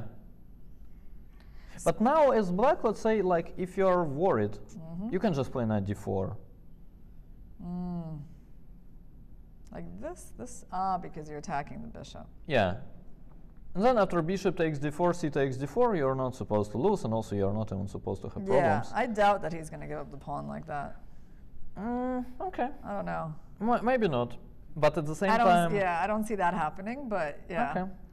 Not not because I disagree with the evaluation so much, but I don't know. I feel like it's a little bit of a concession, maybe to give up that pawn like that. Um, yeah, yeah, but after knight d2, you have rook g4. mhm. I mean, you have to. It's white who is trying, right? Are you trying to mate me? Yeah. That's it. No, but I'm not even joking. Like after rook g4, it's not. Uh, I mean, what do you play actually? No, I see. I see that. That's actually a pretty um, dangerous mating threat. Except, hold on. Mm, can I make this work? Well, I don't know. But you're playing with fire here. I am. I am. Some knight, knight d6, rook d8. Well, first of all, I have absolutely no choice because I'm about to get mated, so Yeah, got to play with some the fire. So knight d6 and rook d8. rook right? d8 was the idea. Yeah, maybe. By the way, um, Not yet. Yeah. ah, it's protected. Yeah. Lucky for me. Yeah. Because you almost have that trick where you like try to win a pawn, but it doesn't work because the knight was protecting that rook. Yeah. Um, okay, so no, rook a4, I see the point. I see the point of rook, this rook g4. Gives Yeah. Ding something to calculate. Um, well, there could be some. There could be some brilliant idea with a perpetual actually, like you go knight d2, rook g4, and then somehow the e file opens. Mm-hmm. I mean, imagine we play knight g5 here, for instance. Mm-hmm. Yeah, I mean it doesn't work. My point was rook takes g5. Yeah, it doesn't work because of this, right? Yeah, I mean also f6 you have rook takes g7 and here you have this, yeah, exactly. But I wanted to have uh, some back rank check. Yeah, yeah, I see what you mean. You, you want it like this one. Yeah. Yeah, and then, uh, and then you yeah. get like, I guess you get, yeah, here I probably even win, Yeah, but you I would be I, I would be satisfied with a perpetual too. Um, yeah. right, so, okay, still a question for Ding. Yeah. Um, so taking into account the missed opportunities in the past two games for Ding and the rumors of the leaked prep, do we think that Ding can be very happy with this game so far? Well, this game that we assume he will navigate to a draw at this point. Mm. I don't know. I should probably ask Mr. Ding, right? Yeah, it's hard to it's hard to tell. I mean, this whole match has been a roller coaster, and even this game. I mean, it could be that let's say if you look at the position after uh, Rook d3 instead of Rook takes f8 after the game, Yeah. You feel like this was um, like a chance to win even.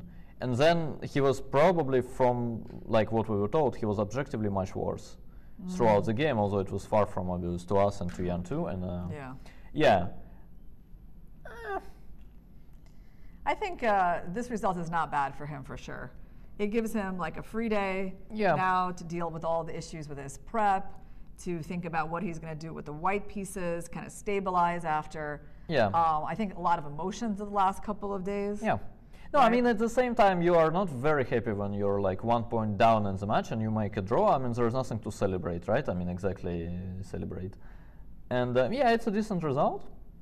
I think. Uh, There's going to be five more games left, and he's got three whites. That's the situation. Yeah, and his whites have been um, promising along the way. So yeah, there is not. Uh, I mean, it's not a disaster for sure. Like this is not a must-win, Yeah. not even close to being must-win. But um, yeah, I mean, at the same time, you know, given the opening, let's say, I mean, just play bishop f8, not rook b8, right? And from there, and from there, you don't take a draw compared to Mm-hmm. to uh, to the game going. I would say. Yeah, I don't know. Yeah, he definitely gave Ian kind of um, some initiative there in the middle game that Yeah. he didn't need to. Um, but still, yeah, he had some opportunities for like some crazy moves that he didn't take. We could ask him about it in the press conference. Yeah, Um, I mean, but this game will, will actually go forever. I start to feel like. you really think so? I Okay, mean- I'm, I'm, I'm willing to make a bet that somehow it's gonna wrap up, you know, as it's supposed to. Well, the, the, I mean, it's not equal. The more I think about it, the more I believe that basically in black's shoes, I just go 94 here. Hmm. And then, I mean, I don't lose it, but uh, it's not that we shake hands Okay. earlier than move 16. So right? you're basically saying that this knight has a real problem in finding a square right now. Yeah. What are the options? I mean, knight g5? I mean, I guess this is an option. Um, it's kind of yeah, but then you run into knight, Knight takes g7, G7, yeah. yeah. And rook g, uh, king g7, rook g4. Let's Right. show that. yep. This is nice. And then I agree, this game would not be ending. No, I mean this one who wouldn't go forever. I mean this one. Yeah, white why- would win pretty yeah, quickly. Yeah, yeah. I mean, exactly. Um, okay, so that's actually a cool way to blunder. Um, okay, this is the key line. Knight d2, rook Yeah. g4, and we need something cool here for black. So you're piling up on this pawn. So g6 was making sense. Yeah. And we didn't actually exactly break this down for Yeah, black, but- right? We were like still holding on here. Yeah, but let's say I go. Um, I think you're just worse in general here. So let's say I don't play rook h4. Mm-hmm. Let's say I. Uh, I mean I have knight d6. I have knight h6 check too. Mm-hmm. Um, let me choose one. Of knight h6. Okay, I go king f8. Yeah, but then I'll just um, play something like. So let's say I go knight h6. But isn't there a Let's chance like your pieces get a little tangled up on the king side and maybe then my pawn starts to bother you? I mean, Okay, let's look at some concrete there is a chance uh, th- there will be no Earth tomorrow, but uh, Right. I mean I bet it will No, be but there. there's a better chance that this pawn can go somewhere. Let, let's continue. Okay, so here exactly. So bishop f6. Isn't Mhm. it, isn't it actually? Are Uh, you weaving a mating net? Like, Yeah. Or what? You're trying to do this again? Yeah, Uh, but basically, you're just trying to go here without me having f6. yeah. Ah, so this is actually where my idea could work, right? Something Knight like d4. Or knight g7, or basically Yes. any move. Yes. But most of them will run into knight e7 check. Mm, Maybe all of them even. that's a big problem, right? Yeah. So let's just let's just look at that. So basically, your idea is rook here and then give some kind of a perpetual. Okay, so knight And so you're closing that. And then after king f8, you're lucky to have uh, rook h4, knight f3 check, right? Yeah. Can I just ask you, like, I know this is Mm-hmm. not going to work, but just for fun, Okay. I don't know. There's no there's no chance for like these pawns to actually run, is there? It's it's like my knights are actually kind of supporting them. Yeah, but there is no chance for Ding to play it. But hold on, let's just take a look. Yeah. I mean, are you gonna mate me? Is that like No, no, I guess I just go bishop g5, and that's how I stop this thing normally. Like bishop g5, c3, rook b4 or something. Mm-hmm. I can also play bishop f6 and checkmate you, by the way, just in case. Mm, yeah, I guess I guess here the two knights are still inferior to the rook and the bishop. Yeah. Yeah, the knights are normally bad help for. yeah. Uh, yeah. Okay. yeah. Well, we tried. Yeah. Um, knight e7. So your point is, if I go here, no, there was no point here exactly. Rook h4, knight f3 works. Oh, okay. Yeah, he played knight d4. He played knight d4. Ah, Which is correct. No, no, this is very professional. I mean, okay, you don't need to like check. So let's say after Yeah. knight g2, I mean, it mm-hmm. could be that let's say you calculate rook g4, then some mm-hmm. bishop c3 happens instead, mm. which is also annoying. Mm-hmm. I mean, you'll have to calculate some knight b3, then some bishop takes g7 will be back or something. I mean, you just don't need this. Th- three against two, you're not supposed to lose. And uh, but at the same time, I mean, again, playing rook a8 was probably uh, a little bit more ambitious. Now he will have to defend for a little while. Yeah. At the same time, I mean, he has a free day tomorrow. You know, Yeah. as long as he doesn't lose, I don't think it matters much. Okay. They are, at least one of them has now made the time control. Now Oh. both of them have. Okay, G6. So he's just feeling like this position is, should not be too hard to defend. But yeah, I mean, I guess if I'm Ian and still with the knights on the board, you can play this, right? I mean, you go Yeah. knight e3. No, I mean also, knights off it's a dead draw, of course. But uh, yeah, with knights, I mean, okay, it actually requires some, uh, you know, some Yeah. precision from black.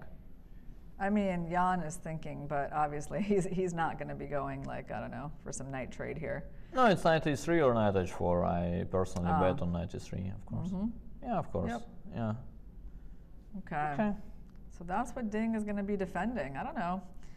Um, how Okay. easy of a draw do you think this is going to be? I think objectively uh, very easy.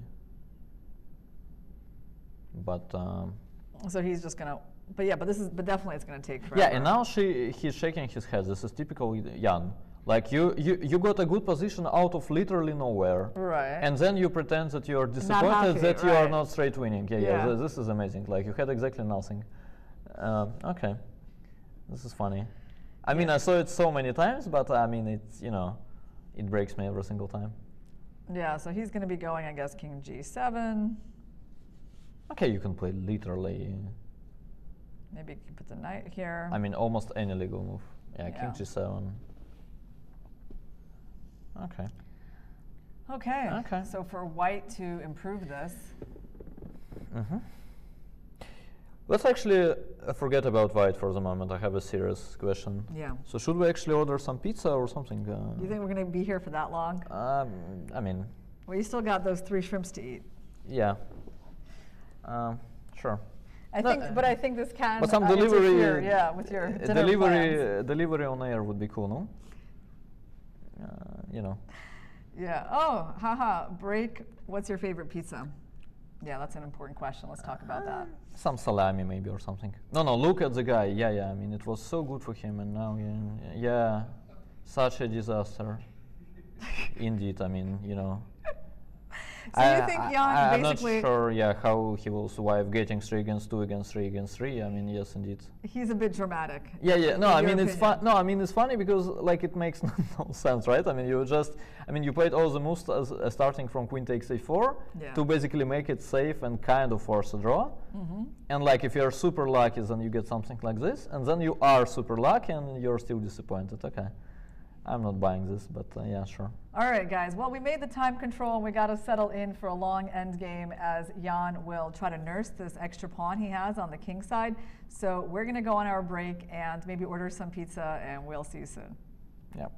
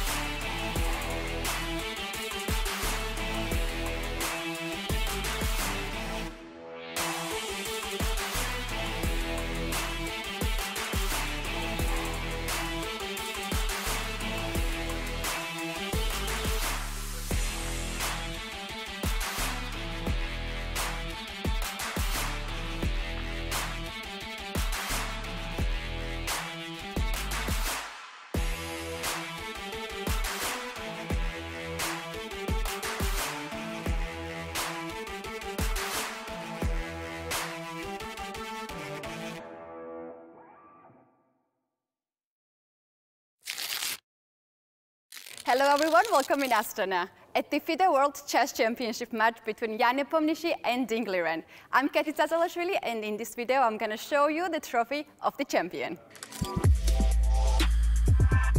The trophy is four and a half kilos, silver with beautiful blue stones.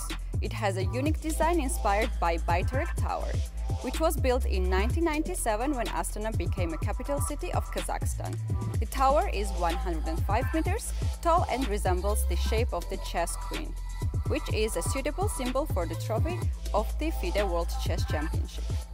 Besides this beautiful trophy, there is a stake of 2 million euros for the players, from which the winner will get 60% of out of it, and the runner-up will get 40%.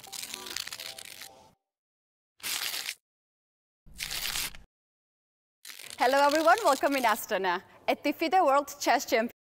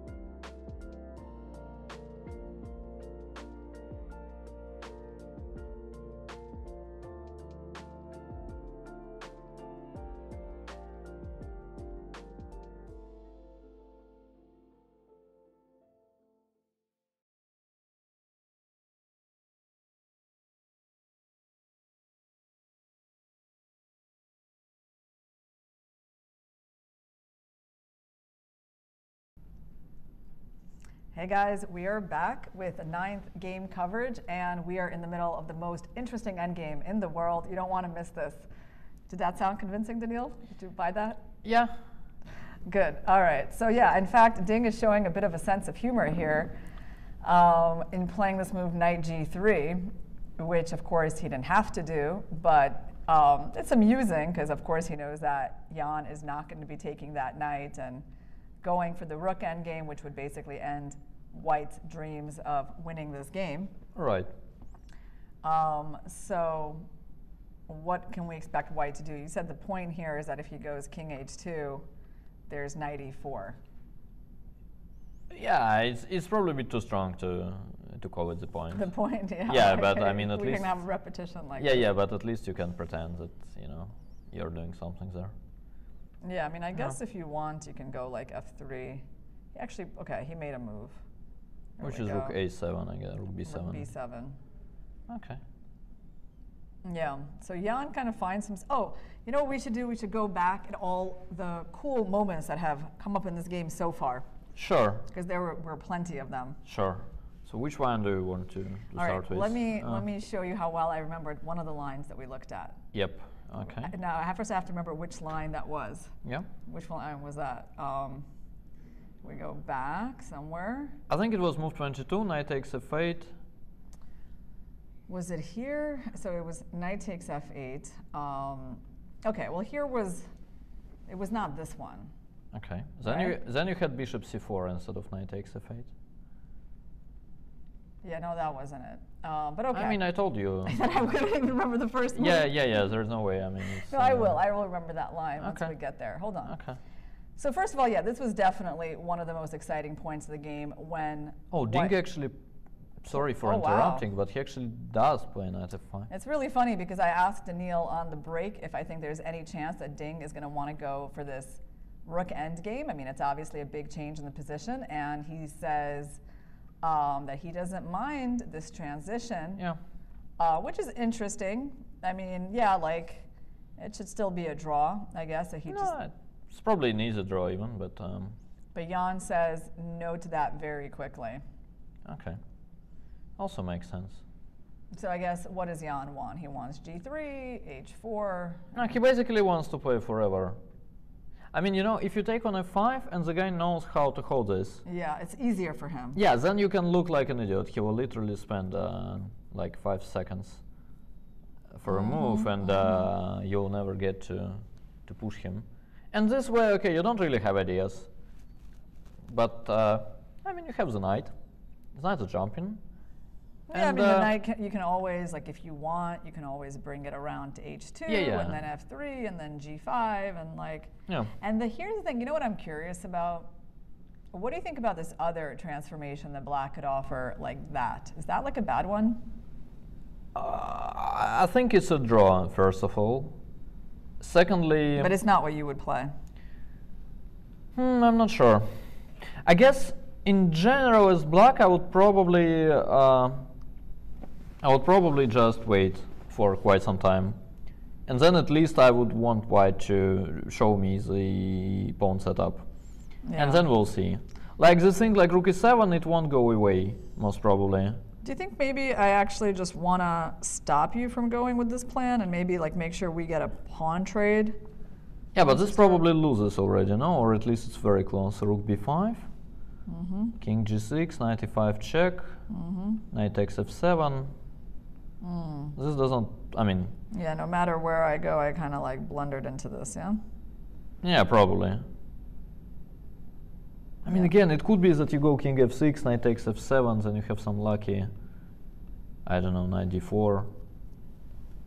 But then I have rook b7, and then you attack f2 somehow. But in general, this is not how you. Yeah, like also, ha- yeah, this is uh, not how you go around uh, trying to draw these uh, Yeah, yeah.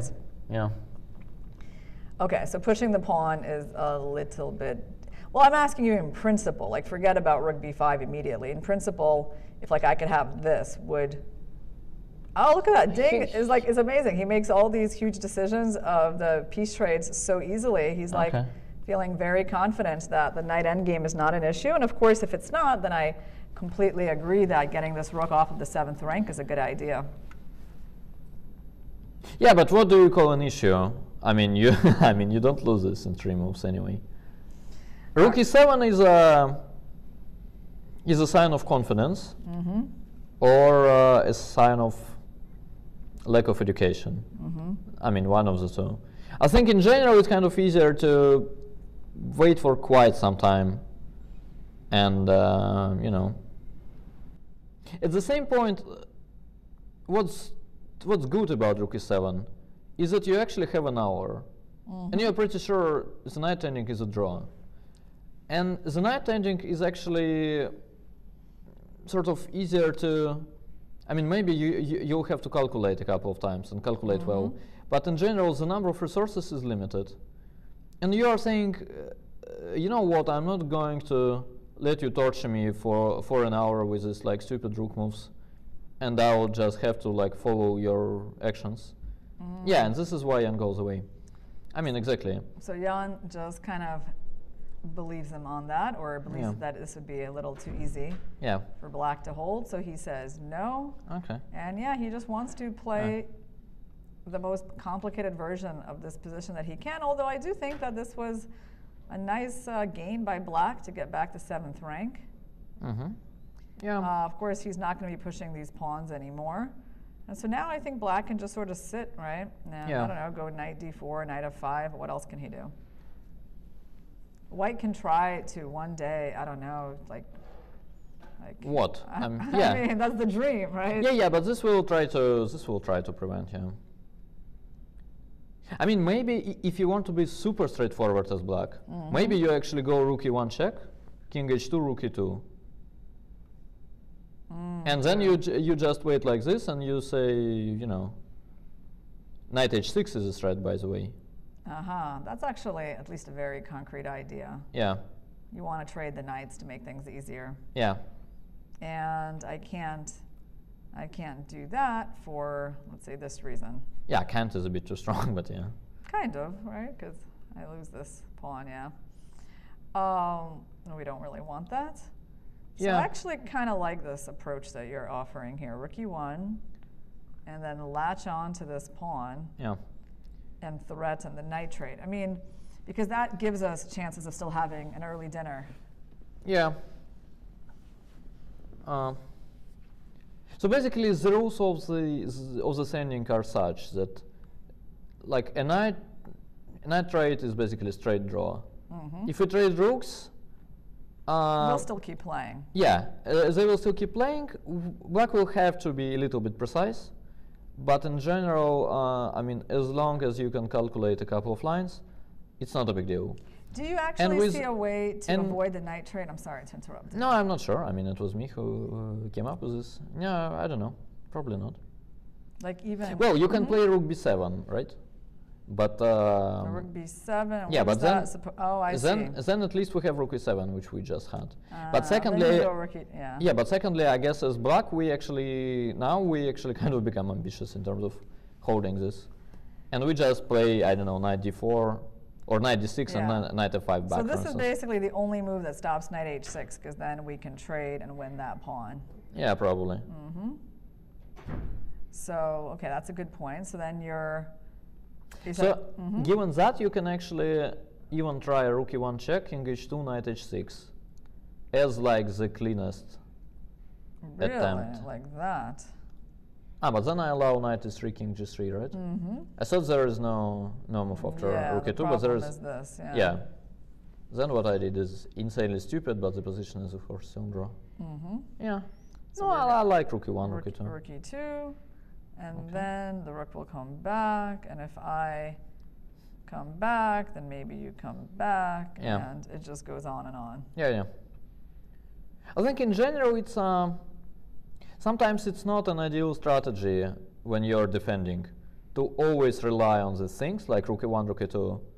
As in general, normally white will have a way to kind of avoid the the trades, and then you basically invest time in uh, calculating something, and you could just be waiting instead. Yeah, but I think Ding is going for your idea. Yeah. Rook e1. I mean, okay, he'll get his uh, he'll get his rook b7. King here, rook e2, let's Yeah. say, and rook b7. And what else can we come up with for black here? No, I guess Is we there anything tricky? No, but well, No, we can just come up with a pass. what's like- the pass? Like knight d4, Let's I say mean- let's say 96. knight d6. Remove knight f5. hmm Like, And, and, uh, you want to sit on this yeah. position, and you're like, you can't move the knight. You don't Mhm. really have a way to move the king. Yeah. In that case, um, But then at the end of the day, some g3 will work exactly right? magically, and Mhm, you will still be, you know, Mhm. well, I kind of tried it, and you know, Oh yeah, and they're playing into Yeah. this line like immediately. yeah. Yep. So here we go. That's the current position on the Yeah. board. And So Jan- normally this kind of strategy with, uh, you know, trying to uh, force things when you're defending this kind of position. I mean, it's normally not uh, not ideal. It kind of makes sense if you play quickly, but in general, like emotionally, you don't need to really believe that you're about to finish this game Mm. within 10 minutes. It normally uh, it normally doesn't happen. Yeah, it's a little unpleasant. I mean, psychologically for Ding, I feel like. Well, first of all, we do want to point out that he didn't really have to find himself in this end game at all, right? So Yeah. one of the key moments along the way was, let's see if I can find it. It was We had somewhere around we here. had too yeah. many. Yeah, we had too many. We had a lot of moments, but Yeah. one of them was here, and he made the sort of uh, decision of taking the pawn. Even when we were watching without having checked the computer, we weren't like super enthused by that decision just because we thought black had so many other options. Yeah. And so we liked rook a8, which was indeed possible. Um, also, knight d7 was interesting. Yeah. You even mentioned like rook b1. And all of them were just zero zero zero. Yeah. Yeah. So this, so he, he went for this rook takes c3, and there was this line, which of course, you know, it's very plausible for black. It's not like this was bad at all. But I mean, I'm, I'm just saying like he could have even just kept the game going for any result with like this move. It wasn't like it, the game was a dead draw at this point, right, Yeah. Daniil? But it's not that it's white who is necessarily pressing. It's, Yeah. ju- it's just a game of chess where, I mean, both sides have, you know. Yeah, now Ding is upset. Look at this. That's what I'm saying, basically. Like, if you believe in this rook e1, rook e2 too much, Yeah. then, I mean, somehow you can be a little bit overexcited about it emotionally, and, you know. So he went for this, and then there Yeah. was another kind of crazy critical point um, at this point, right? So this is where he went for this pawn down position, Yeah. like giving up the pawn like that. But he could have played right d2. Now we were definitely worried about this move, and here the computer showed an amazing solution. So you were showing us ideas, Daniil, where this like rook comes to e1, Yeah. but, we weren't quite uh, sure how to do it. Yeah, I mean, we clearly failed to, you know, And come look at this, guys. I mean, this is such an amazing move. Uh, could have ended his suffering, but he would have had to go into something pretty crazy. I mean, obviously, the point is like you're opening up an attack on the bishop, trying to get to this square, but who would allow this to happen? Especially when you can't even go there because of bishop uh, d6. So you have to walk into a discovered check. Yeah. And apparently, this position is a draw. Yeah, I mean, I do think that's a big ask of the player to allow something like this. It's pretty much insane, right? Yeah. Who, who, who, would see this? Yeah, it also doesn't make a lot of sense. I mean, even if you see it, hmm I mean, compared to some 3 3 against 2, uh, there has to be a limit to, one, to one's confidence, right? Uh, you know. Yeah, like right now, the bishop is hanging. He still can't take the knight. And the problem is when we try to like mate you from this side, at this point, you just take the bishop. Yeah. And then even though you get the fork, you lose the rook, and okay, here white loses. Mhm. So basically, the game um, so bishop would end takes in a draw. Yeah, bishop takes f4. Let's show this. Once we started, let's show Yeah, the, let's the show the perpetual. So it's the famous rook and knight. yeah. You can go from here if you'd like. Too bad there's no black pawn on h4 anymore. Yeah. Yeah, unfortunately, we don't get that checkmate, guys, because the king escapes, so it's going to be a draw.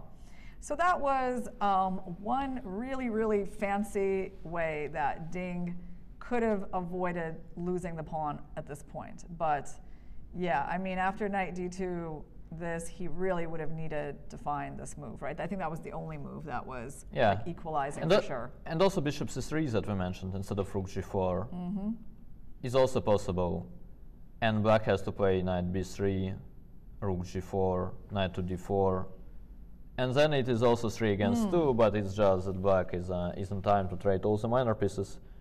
It's a much better three against two. Yeah, which kind of makes the, the task easier, Yeah. but still, you know. Okay, yeah, here then um, we would know exactly how this game would finish. Yeah. Okay, so that was one of the key points. Now let's go back a little bit earlier in this game. There were some other really interesting points. All right, so rook takes b2, knight takes f8, and so here Ding took quickly back with the rook, and he had this move rook to d3. Yeah, and he also had knight b3, I guess. Yeah, knight b3, we talked about that, but this one, the idea, I think that it was rook e3, right? Well, I think the main line was bishop e3, and after rook e3, rook d to g2 is, Ah, okay. is an issue. So it was this, and, And then black was playing some completely random moves, right? like what, like knight b3? Like knight b3. Yeah. But the lines you wanted to I think show knight- were, yeah. were actually with a knight on h7. Uh huh. Okay. So, so I think it was like bishop c1 instead yeah. Well, there was one thing I wanted to show here, which was that after bishop here, knight here, Yeah. here. Okay. So this was this was a, apparently a bit of a mistake from Ding, rook b5, and this was cool move rook c2. Yeah, not the most obvious, although of course you do want to keep your rook on this active position on the second rank. First of all, I mean, I guess you have to see that like on queen d1, you know, I guess you're escaping. Your, Yeah, rook- your there- rook is not trapped. There has to be an explanation to that at least. And the big point of this is uh, this awesome idea.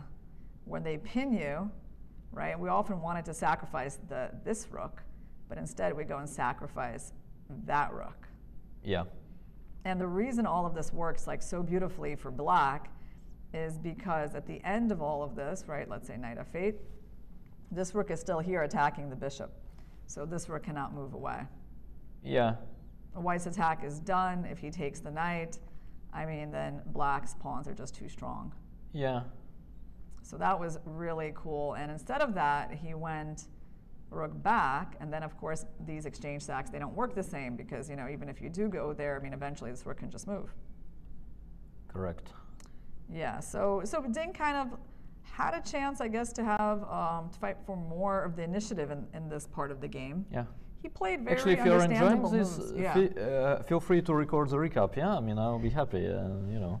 No, Daniil, I Uh, know you got that appointment at nine o'clock every day. I wouldn't want to deprive you of that. Okay.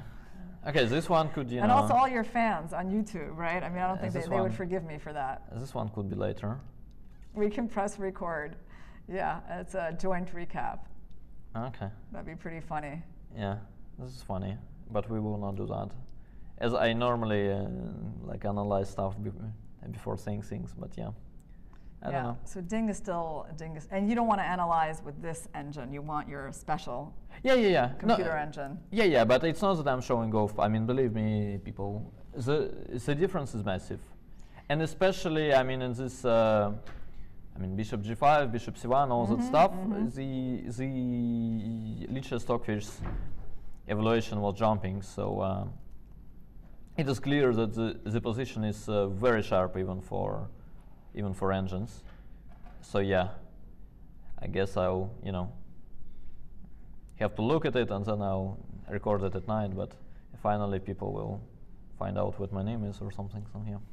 Yeah, I mean, I think in this position, um, like, first of all, like you- you'll have to really spend some time, right? Like figuring out like all these options that Black had, because the computer is not going to be able to just give you a printout in like a few seconds, right, of these moves, Sure. like rook d3.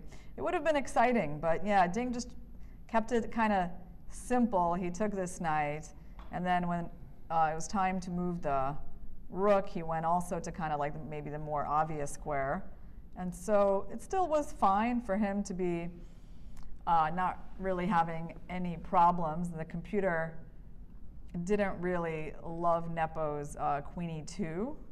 Well, the, the computer actually wanted bishop takes b5, I guess. Really? Yeah, Right here. I think we looked at it, no? No, I don't, I, I don't remember seeing that. Really? Taking that? I thought he wanted to, I don't know, like here, like there was maybe some other move. Yeah, but there was some taken on b5. I mean, how else you can? Yeah, there was like knight f5. No, really? You think he wanted to take? Let's see. Yeah, one of the moves. Oh, yeah. one of the moves is actually Yeah. taking. Okay, Yeah. but that's okay. That's a hard one, I think. Yeah, but that's what I'm saying. Like go for. when you let it run, it could Yeah. be it could be that black is completely fine. Both we have this feeling, Mhm, right? Yes. Yes. So um, this is why I just I don't want to jump jump with conclusions. Sort right. of. Yeah. Yeah, it's kind of too complicated. Yeah, to um, figure it out in a few seconds with this engine. So he took, took, and then played queen e2. Uh, knight, no, he went knight f5, c5. Yes, stopping the knight from getting in, and queen e e2. So fr- from now on, actually, both played Yeah. re- reasonably, kind of. Mhm. Both played very well. The queen c6 was also one move out of many that he could do. It was by no means forced. Yeah. We looked at like knight f6 here. That was possible. Yeah. Still, it's it's okay. Yeah, so queen c6 was okay, but I think ultimately this, this decision kind of disappointed me a bit. Yeah, but he first of all blundered rook a4, and secondly, um, Blundered rook a4 in what sense? What do you mean? well, Ah, in mean the very down, end, I mean, yeah. he yeah he didn't realize he's actually slightly worse. Yeah, Which, in my opinion, is kind of obvious for Ru- Mhm. Russian schoolboys, kind Mhm. of, that it could be the case. Mm -hmm. But um, I mean, again, he says just his own way. Yeah, and because he felt some pressure from that rook coming down here, Yeah, then he was like, it's time to bail out, just make a draw. But unfortunately, there's still knights on the board in this position. yeah. Well, which doesn't make it lost or something, right? He's actually he's actually spending time, right? He's thinking for like 15 to 20 minutes by now, I guess. Yeah, and the players are going to get increment. They actually have to get to move 60 first, which I don't think is a problem given how much time they have. Yeah. Um, and they start getting an increment after move 60. Yeah. And yeah, we'll very likely Oh, where are we? We're right here. Mhm. we'll very likely get to move 60. Mhm. But Yeah. I must say, um, maybe it's about my weird taste, but actually today, in my opinion, they played well. I Hmm. mean, given given how sharp the position was, Yeah. well, it was not uh, it was not like rook d3 lights out or something. Mhm. I mean, it's even sharp for for the engine, and Yeah. I I don't think we had this like plus two, plus three at any point, right? Right. So um, I mean, at least, I mean, at least given what we what we've seen for the moment. So Mm. yeah, I think they played kind of reasonably. And um, well, rook b8 was a bit disappointing, I must say. Rook b8, yeah. Yeah. Exactly. Uh, Early on in the opening, yeah. We Yeah. talked about that. We talked about that a lot when it happened. Yeah. And I'll just show the viewers who are tuning in. It was right here. We felt like, you know, Nep, okay, he played this very interesting and unusual idea that's been seen in correspondence games, this like queen to c7. Um, yeah, not intuitive at all, but approved, I guess, by the computer. And Nepo answered with bishop a2, allowing b5 to happen. So that seemed like things were going nicely for black. And here we were just so surprised that he decided to spend a whole tempo on protecting the pawn when the pawn could just be given away with bishop f8 right. and the knight coming to c5 a move quicker. Yeah. And taking this pawn just was not even uh, a starting conversation because, uh, I mean, black would get so much play instantly, right? So we were just very surprised that he slowed his play down uh, with the move rook b8, although ultimately that rook wound up coming to b2, but still, I was very, yeah, surprised by that. And then he went for this, but then Nepo has an extra move to get that like initiative in. Yeah. He went for a pretty concrete approach. I mean, again, you know, um, yeah, I mean, it's a good solution in a position that is looking uh, kind of dangerous for him already. He allowed this capture, went in for this, and this was certainly the wild part of the game. But then, actually, given the way he played, he was kind of, kind of consistent, right? I mean, there is some logic in it. You go rook b8, you go b takes a4, you Mhm. take b2. Yeah. I mean, It's consistent. I mean, he, he maybe he let White get a lot of progress in on the king side, a lot of ideas, right? Yeah, but he, I mean, he won the bit pawn. So the knight came there. Okay, finally improved himself. Nepo went with knight g6, which I don't know. It seemed like an obvious move to us, but there were actually, I guess, a lot of other ideas as well, including bishop g5. Yeah, bishop g5. I think we've been mentioning. Yeah, we uh, but, mentioned uh, that one, but we didn't we didn't go into depth so much in this position, and so he went knight g6. It made a lot of sense, and um, after rook b2, that's when we really felt like the game was at its peak interest mo- uh, point. Yeah. But unfortunately, yeah, it got a little bit less interesting when Ding went for the standard rook takes f8. I yeah, don't know. Yeah. And it's it's not even rook takes f8 itself. It's it's the speed of it, kind Mm. of. I mean, it's very disappointing that he didn't even. I mean, maybe he saw he saw things, and uh, he just decided in advance that he will take instantly, as he doesn't want to, to invest time. But Black had uh, very interesting alternatives here, Mhm. and Ding played rook takes f8 pretty much instantly. Yeah, it's interesting because I mean, of course, when a piece gets captured, the instinct is to recapture it, and it's not it's not easy to just invest a lot of time Yeah. into these crazy lines and like, and then you don't know that this is actually a critical moment, and you think this is like, well, this is not so bad. So I mean, it's it's Yeah. understandable. Yeah. but rook d3 could also be good. Yeah. I mean, when you start the game by playing rook b8, b takes a4, rook takes b2, I mean, no more obvious decisions for you, right? Mm. So, yeah, I don't know. you feel like you're signing up for like a very concrete game. yeah, I think so. hmm And then he went kind of like more general with this. Take Which, back. Yeah, which could be correct. Once again, I'm saying it's just uh, the speed that was disappointing. It- Mhm. It, just felt like he did not even consider the, the alternatives for you.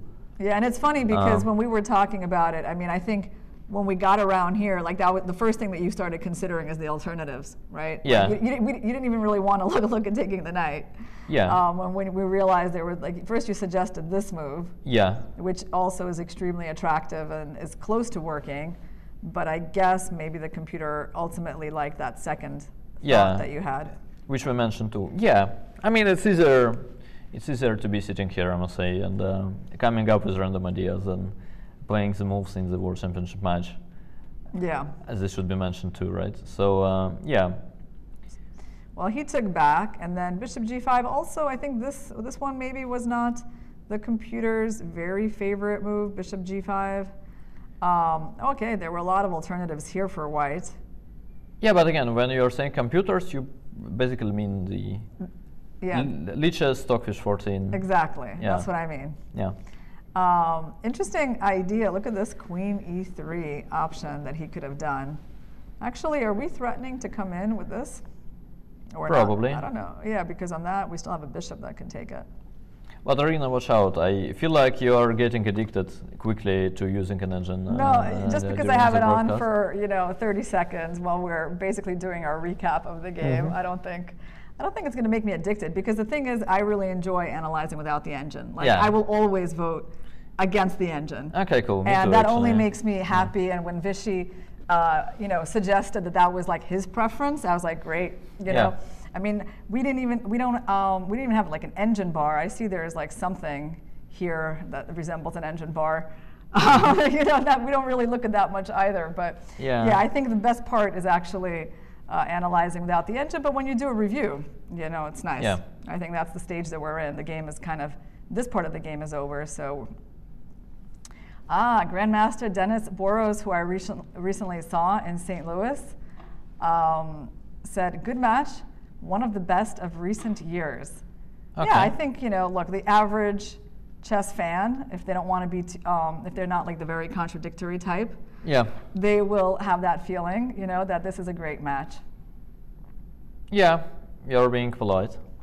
I like that. Yeah, I agree. It has to be exciting to to watch so many decisive games. Actually, Yeah. we're we're about to see two draws in a row. I mean, there is a fair chance that we'll see two draws in a row. But it doesn't even feel like we're really We- seeing draws. That's yeah, which is like sensational Yeah. by the standards of this match. Yeah. Okay. Yeah, I mean, it, even like, even though the official results may be draws, it doesn't feel like that's what we've been witnessing as we've been analyzing the game because the game's just, um, yeah, they they d- developed both of these games have developed in such interesting directions. Yeah. So look at this move, Queen E3. Nepo, he actually played Bishop G5. I feel like pretty quickly, right? But Yeah. um, I don't think he even gave us really time to To figure uh, out, to figure out anything, and then we just kind of kept going. Queen E3 with this idea of Queen G5 would have been pretty interesting. And yeah, forgive us guys that we're not talking about the live board because uh, you know it's just been a bit of shuffling around with a rook and a king. There. But the game is actually going. I feel like Jan has some fair 20% for winning, Yeah. No, I agree. I mean, as long as the knights are on the board, we're going to be here. Yeah, yeah. No, I mean, uh, I, I'm talking to uh, to the rest of the people mostly. So um, don't think if we if we've been ignoring it for for, for the time being that we think it's 100% draw. Yep. Not necessarily. It's just that uh, like the as the game will proceed slowly, Mm-hmm. and uh, yeah, we'll have for we'll have to wait for Jan to kind of like activate his king and um, probably uh, push some of the pawns, and then we will be uh, uh, back to it, watching it closely. Mm-hmm. But next 10 to 15 moves, I think we'll be very much shuffling around. Yeah, I mean, until white pushes his pawns. I mean, I, okay, we'll come, we'll come back to that in a few minutes. But I mean, this move, Queen E3, it's you're attacking the knight, you're threatening Queen G5, and if indeed Black has to play this move, which looks so not like the kind of move you want to play, Here exactly I want to play it though. you really do. I, I mean, if you don't take h6, then yes. yeah. So, And now, all right, what's uh, going on here yeah, queen- strategically? Yeah, queen b6 is a trade. Ah, you're forcing it Yeah. because because of that. And then Yeah. we'll we'll have one of the weirdest endings I've seen actually. Yeah, it's, it's lucky for you that you got this trade, huh? Yeah, but then there is bishop e6, right? I mean, this like ancient lines is cool. So bishop right, c4. here- So bishop c4. It wants bishop e e6. Wow. Takes like F- completely yeah. ruining the pawn structure for black. I mean, but I guess you're getting the f5 square back. Yeah, I mean exactly. It's already ruined, right? Yeah. So what is this position? Okay, let me just turn off the engine so I don't see. what Okay. what so is now, this? Okay, so now you uh, you don't have the line, but you have numbers. Yeah, I mean. Ah, okay. okay, this is I much see. better, of course. yeah. Okay, well, it's, But yeah. you can refresh the page, and then it will go away. Ah, that's how it works. Yeah. Yeah, you're our computer expert, that's for sure. Mm, Um, not with glitches, though, but yeah, a little bit. All right. I know how to make the engine disappear at least. Yes. Yeah, we got five versus five, and you're tr- tr- well, you're trying to win this pawn and just be clearly better. Yeah. So in terms of how black, well, first of all, if I were black here, I wouldn't feel great with this ugly pawn structure, Mm-hmm. Yeah. right? I don't know. I mean, point seven is uh, not a pleasant evaluation for black either, but it certainly doesn't feel great. I guess we need to defend this guy. Yeah, you go rook eight. I mean, I don't see why it's this bad. You're, well, you're not losing the pawn is the point. Yeah, you're kind of like somehow. Yeah, I think you even go rook b to a6, and then you go knight d7, and you wanted to go forward actually. Mm. And maybe use the fact that this knight is still far away. Yeah. Hmm. I'll share you an interesting thing actually, Yeah. which helps to fight uh, when you have this bad pawn structure. Mhm. Like here it looks horrible, Mhm. but I mean, h- having some some position like this, I normally say to myself, all right, my pawn structure is horrible, but let's imagine I don't have the pawn on e5. Then okay, I'm just one pawn down. I'll play knight d7, knight b6, knight Mhm. c5 or something. I mean, Mm. it, it doesn't look like I have to resign Right. at all. And then and then I actually come back and I'm like, wow, and I actually have a an extra pawn compared to that. And I mean, it kind of helps to live with it. All like right. indeed, your pawn structure is uh, like bad, but most probably you'll lose one of the pawns, and then it will be okay. you know? And if I take this pawn, and basically I'm p- sacrificing a piece. Yeah, then I guess we take uh, we take on h2, oh on a2, sorry, and um, You sack. Okay, so you got two pieces for the rook. Okay, so the reason you sacked, by the way, is because you were like afraid of some stuff happening here. no, I think it's that after knight h7, knight h5, I need to have f6 very much, Ah, or knight e6, yeah. one of those.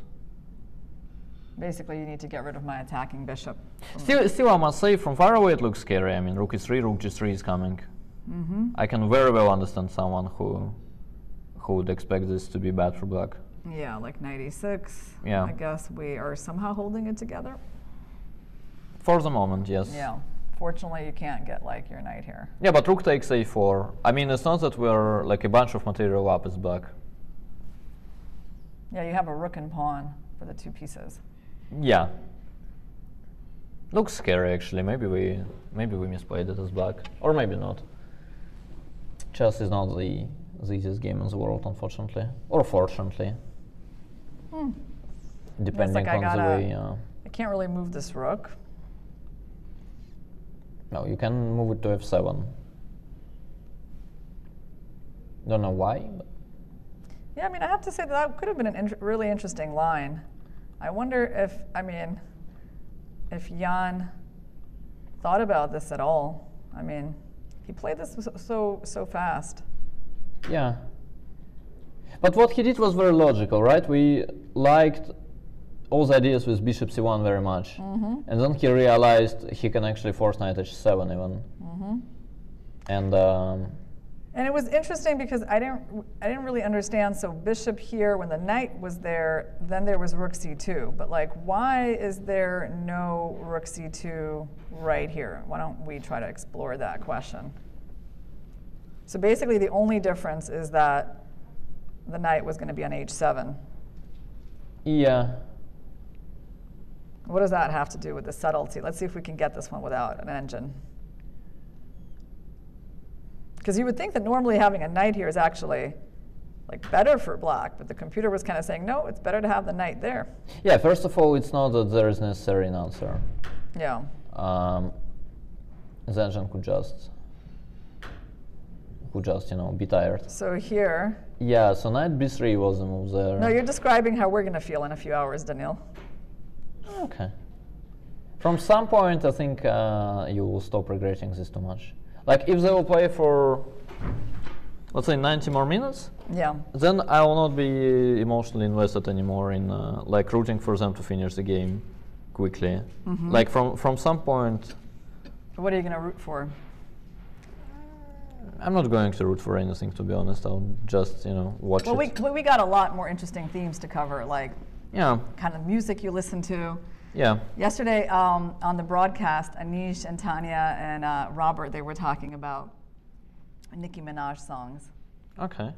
Is that someone you listen to? Suits Anish very well, I must say. No, not me. Yeah, I, can't, I couldn't. If you asked me to name a single uh, Nicki Minaj song, I unfortunately would fail at that task. Yeah, I, I'm probably in the same team. Yeah. Yeah. Okay, but so let me tell you. Let, let's talk about that for a 2nd Mm-hmm. So if there's like some sort of song that you can put on Mm-hmm. that in general it will always suit you no matter what's going on, like you will just always enjoy that song. It's not a matter of mood, like you're always happy to hear it. Mm-hmm. What song would that be for you? Oh, I'm not sure actually. But it would most probably I would expect it to be uh, some Russian rap.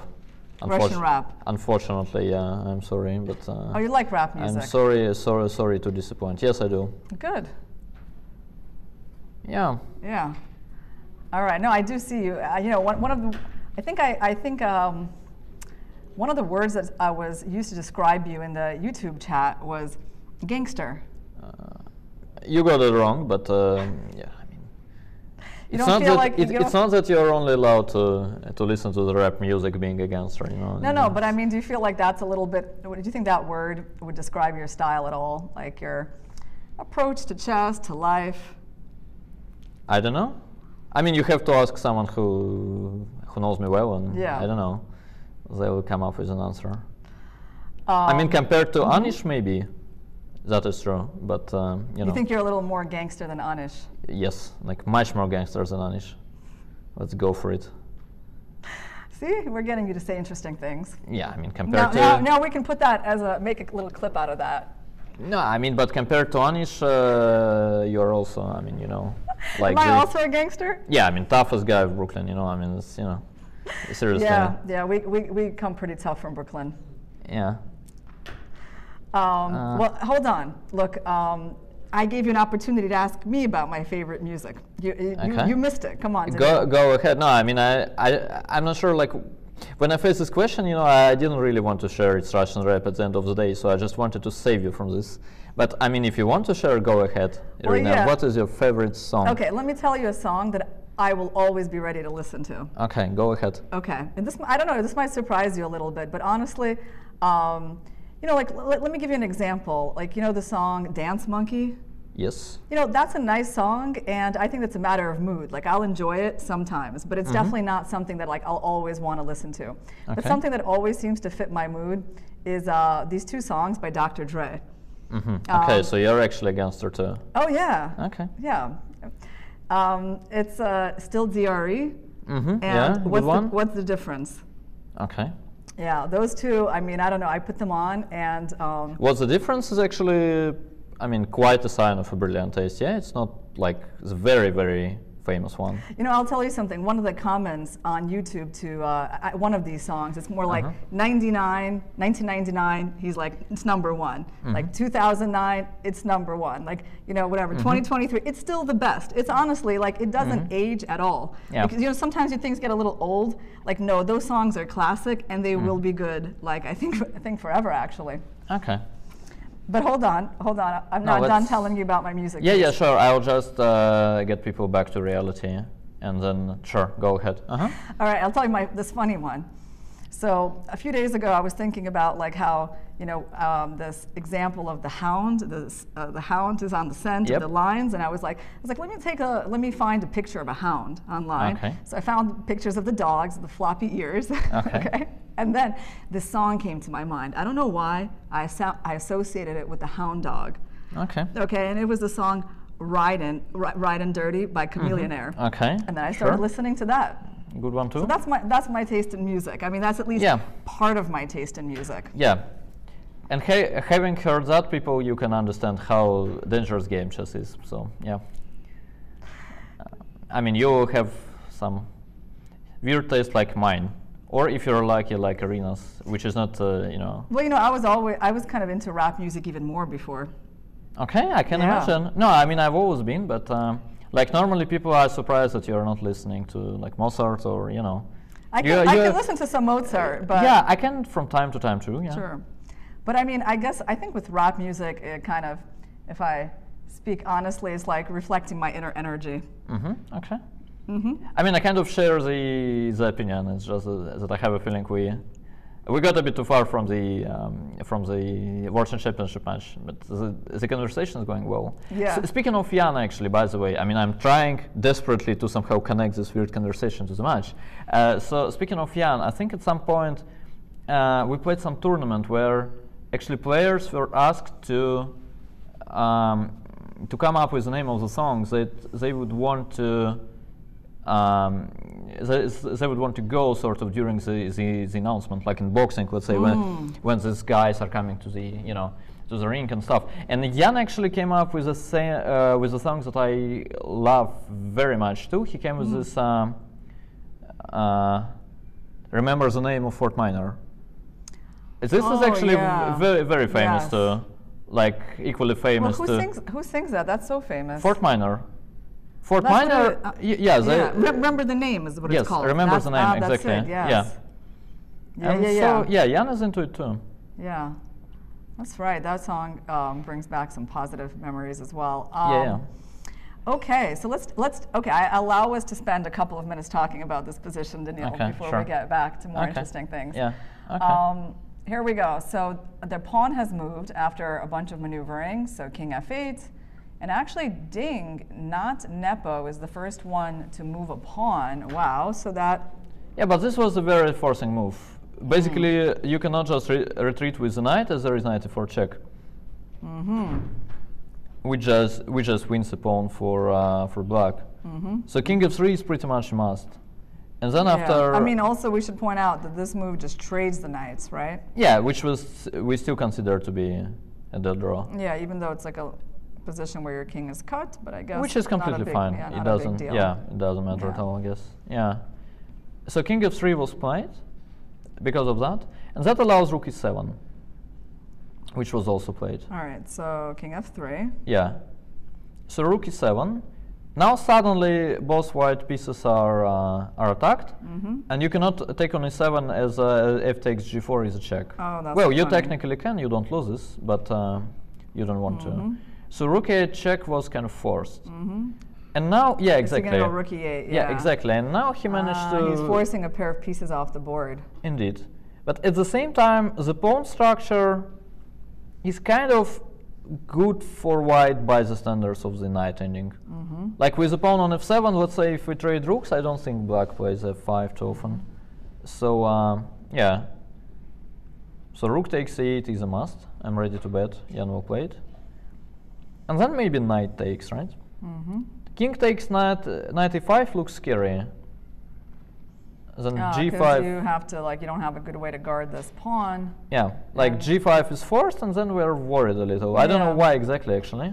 But the more you push these pawns forward, Yeah, um, the more you push them forward, the more chances maybe you have to lose them. yeah. So your At the same time, maybe we Mhm. go king e7, e- f6, and it's okay. Okay, but like this seems fairly safe for black, right? yeah, So yeah. I knight thought. e5, Yeah, king g7. I thought we played chicken way, and then king f4. Knight f6, and you can't get in. Yeah, but then I'll somehow try to. I mean, it will be a game. Like I'll go knight f3, Yeah. or knight I don't know d3. Then I'll go king e e5. But you know what I'm kind of happy about is that at least with the rooks off the board, like it feel like it narrows like how long this uh, this can take, right? Sure. Yeah. Um, and let's see, Jan, Okay, so is he, he ready to make the trade? But actually, maybe king Yeah. takes is even wiser. Maybe it kind of makes sense actually to to play g6, g5. I start to feel like it's it's interesting what he plays. So king takes. yeah. You're saying like maybe actually you can go for this. Also, he did play king takes oh, like oh, wow. instantly. Instantly, that was the plan. I mean, again, he sees chess his own way. He's like, I'm not losing the pawns, and if you wanna, Yeah, yeah, but also he is not even thinking here. Like, if I play this, I'm really scared. I check g4, I well, I check think he h4. was thinking while we were talking about music. Okay, very bad of him. Yeah, he wasn't taking part in that discussion with us. Yeah, So, But he he's allowing, for instance, knight e5, g5, king e3, followed by f4. And you want to go king e3. Yeah. Yeah, that's on the board. Jan looks surprised. Mm-hmm. And uh, yeah, for a change, I think this is quite a quite a sincere uh, reaction from him. Mm. Like first of all, it's the speed that is uh, surprising. Mm-hmm. Secondly, after king e3, Mm-hmm. I mean, how do you hold this? Actually, I mean, it's probably a bit early to be panicking like this. But f2, f4 followed by this kind of trade is like the best scenario. I- Yeah, that I agree. Like you're Yeah. gonna get the passed h pawn, then white, you know, has serious chances. So Maybe it's not much anyway. Maybe you bring the knight to g7. So let's say king e7. King e7, we go f4. Let's say king f6. Mm -hmm. Mm, I have to admit, I've never studied this particular endgame. yeah, me neither. Let's see. No, I was going to take the knight, but okay, sure. Oh, I'm sorry. Yeah. But let's say actually I play king take g5 exactly. Let's just examine. Mm -hmm, This position. Yeah. So knight f3, king f6, Mm-hmm. king e4, king f4. Mm. Well, it has to be a draw. The question is uh, how simple. I would expect it to be not so simple, to be honest. Mm, Yeah. Also, like, there's like some kind of zugzwang ideas. I mean, like, once I get my knight here, you're barely going to be able to move, right? probably. So let's say I go knight f7, knight d4. I go knight. One of these two. Well, somewhere. Let's say d6. Yeah. And so now I can start moving my pawn. Yeah, and then I go king g6. hmm So you go, yeah, exactly. You go g3, king f6, h5. It looks insanely close. It's probably just lost. I mean, it looks like we might have just reached that zugzwang. Yes. Okay. Um, So what was what was wrong with that? I mean, where did we go wrong? Was it knight h6 that was required in, instead of knight d6? But knight h6 I don't want to play. Yeah, let's see, let's see. Uh, we went a couple of moves earlier. You were here, and then, okay, you could try going here. Yeah. H4. Yeah, I'm not sure what the difference is. I mean, you can't move this knight. Yeah, king g6, g3, king this f6, is- this is the same type of zugzwang, right? Yeah. Well, it could be that it's still, you know, A draw like after you lose the pawn, but Yeah, but I mean, only if you get lucky, right? Like yeah. I mean, also to be honest, I just don't think it is a draw. Yeah. yeah. yeah. So yeah, let's go back. So g5, king e3. Okay. Um, yeah, it, it is a little bit surprising. I have to say that like the fact that he didn't take with the knight and to keep the pawns a little closer to home, um, that does surprise me. Right? Because we generally just know, like, the chess understanding says, like, okay, once the pawns start extending themselves too far, it just gets more dangerous. So then you have to have, like, a very concrete calculation. Yeah. So Well, not necessarily, but here, here exactly, it's also that basically whenever you're holding this three against 2 Mhm. basically G and H versus F is always like the the hardest to hold. Mhm. I mean, at least you want to. I mean, Yeah. you you want your pawns to be in the opposition to the uh, to the strongest side, right? Mhm. So same with let's say rook ending with a G and F for white versus H for black is Mhm. actually the hardest to Yeah. to to defend. It's still a draw, but it's um, the worst. Right, because okay. What, what you're saying is that like right now, White has a realistic chance to trade those pawns and then achieve some kind of imbalance, and that's the best chance for White to win. Yeah, kind of. Mhm. So maybe after king e3, he has some smart point, which in Ding's case I would expect to be concrete. Like king e7, f4, and then he may maybe goes king e6, let's say. So you don't think there's any chance like these pawns just keep going? Yeah, I thought about this too. But first of all, I'm really worried about king d4. Mhm. This is also an option actually. So let's just see what happens when I try to approach the pawns. Yeah, maybe not much happens. I think you just Maybe win. I go. Yeah. You think White just wins? So, Could be. So king of six is a must, right? Mm -hmm. Knight d7 check. Yeah. Um, yeah, and then something like h4 will happen at some point. Yep. And the pawns get, start getting undermined. But Mhm. okay, hold on. And also, you you may want to go here one day. Yeah. But for the moment, I just want to take on g5. I don't No, I'm just thinking about knight e4. You know. Yeah, yeah, but then at very least I just go g5 check, knight d3 back. And in general, I force the trade. And then even if it's a draw, it's a started like draw, and I actually don't see why Yeah, this is a draw. Show me this one. Oh, you mean like? No, no, g5 check simply. Oh, just knight e5. Yeah. Yeah, and then g5 to g3. You push my king. Yeah. You push my king out of position. Yeah. You capture here with like a check. Then I have to go like the yeah. Yeah, but still knight d3 even. hmm You guard that. You start breaking this up. I'm getting a little concerned seeing Yeah. these lines. No, no, but I told you. I mean, given the way Ding plays, this is very bad strategy in general of holding uh, Mhm. those. Okay, but we're still gonna try to find. So uh, king e3. At the same time, it's only king e3 that is uh, problematic, right? So basically, if he found something here, so let's say king e7, f4. First of all, our line was based on. Uh, maybe king f6. yeah, I Uh, mean. oh yeah, uh, our line was based on us taking and blundering this knight. Yeah, yeah, yeah, but knight f3 is there, and so so what is the difference? Mm-hmm. There is a move g4, Mm-hmm. which exists. Um, now I'm pretty sure. Like whenever we trade on h3, it's actually good for black. It will be just a dead draw. Because white is left with just the h pawn that is not that effective. yeah. So I guess you take on g4, f takes g4. Mm-hmm. Okay, then you do something, and we look at this position, something like knight, I don't know, d4 or h4. My guess would be that it's a draw. The question is if it's a simple draw or not. Maybe it is a simple draw. But somehow intuitively it's not. But maybe it is, yeah. Just king g6, sort of asking how you can how you can make progress here. Mm. You're having a hard time bringing that king in. Yeah.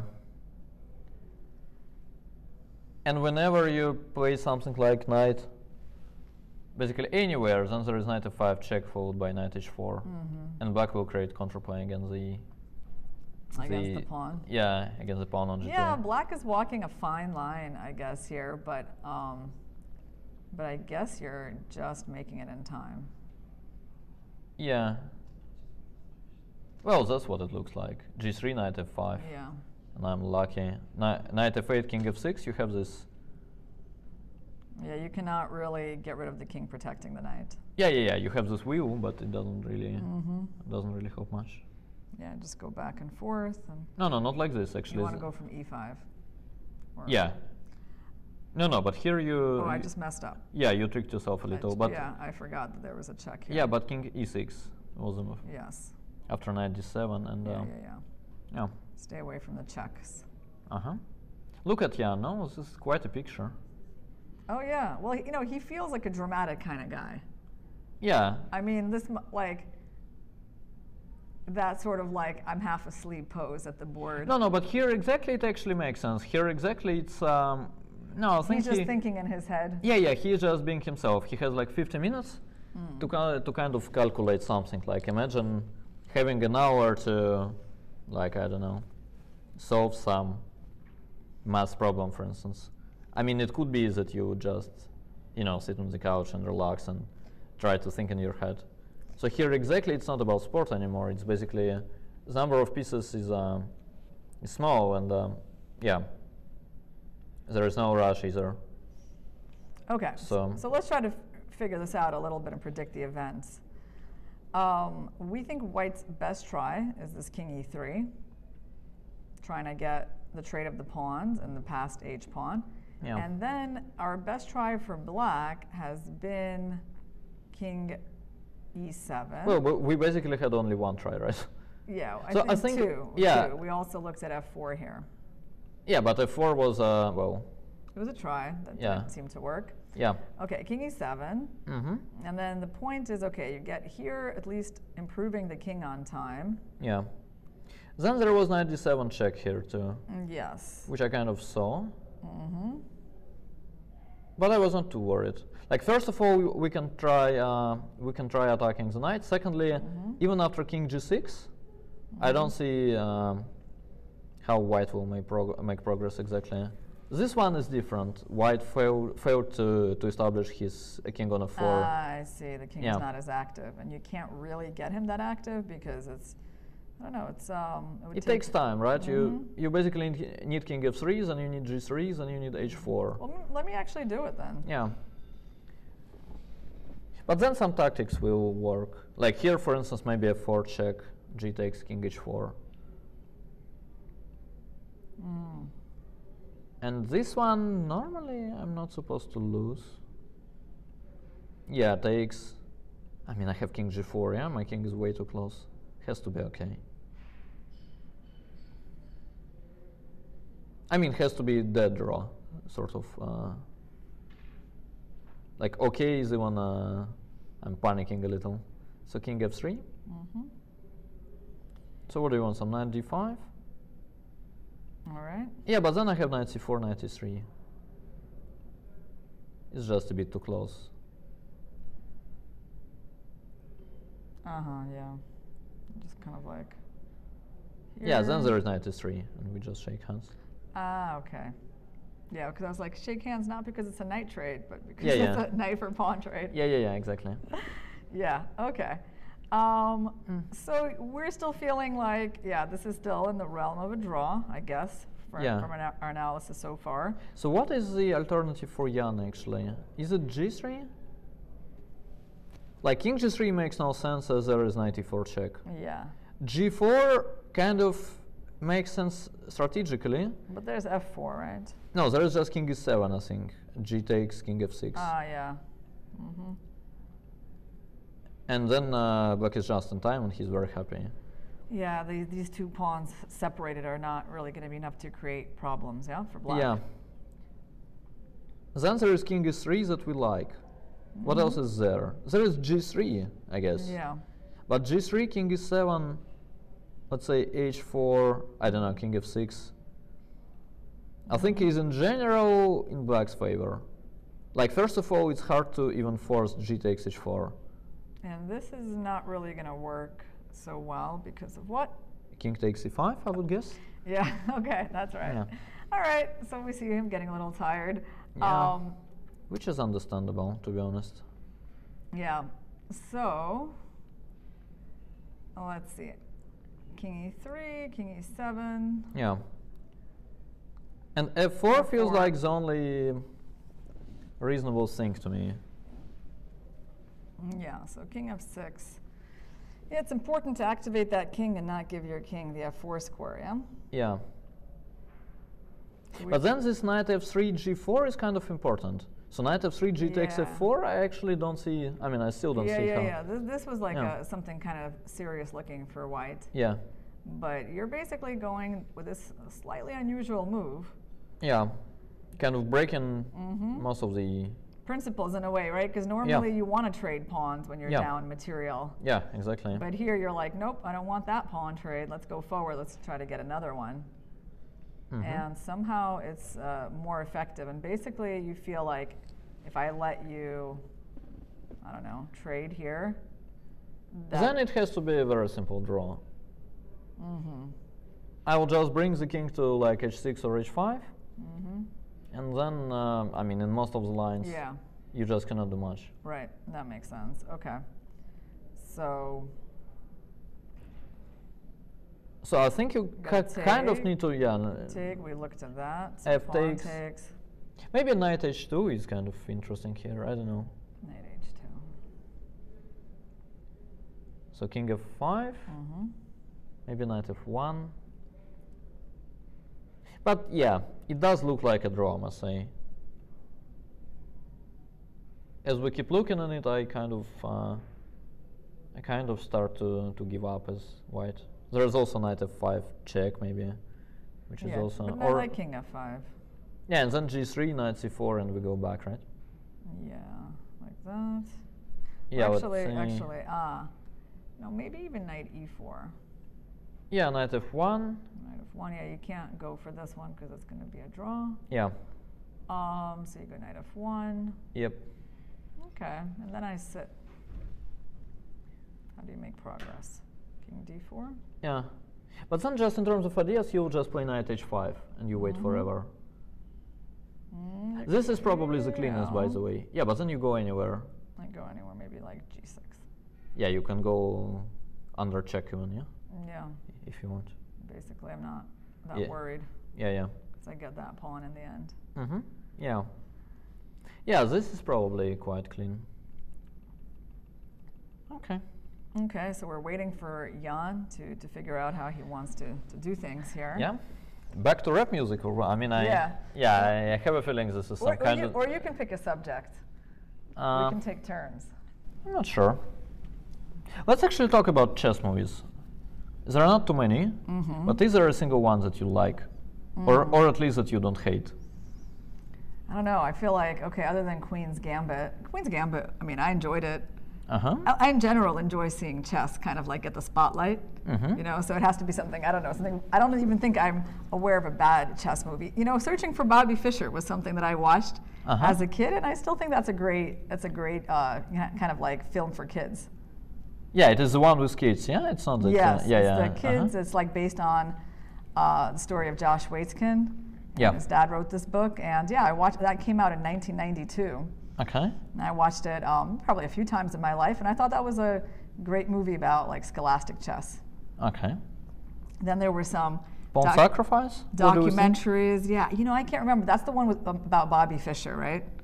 Tobey Maguire. Yeah, is- exactly. Spassky Fischer. you know what? I actually don't think I didn't see that one. Okay. I think I might have missed that. Yeah. it's not. It's not bad. Mm-hmm. Actually, the, the guy who played um, who played Spassky did very well, I think. Like Spassky is, uh, you believe it all, Liev Schreiber, I guess is his name. Ah, yeah, yeah, yeah. And then, uh, yeah, Tobey Maguire was Fischer. Yeah, I mean, okay, he, he tried his best. It was not bad, I would say. Still, uh, I mean, given we are chess players who who know quite a lot about Bobby, I mean, it was hard to bite sometimes. I think it'll be very hard to portray Bobby. Yeah, most I probably. mean, yeah, it's like he's so so unique. I don't know who could do that job. Yeah. Even when you see his interviews, like his old interviews from like the 70s, I mean, just Yeah. like what you know, you can see that this is a, not not a character that you see every day. Yeah, and given it was Tobey, I mean, with all the respect, but Fischer, I mean, I've never seen him obviously in my life, but I saw the interviews. I mean, he looks like a giant, right? I mean, he was tall Tall actually. guy, yeah. Yeah, and stuff. And uh, I mean, Tobey, uh, mm, Tobey is more like me, sort of, and uh, you know, Mm. um, yeah, he just didn't look. Then there was a documentary on Magnus. I can't remember what, what was that called. Like Yeah, it's called Magnus actually. Magnus. Yeah, yeah, for some reason. yeah. No, I remember enjoying that. yeah, it was good. That Yeah. is true. I, you know, it's funny because I can't really remember anything there ex- ex- except that there was some footage of Magnus as a young kid. There was some of that. Yeah, Um, but I, I think I, I think I did like that one. Yeah, I think it was good. No, they. I mean, I think it also had some. I mean, later videos with him, some private ones actually, Mm. from the tournaments and stuff. No, it was good. What else is there?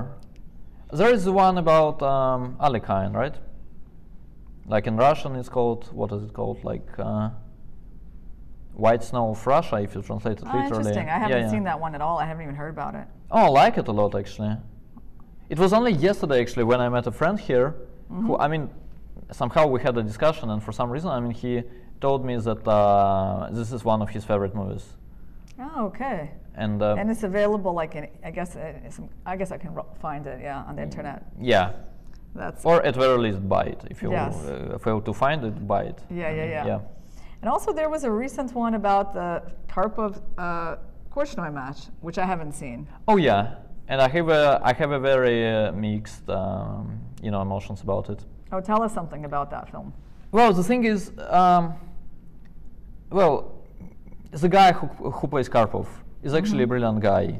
I mean, I know him, and he texted me and he asked me to to help to to prepare for a role, you know. And then uh, I mean, another guy I know played uh, Balashov, and the guy is also brilliant, and they are both, I mean, nice, and they're like my like almost friends, sort of. Uh, so we're on really good terms and stuff, and uh, I was really rooting for this. And then, uh, I mean, the Karpov guy, his name uh, his name is Ivan Yankovsky, and we met a lot. And I, I was actually impressed by by his dedication, kind of. I was actually impressed by, uh, I mean, how t- how hard they're trying indeed. And he would be interested in all the facts, and he would be interested in uh, like the the movements over the board, let's say. And we would sometimes even we had meetings where he would literally try to let's say push a pawn, and I would say like if it looks um, okay or not, and so on and so on.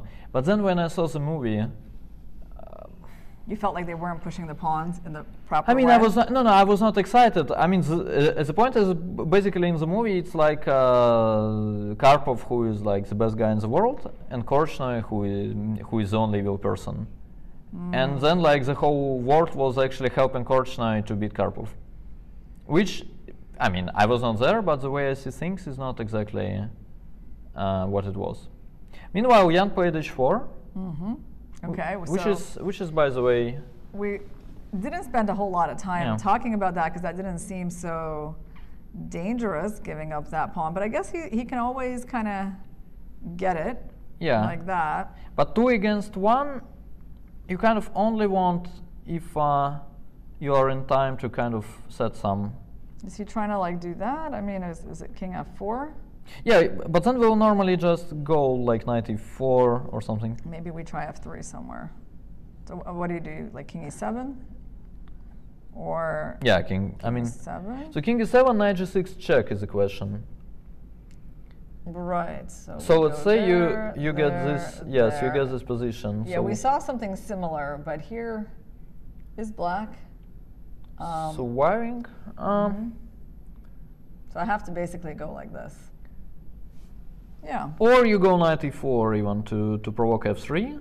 Mm-hmm. Then you go back, Mm-hmm. and basically g3 is kind of a must. Mm-hmm. Then you go king e6. Mm-hmm. and then you ask But Ian, Yeah, I think played king f4. Ian is actually very optimistic about this. Yeah, you feel that from his Yeah, yeah, yeah. body language. Yeah, yeah, yeah. Okay. To win three, three against two in the World Championship match would be quite cool. I must say. Well, I, I won uh, that kind yeah, of. yeah, and Ding, and Ding is Yeah. now. I mean, look at this. Yeah, he's. Uh, Oh yes, that head in the hands posture tends to uh, worry us when we see that from Ding. yeah. But okay, Ding, you, So there's only two pawns left, so let's figure out how to deal with them. No, but it could be a bit too late to, you know. It's actually very forcing, no? Let's go back. So king e7, once again. Right here. Yeah, knight g6, king, let's say f6, Mm-hmm. knight takes h4. Then knight e4, f3, knight d6, g3, you will get anyway. Mm-hmm. King e6 is only move. Yeah. King g5. Mm-hmm. How should we hold this? Or it is not So king you're g5. saying, But I think it is king g5. okay, so like, okay, had go here. Yeah, and then let's say. Um, yeah, I'm not sure. f4, king e4, right? Yeah, I guess I'll go active. And then after king g6, you basically uh, somehow, I don't know, you go like knight c4, and then king f3, which looks crazy scary for black, but I don't know, maybe. But Ding is like so upset. It feels like he's sort of completely sure that he's lost. You really think so? That's No, I mean, I, but he's clearly upset. No, this is clearly not uh, not what he wanted, kind of. yeah. I mean, the body language is kind of concerning. Yeah, That's not how you look when you're confident you're going to make a draw. yeah. Exactly. Okay, l- what are you saying here for black? How does black play this? Um. Yeah, like knight c4, Yeah, knight takes f5, Yeah. king f3. yeah. Yeah, then basically to get your stuff going, you need to bring the king to h4.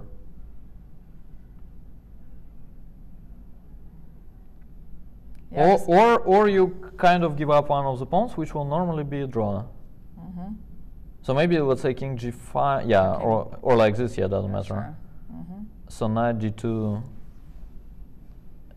you bring the king to h4. Then your next move has to be knight d4 check. Mm -hmm. And it will be actually. I can probably play like knight e4, knight d4 check. But yeah, but it's like very, I mean, Yeah. like mean- I mean, over the board. First of all, you're not sure. From far away, it felt to me like it's a draw. Maybe I go knight f1, not knight e4 actually. Like maybe I go knight f1, and then after knight, I'm threatening knight takes g3, and after knight d4 check, I go knight. Yeah, exactly. And then. And you're still like holding on. yeah. But it could be, I mean, knight c6, you bring the knight to e5. I mean, it could be that at some point the fortress yeah, this just. is not uh, what you ever ever want to rely on. Yeah. Yeah. When you're trying to make a draw, this Yeah. is a very bad scenario. Yeah. Wow. But then, I mean, again, he was kind of, uh, he was asking for it, right? I mean, you go king takes e8. Why on earth? But let's try to let's I try kind to of- defend the position here. I, I kind of fail to believe it's uh, exactly lost now. Mm-hmm. But um, yeah. So basically, we stepped right into this check and we let you take the pawn. Perhaps that's not the smartest thing. Okay. So what is the smartest thing? Yeah. Well, let's think about that. Well, h3 g takes followed by something like king g5. It could be that it's a draw, but over the board you, I mean, certainly suspect that it is lost. Yeah, and the problem is, like, if you go here, you attack the pawn, you try to, like, hold. I mean, there's a lot of problems with that, but basically, it just doesn't seem to have much of a point. Yeah. You're going to lose. I mean, also knight e4, knight d3 kind of, kind of underlines. Mm, yeah, Yeah. right, right, right. You're saying, like, just defend. Yeah, and then just take it. Yeah. So, Okay.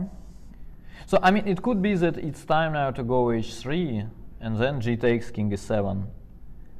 And then I guess normally with white king on g5, black would lose, but now there is knight e4 check.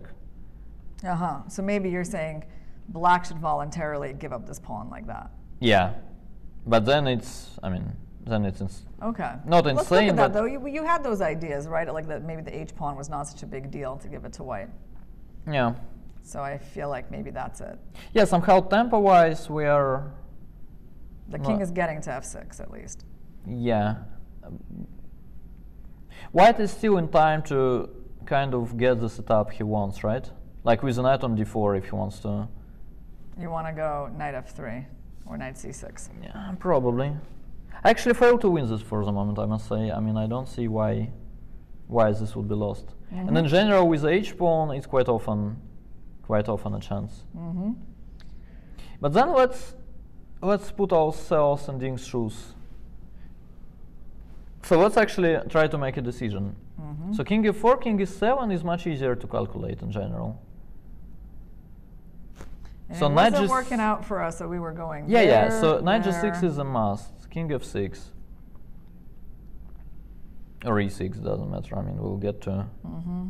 Ah, wait. Maybe it actually matters. What if I start with king e e6? So what was our winning plan here? It was like f3. Yeah, king f6, f6, g3. g3. Yeah. So my question is, now, Mm-hmm. uh, given that, I'll try. I'll try king e6 here. Okay. Mm-hmm. I see. You want to win a tempo, like somehow. Yeah, but I might lose the tempo instead. That's the problem. So you will take, I'll go king f6. Mm-hmm. Now, indeed, if you go, let's say f3, F3. king e6, g3, then after king f6, I'm. What if I throw in? Can I throw in king g5? Yeah, that's what I'm talking about. Then I probably lost the tempo. Or maybe not, actually. It's hard to hard to figure out. I mean, we still have king e5, G3? right? Yeah. And king, knight f7 or Yeah, probably. Knight f7. Or we actually go back again. So we go back. Was that f4? And then ah, f4. There's knight e4. Yeah, I think we had it with uh, with black to move. Mm. So we would go king e5. So let me somehow triangle, right? Mm-hmm. King g5, king e5. Yeah. Mm-hmm. So we would go f4 check, and then we wanted this,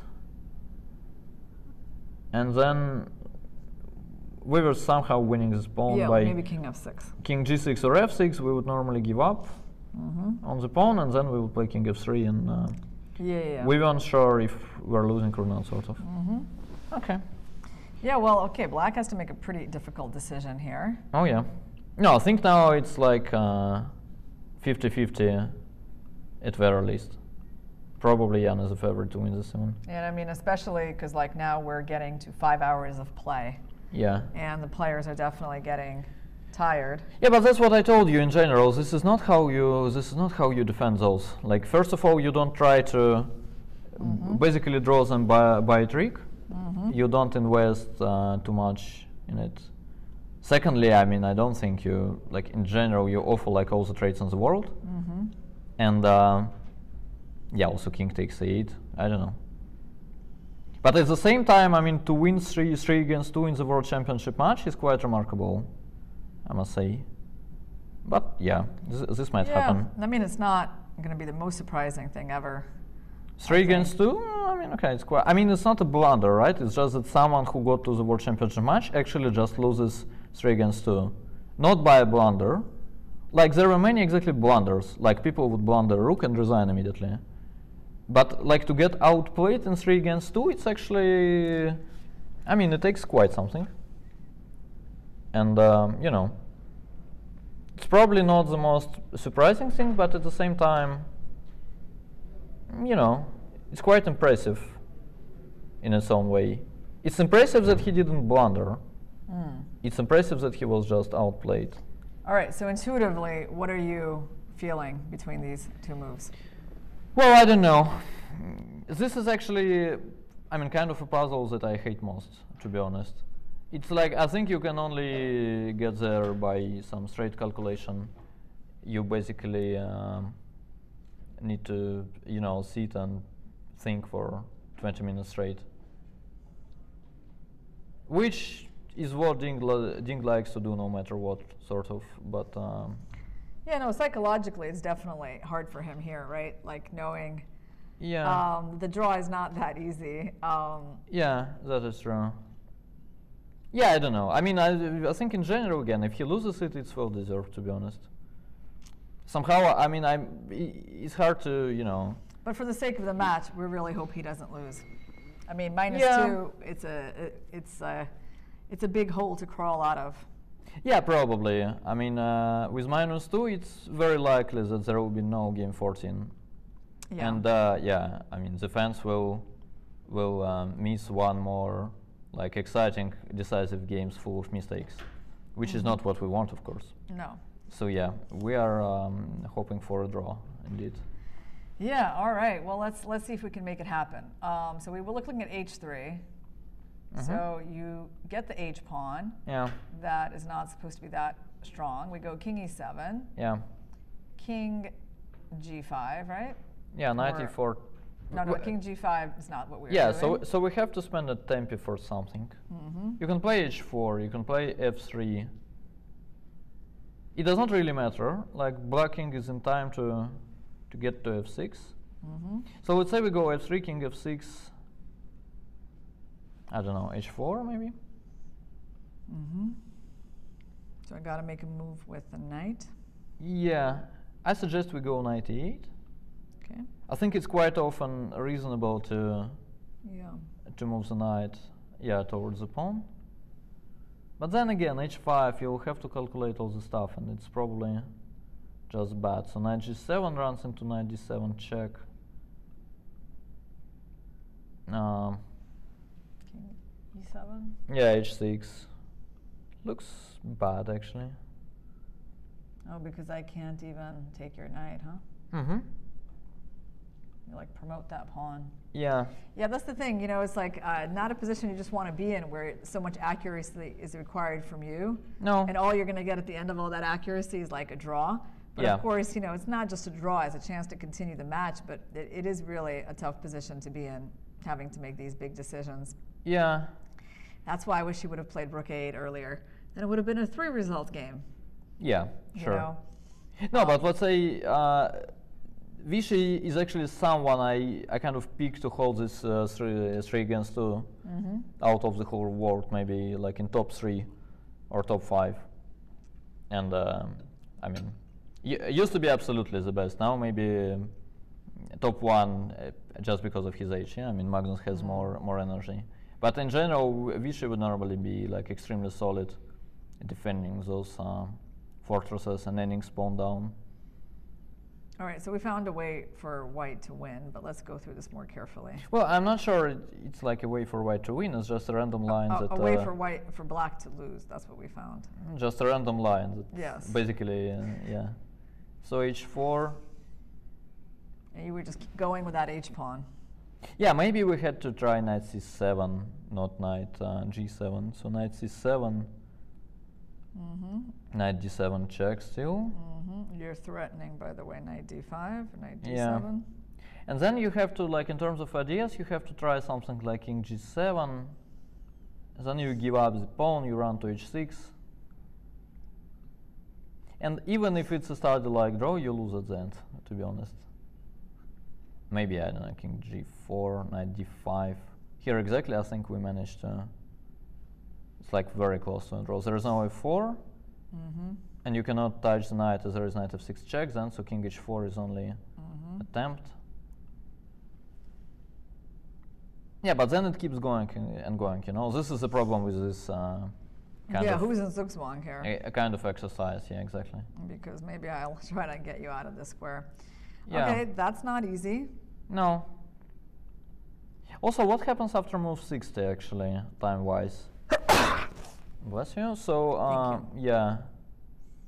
So, are they going to get 15 more minutes or is it 30?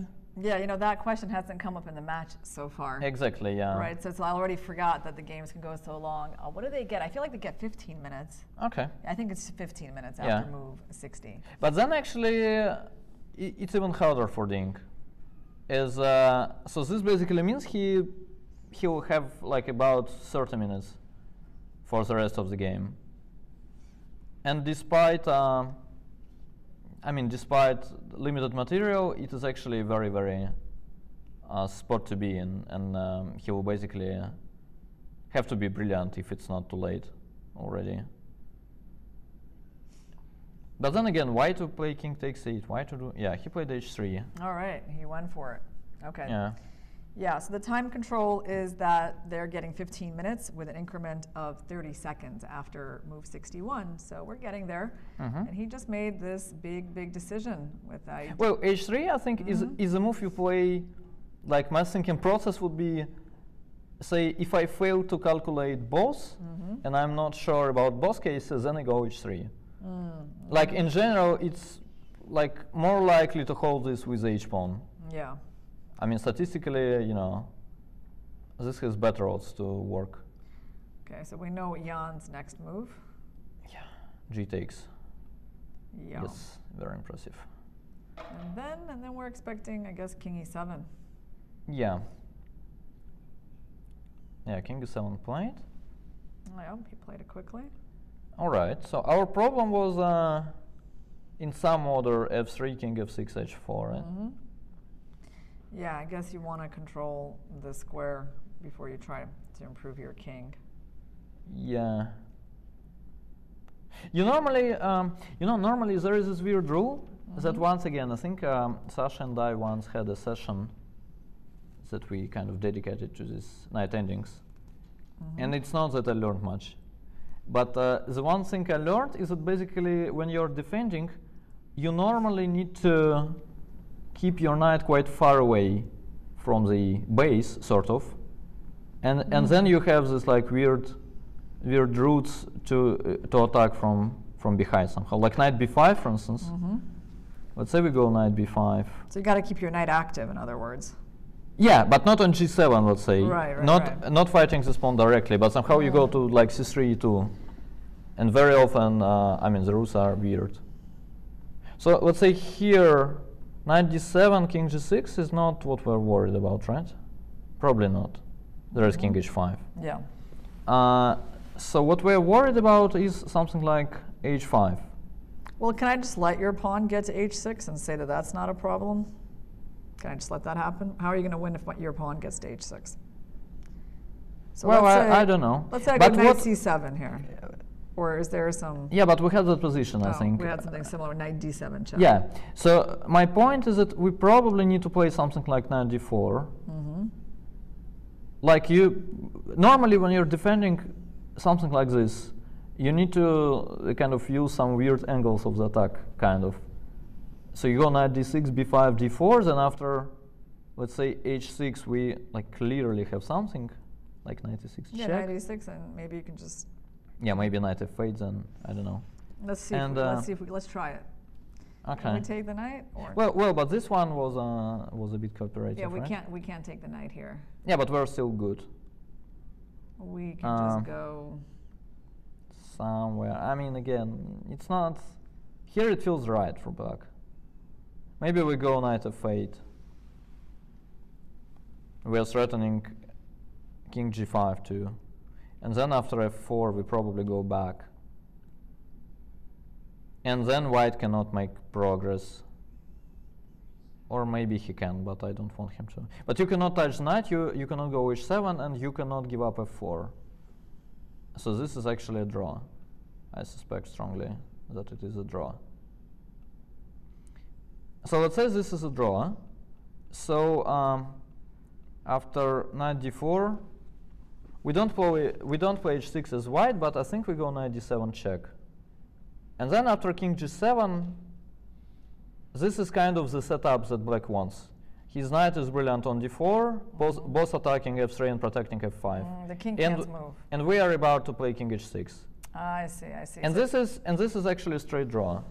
yeah, because so- white can't can't get their king anywhere. Yeah.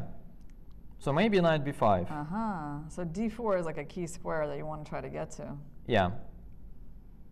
And and if you try to to prevent me from doing this, then uh, well, knight c6 will probably give me some some other weird routes, like maybe knight c3, and then I try 95 check or 92 check, and it seems that uh, I'm holding on. Okay. Yeah, I think you found a, a really important idea here. Yeah, I want a coffee for that. Please, yeah, I think, someone. I think you deserve one, Yes. Daniil. So as Nepo ponders his next move, um, we're going to go for a short break, guys, and then we're going to come back and uh, and be with you for this uh, exciting knight end game where White is up a pawn and uh, Ding is trying so hard to defend. Okay. See you in a few minutes, guys.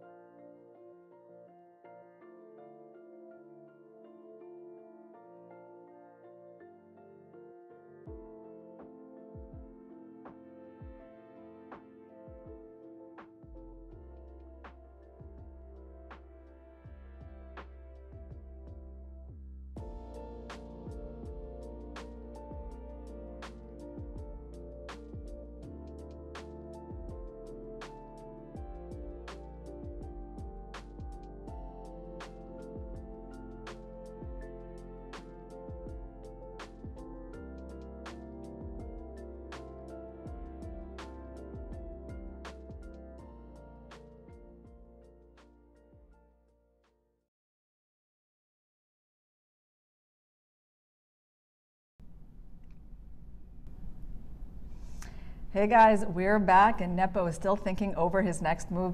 Daniil, I have to confess that during the break, I thought about escaping and letting you analyze this knight endgame on your own, but for some reason, I'm back here. Okay. No, I mean you can do that. No yeah, worries. You, wouldn't, mean, you wouldn't hold a grudge, right, if I went to dinner? Yeah, yeah, yeah. First of, yeah, sure. Also, you can go to dinner and come back. I mean, not too many things will happen, I guess. So, you know, feel free to do that. Yeah, Yeah, that would be that would be uh, funny. Yeah. Um, okay, so what do we have going on here? Um, well, nothing has changed since Yeah. our break. yeah I checked it briefly. Um, so it's not only that our line was correct, but it's also that actually in this position, well, I mean, king f6 is of course a must, but um, in this position, it's not only knight b5. Kni- Knight b5 is a draw, but actually everything is a draw. Like uh, knight e8 that we looked at is for some reason a draw. Knight b7 is a draw. Knight c8 is a draw. In terms of logic, I still like knight b5. Yeah. Um, but yeah, I mean it's very natural to bring the knight to, to d4 and basically not um, not give up the the, the f paw- uh, f5 pawn. Actually, I think after uh, I mean after having some uh, little panic attack for uh, for Ding, I I think we're now back to saying. Uh, I mean there are some chances for Jan for sure, but um, yeah, I mean it's way more likely that the game will finish in a draw. Still, I must say I, uh, I mean, kind of h- hate the way he was um holding this. Mm-hmm. Yeah, Jan just played some move. I think it's uh, c6. knight c6. Okay. Okay, so I think the king is going to go to f6. Is that the most natural square here? Uh, probably. Feels like it, staying out of the checks of the knight. Yeah. Hmm. Well, again, it's very much about those six ones. Uh, so knight c6 is actually smart, right? He he's preventing us from. He wants to go knight d4. Yeah, but the problem with that has to be that we are in time with some stupid knight maneuver, Where exactly? like knight e4 maybe. F3 and what knight f f3 knight f2? and, uh, and then we have something stupid that works. Let's just find it. Hmm. Well, knight d2 kind of stops knight f5 for a moment, but that's probably not it. Um, No, I think it's just knight f2, h4, Mm-hmm. and then we give yeah we give a check and we go back. yeah. So we basically need, need to avoid the situation where uh, white has his king on f4 and the knight on d4, and we have to sit uh, sit with the knight on d6 Mm-hmm. and basically wait wait pa- passively. Mm-hmm. So this is I think the key idea. So my bet would be that um, yeah knight f2 has to be okay here. Yeah. So knight f2, and then we give a check, and then the we king and yeah, and then we're just in time to to release the pressure. We go knight e5, let's say, and then king f4, knight g6 check will always be there. Mm-hmm. And whenever we we provoke h5, we I mean normally capture this pawn a few moves later, like knight d3, and then there is king g5. Has to be okay. All right, Daniil, let me ask you, um, who's your favorite chess streamer? Chess streamer. Yeah, that's a big topic these days as so many people are streaming. Um, listen, yeah, I mean, given the fact I'm the, the, the official commentator, yeah, I mean, I cannot say I just hate, hate them all. But uh, yeah, the, the, the one I hate. I think the, you can pick one that, that is safe to pick and that is he's not so bad. the one the one I hate the least is actually Alexander Gelman. He is actually a brilliant guy. I'm pretty that? sure uh, he's a brilliant guy. Uh, well, I think he's uh, he's international master. Mm-hmm. He's pretty good. I think he played some match against Kostyuk, for instance, where like it's like either he won or it was v- very close. I don't remember. So he's a very very decent blitz player. Mm-hmm. But um, I mean, people, if you are watching this for some reason, just uh, you know, like open YouTube, Google Alexander Gelman chess, and uh, I mean, watch some blitz game, and uh, your life. Is he streaming in English or Russian? I think Russian, but you don't need. I mean, it's Mm-hmm. he. He's way more about emotions. Mm. You won't. Uh, I mean, you won't.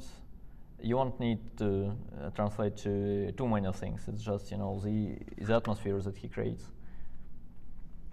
Yeah. Um, well, okay, I'll tell you who my favorite streamer is. Okay, Um, go ahead. Yeah, it's, a, Very surprisingly, it's a it's a guy that you know. Okay. Yeah, his name is Magnus. Huh, okay, sure. Yeah, I actually really enjoy Magnus's streams. Like when he started doing this a few years ago, I was like, like this is awesome. You know, to hear the world champion kind of talk as he's playing. Yeah, no, Magnus is uh, is normally very instructive. Mm-hmm. This is true. Yeah. No, no, I mean he's good. It's just that I mean, compared to Gelman, he has to you know You think he needs? learn a couple of things still. Yeah, I don't know. I kind of like Magnus's chill streams. You know, when it's just him, and he's just talking about the game, and that's it. You know, for me, Okay. that's like a And you're the same person who who's li- listening to the rap music as crazy, yes, yeah? Okay. yes, yes, yes. Okay, It's so exactly the same person. 94 played, by the way. So we are we are exactly following the line we just discussed. Okay. Are you are you like disappointed yourself that you're not like getting to second Magnus in another World Championship match, or is it like um, not a big deal for you? Oh, I mean it's um, it's complicated, um, and it really it really depends. I must say I was excited to I was like absolutely excited to help him um against Fabio, Mm-hmm. as I felt like, I mean the match itself is uh, itself is historical, and uh, it didn't feel to me like mm, he's absolutely sort of obliged to win. And actually, Magnus was saying the same. I mean, he values this match very highly. As uh, he said, in general, he didn't have an impression that he is like a much better player, if, if better at all. And uh, yeah, as we told before, the rating gap was something like five points, uh, five points or something. So uh, yeah, this one was exciting, and also the, the engines were completely different, uh, which would make the work way more, you know, creative thing Mm-hmm. and stuff. Then against Jan, uh, I mean, I liked the the work and stuff, but in general, I mean, it was a completely different match, right? I mean, first of all, c- uh, clearly, um, I mean, if you're on on Magnus team and you can't beat, uh, with all the respect, Jan, I mean, compared to Fabi, this is a match that you kind of need to win somehow. Moreover, you basically need to win it convincingly, not to not to be blamed. And I think this is the way uh, Magnus felt, and um, I mean the whole team felt. And he actually managed, or I don't know, we managed, or whatever. But I must say, in terms of emotions, it was less um less pleasant, as uh, well. There was nothing to celebrate, basically. Like with Fabi, we on. I mean, I honestly wasn't sure that um, he will win. It was clear that it's going to be tough, and also the the quality of games. I mean, yes, there were no decisive games, unlike in this match, but the quality of games was also not like in this match, and um, this is something I value higher. To be honest, I mean, I prefer to watch like brilliant chess, even if the games finish in a, in a draw. And then, I mean, it was fantastic. With Jan, it felt like okay, we need to get the job done, sort of, and it has to be convincing. And even when he was winning, I mean, Game Six was uh, was special, of course, and it was cool to watch this, and uh, you know, this was special. But the rest, in general, we expected him to win. He won. He he expected him himself to win, kind of easily, to be honest, and um, he did. And then there is nothing to celebrate. I mean, it's like a negative free roll, basically. Yeah, I mean, we could only we could only look like idiots. With Magnus, basically, if you win the match, okay, sure, he he is brilliant. I mean, of course you won. And if you don't win, then uh, I mean, how stupid do do you need to be to, to actually prevent Magnus from from winning the match, right? And say, same goes to him. Like he wins the he wins the match plus 4 and still people are not really really praising him. Yeah, they're like, okay, this is what we expected. Yeah, I was thinking maybe Ding could play King G6, and so that's what's happening. Okay, Jan is trying to push this knight out of his But why good position. why didn't he go to h6? His king was just on g6, right? Mhm. Uh, okay, so white played 96. Why not to go here? Yeah, seems like it was possible as well. Yeah. That it's like more logical, no? All right, let's see what happened. King f6, knight f4. Let's see where the black knight's going to go. Yeah, but wherever it goes, it's much better to be on h6, where you have the access to the h5 square, where you can attack the pawn. Okay, No, so no. let's say we just go, what, probably knight e5 here? No, I mean, of course, it's not lost yet, but uh, he's trying. Nothing's really happening, like knight e5, like what's, what's going on? That's a big deal. Yeah, I mean, maybe not much. 95 check. King back to g6? Yeah, let's say 93. Mm, knight back to d3? Okay. Okay, he moved his knight to b4. Yeah, Okay. shouldn't be too bad either. Yeah, that. No, it's just that in general, I mean, again, his logic works different way. Like, objectively, both king f6 and h6 are draw, of course. Interesting that he moved. So let's say now Jan played king f2. Yeah. I mean, with the king on h6, you're never worried at all. Mm. Like, you just, so let's say my king is on h6. Right, I just go knight c6. I mean, I probably just go knight e5. Then whenever you touch the knight, I go king h5. I mean, how can I lose this?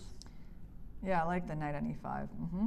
Yeah, with the king on h6. Like h6 is uh, probably the square where the, you know, the, uh, as the king is uh, most active, sort of. All right, so this is the current position. Mm-hmm.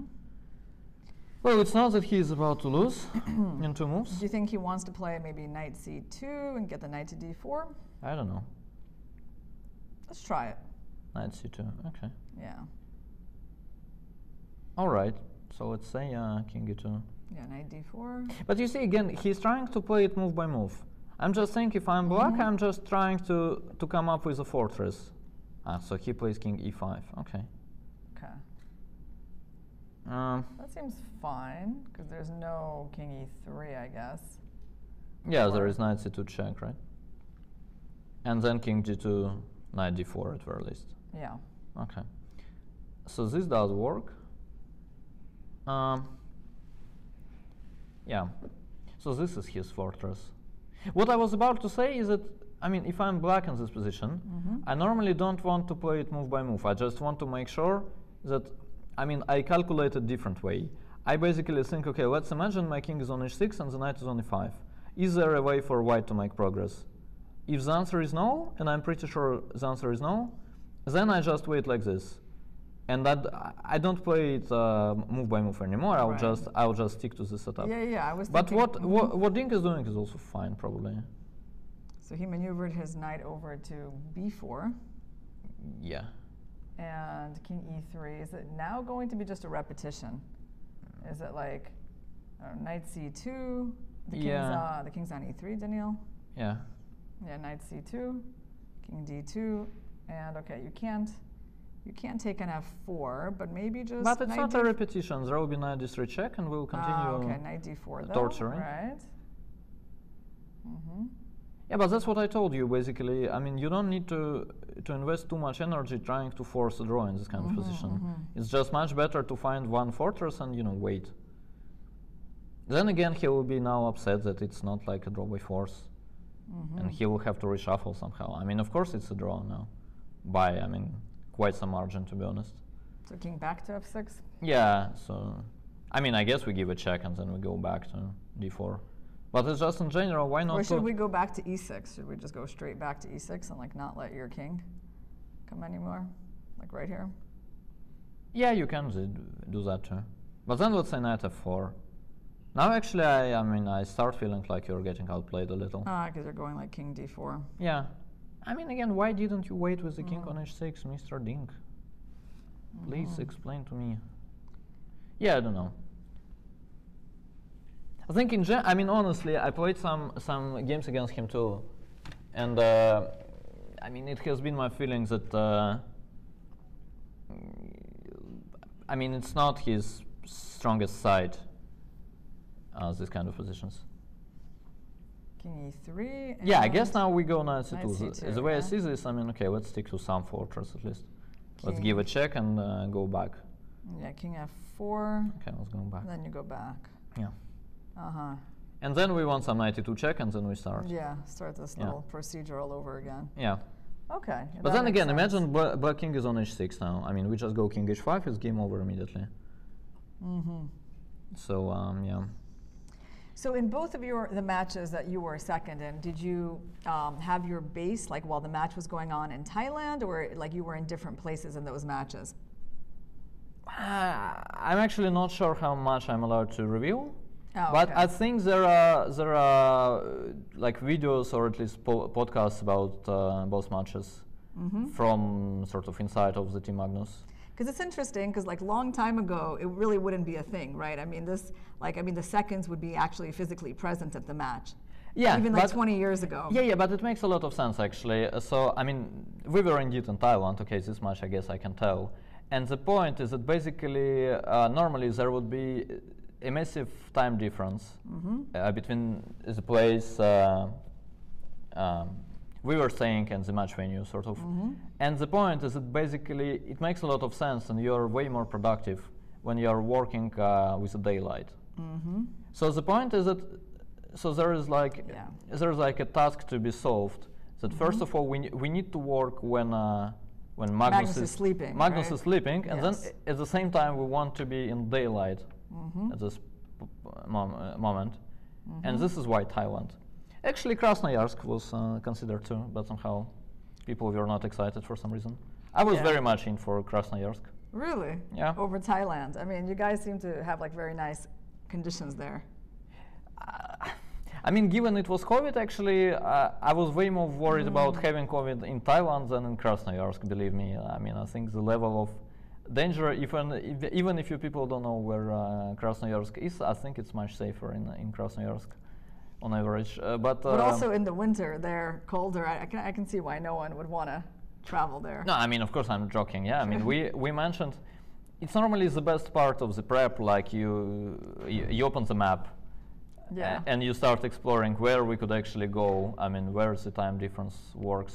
Mm-hmm. And uh, yeah. So what was the time difference between Thailand and London, for example? Well, I don't remember, but it was. I mean, it was quite uh, quite big. So basically, the idea is that instead of working through the night, Yeah. you guys would be able to get good sleep and work during the day and kind of with fresh minds and then give Magnus ideas. Yeah, something like that. Mm-hmm. Which I think makes a lot of sense. Another upside is that um, I think, just in terms of, you know, psychology of the player, it's probably uh, not ideal either to have too many people around. Yeah. And I mean, then this team is like five to, I mean, whatever. Now we we heard number thirty. Yeah, I mean, like thirty. What was it? Is it Ding or Jan who has like thirty people in the team? It's definitely not. someone uh, someone said that, Yeah. and I think someone said that uh, actually about Ding. Really? Yeah, yeah. Ding? But not not like here. Certainly not on the site. Yeah, yeah. No, I'm trolling, uh, but uh, someone said thirty indeed. Yeah. Maybe 30 Lichess accounts. That's a yeah, good yeah. joke. Yeah, this was funny. um, so actually, having too many people around is not ideal either.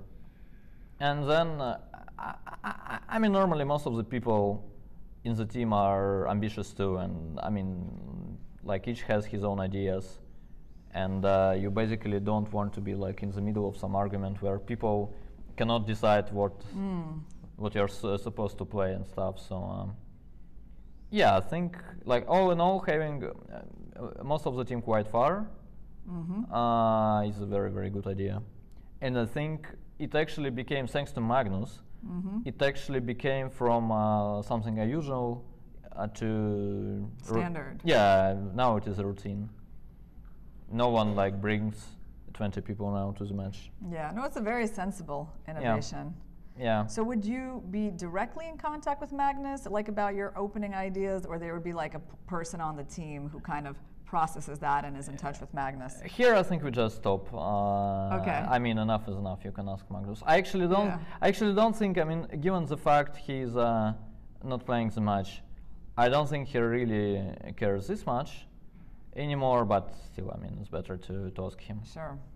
All right. So we got the king attacking the knight. Ha- Have we had any like uh, progress in this position? So what has happened? It's like Not much. okay, the king's gone around. There's been a few checks. Yeah. The knight's gone there. Yeah. This is the current position. Yeah. Okay. So nothing, nothing much is happening. Yeah. I guess you can play h5, which is not a blunder.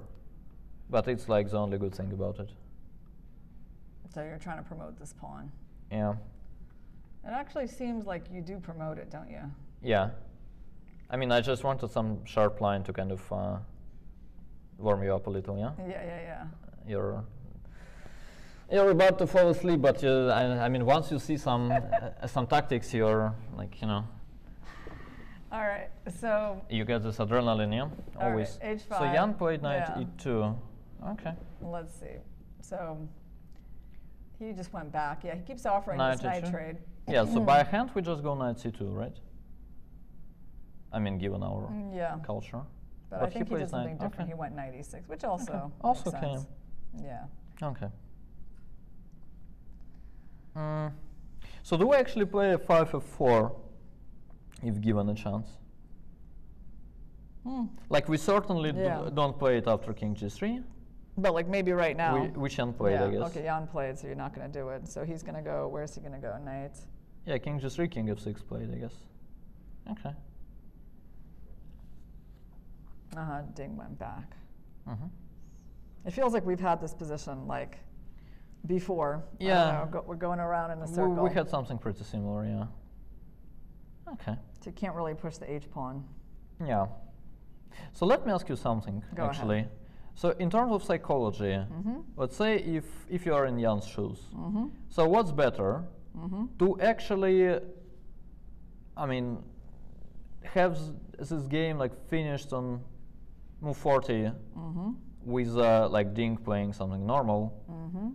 instead of this three against two Yeah. in, in a draw, or having this kind of pressure and actually, I think at some point believing that you're like about to win, Mhm. but finishing the, the game in a draw after uh, after pressing for so long, Mhm. but not winning at the end No, I still think the scenario is going pretty well for him. I mean, for Jan. yeah, for Jan because you know tomorrow is a free day, and when you can just play forever risk free, and I, I mean, I feel Ding should be getting like more tired from the, his defensive task than Jan is, right? Yeah, but in terms of emotions, I think it's uh, more of a booster for Ding. You think so? I don't know. no, I Like, th- no, I this- think at some point- it was not going to be. I don't know, a huge morale booster. Like, No, no, but I mean, uh, first of all, I think uh, at some point we'll find out um, later, but I, th- I think at some point he was just like much worse slash lost. Mhm. And then he clearly panicked in this knight ending. I mean, it was like Mm. uh, a clear sign of, of panic. And uh, before he played H3. yeah, yeah, I Yeah. mean, it's, it's lucky for him that it's, I, I mean, it all went this way. Mhm. And for the moment, he's holding on uh, comfort- uh, comfortably. How well. about King G6 here? I think we've already seen something like that. Just like, I think he's tried a similar kind of move in the situation.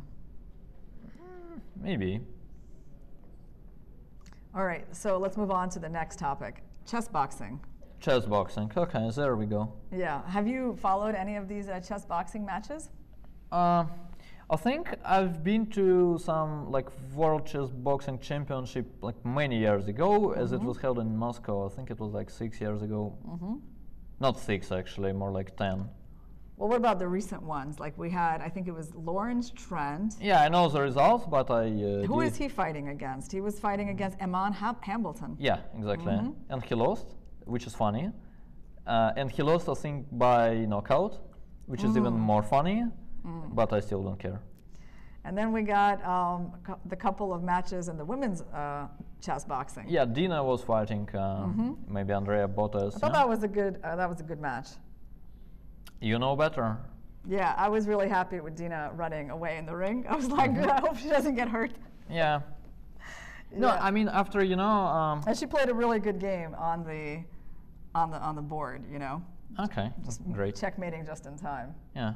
No, I mean after doing boxing for like uh, three and a half, maybe four years, I, f- Mhm. I find chess boxing not. Imp- I mean, I don't know. Uh, it's like people who are. Uh, all right, chess boxing is great. Yeah, well, Yeah. you know, and I have to say, you know, like I've also watched Andrea Botez's last uh, last match against Michelle Khare, Mhm. and that was like um, very recent. Yeah. And I don't know, I like, uh, I mean, I, th- I think the athleticism, you know, and the training that you do is really cool. Yeah, yeah, but you, know, you definitely need some courage to get out into the ring. Yeah, yeah, but it's all hype. Like there's no such sport. Normally, like I'll take some boxer who is really good. Mm-hmm. I actually even know some of them. Just give me two weeks. I'll show them how not to be like checkmated by move 20, Mm-hmm. and they will n- knock out like both Aman Hambleton, Lawrence Trent, or like any. I mean, you know. So so so basically, once once professional boxers make it there, No, but it why will, would- it why will would be it, it will be over. No, Like, I mean the whole point is that it's like people of the same level, right, competing, like who are new to boxing. Yes, but then it's strange. Like they say, it's a sport, but then it's a weird sport. Like it's a sport where you're not allowed to, uh, sort of, what to be coming from. Yeah, Some o- that's the whole point. Yeah, but it's how? like but how do you define it? well, it's like a tournament it, huh? rated like under 2,000. You know, it's like it's, it's you know it's for th- for that kind of level. So it's Yeah, like, but or this one is for how- celebrities. Okay, sure, but how how do you do you define 2000 in boxing? No, I'm not saying I will bring the world champion, but some like uh, the candidate master will just you know. But I felt like those matches were pretty were pretty fair, right? Okay. Like the ones that we saw. I mean, like the people not having any experience in boxing. But I Yeah, have no, I was. Uh, Mhm. I w- uh, sorry, I was actually. What was really funny is that actually um, I listened to Fabi's podcast. A podcast um, together with Christian. They did like interviews with uh, Andrea, I think, and I mean in general there was a podcast uh, about chess boxing, and I actually enjoyed it as um, most of their podcasts. But the fun part is that um, I think Fabi at some point was trying to come up with uh, like proper pairs for chess boxing for like professional chess players, and then I think he like somehow came up with uh, with the pair like Fabi himself against Giri Oh yeah, that's which a good one. which whi- which I mean made me I mean laugh like crazy. I mean I just couldn't. Then Fabio said uh, he would only do it for some very big money, and I got upset. Um, but yeah, I mean having that would be would be you know great. I No, know. I just no, laughed thinking about that. Yeah, yeah. I mean, imagine uh, we could uh, have this kind of competitions and uh, some like random random draw, Mm-hmm. random drawing, and then you, I mean, suddenly get like Ding versus, uh, I mean, someone. Gukesh. Yeah, or some, or I mean, Erigaisi, or uh, I mean, I don't know. Well, I think Fabi actually came up with a really good uh, uh, opponent for himself, right? Someone who's like similar in like height and weight. Yeah, yeah. This was the point. And basically. chess level, Yeah, this know? was this was very much the point. Yeah. Okay, with so- some good trash talking game. Yeah. Fabi, So- if, uh, Fabi is not exactly brilliant at trash talking, I guess. yeah, but he found an opponent who would be. Yeah, he is just a very decent guy, and um, yeah, I like him a lot. Yeah. All right. So we So have a move is- on the board. Yeah, this is actually just a draw. I think Ding finally realized that he can bring the king to h5. Mhm. And he pushed the pawn, so the Yeah. white king is at least not so aggressively placed. Yeah, so so king g2 is now played as white will bring his king to h3 uh, to King g1 played. Yeah yeah Are you surprised by that? I mean, King G1 is not really like Okay, a winning just- attempt. yeah, but you can play whatever you want. I know, but as a winning attempt, you kind of Yeah, yeah, feel but like it's well, but his point is that basically king g2, king g6, king h3, king h5 Ah, is a is a mutual Zugzwang actually. Uh-huh. And with black to move, he loses as uh, Mhm. he has to allow king g4 Mm-hmm. or give up the pawn. And with white to move, uh, there is knight d4. And then you remove knight Okay. takes f3 and, you know, hold this. So Ding needs to be a little careful. Yeah, so he plays king g1 to kind of show his understanding that this is a mutual Zugzwang and, Mm. uh, you know. So King G6. Yeah, King, king g2, now I guess we, uh, we just pass, yeah. yeah. okay. Yeah, so you don't step onto the mind square on H5. Yeah, something like that. All Okay. right. So we discussed chess boxing, but I'll tell you, Yeah. my overall feeling is like it's a little bit of like trepidation as I watch it. Like I'm Mhm. just, um, uh, you know, hoping the players are not going to get hurt. Basically, I don't enjoy Yeah. it that much because I'm like, I really hope nothing bad happens to them. And, and I'm feeling exactly the opposite, sort of. I mean, it's just, I mean, it's just a show, and I'm like, okay, I mean, have respect, yeah. If you're doing boxing, then do it for real, kind of. So now I expect king h6. Uh, king g6, king g2 played. Okay, so king h6 now. I would guess so. Yeah, it would be funny if the game ended in like King H2, King G6 type of repetition. Is there a chance of that? I don't know. suppose there is. I think we are getting. There is a chance close. that this, this will be my longest recap ever. You're going to sort start of. your recap in like uh, 13 minutes. Mm, no, I won't. No, you'll take a break to have dinner. Yeah, I'll probably start at 10 or even later. No, it's not that we have a fixed time. It's normally, I mean, they, they, they ask me to be uh, sort of fast with it. Mm-hmm. But if I need to analyze, I, I'm allowed to analyze actually, so. Yeah, so king h2, I think. All right, knight c1. Ah, knight c1, Nepo. okay. So Knight now, C1. now there's finally king h5. King h5 and then knight d4, right? Yeah. Yeah, and he played it. Yeah, king h3, h3, knight d4. d4. Okay, we're getting the pawns off the board, so that's Yeah. exciting. Yeah. Knight d3. All right, Ding knows he got gets the much awaited for draw. Okay. And I think that's very important for the match that he was able to, to hold this game. Cannot be under, cannot be overstated Yeah. how important that was. And then he's probably going to sack his knight for the pawn. Actually, they already agreed to a draw. Oh, and, ne- and Nepo seems, you know, a little bit upset or something Yeah. That's how it looks. that he didn't win this end game. But I Yeah, doesn't- but uh, I- I mean, to some extent, I get it. I mean, after Mm-hmm. h4, it felt shaky indeed. yeah, Okay. we've never had such a late press conference as today. Mhm. All right, and Ding seems happy, and I think you know this is a good game to go to a rest day on. Yeah, for this both was my point actually. Mhm. Like in a way, in terms of emotions, it's probably better for him to actually survive such a game, Mm-hmm. to kind of survive some time pressure too at some Mhm. point, to actually solve some problems that he was not supposed to have. But it's probably even better to have them and solve them with this h3. Mm-hmm. And then, yeah, I mean, probably it's a, it's like weird, but probably it could be like a confidence booster.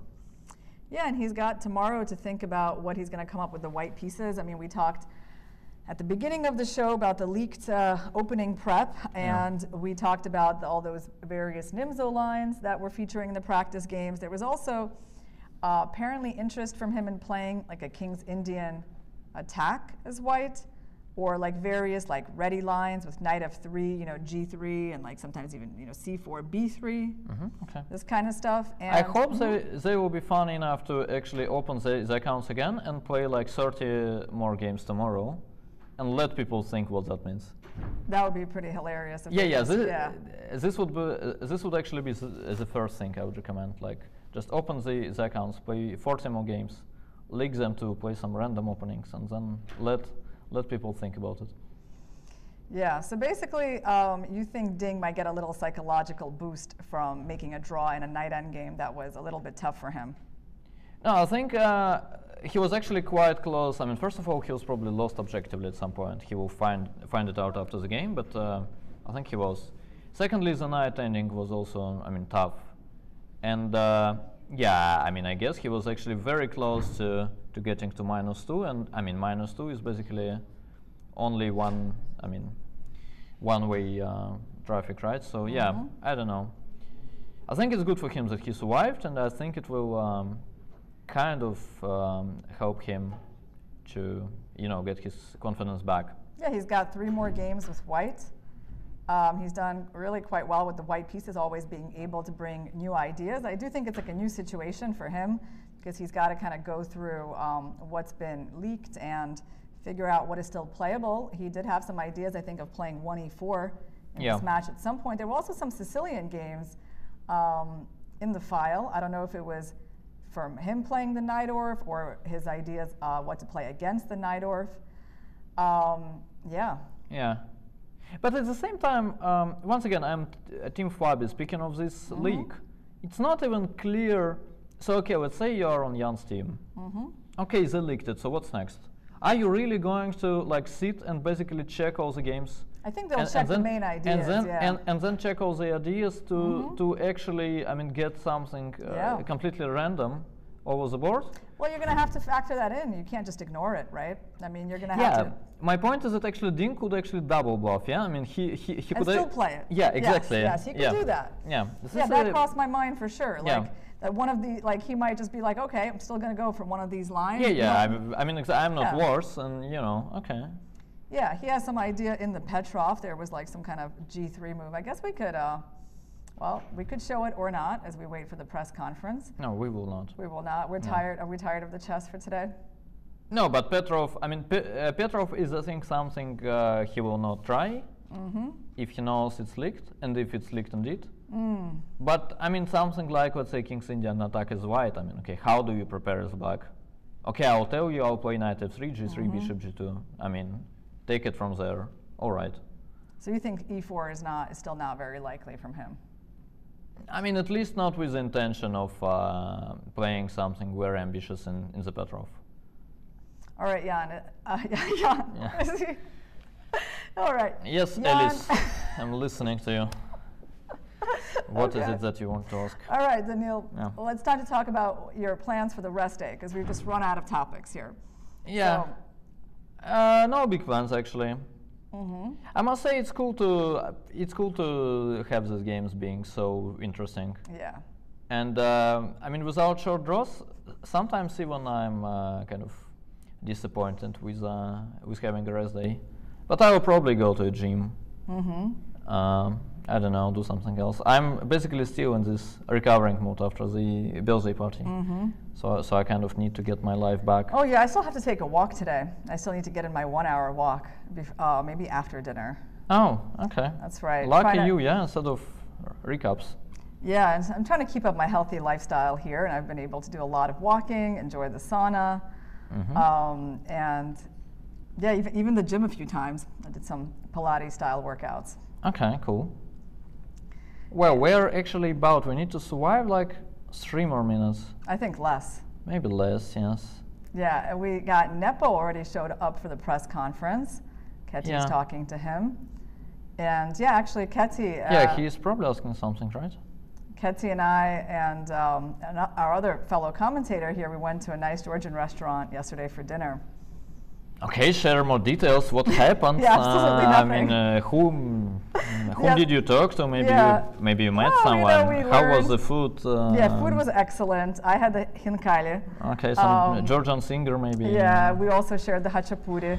Okay. Um, and that was great. Okay, I think the players are here, guys, and you uh, must be tired of listening to us for now. So we're Yeah. going to leave you and see you in two days for game number 10 after the rest day. Yeah, see you people.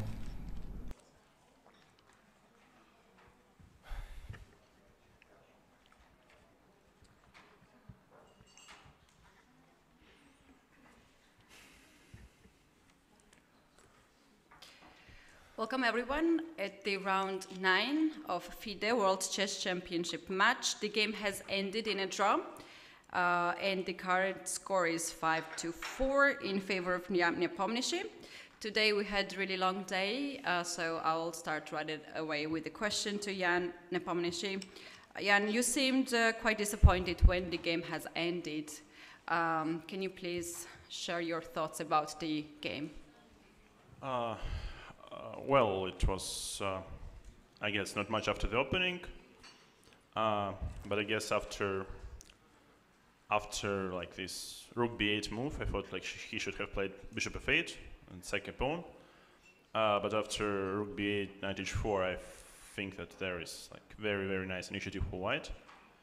Um, I mean, probably there were like different different ways to. Uh, uh, to build up. Maybe, maybe I could, uh, I should have tried not bishop takes h6, I played it at tempi, but maybe something like knight f5 also made some sense, yeah.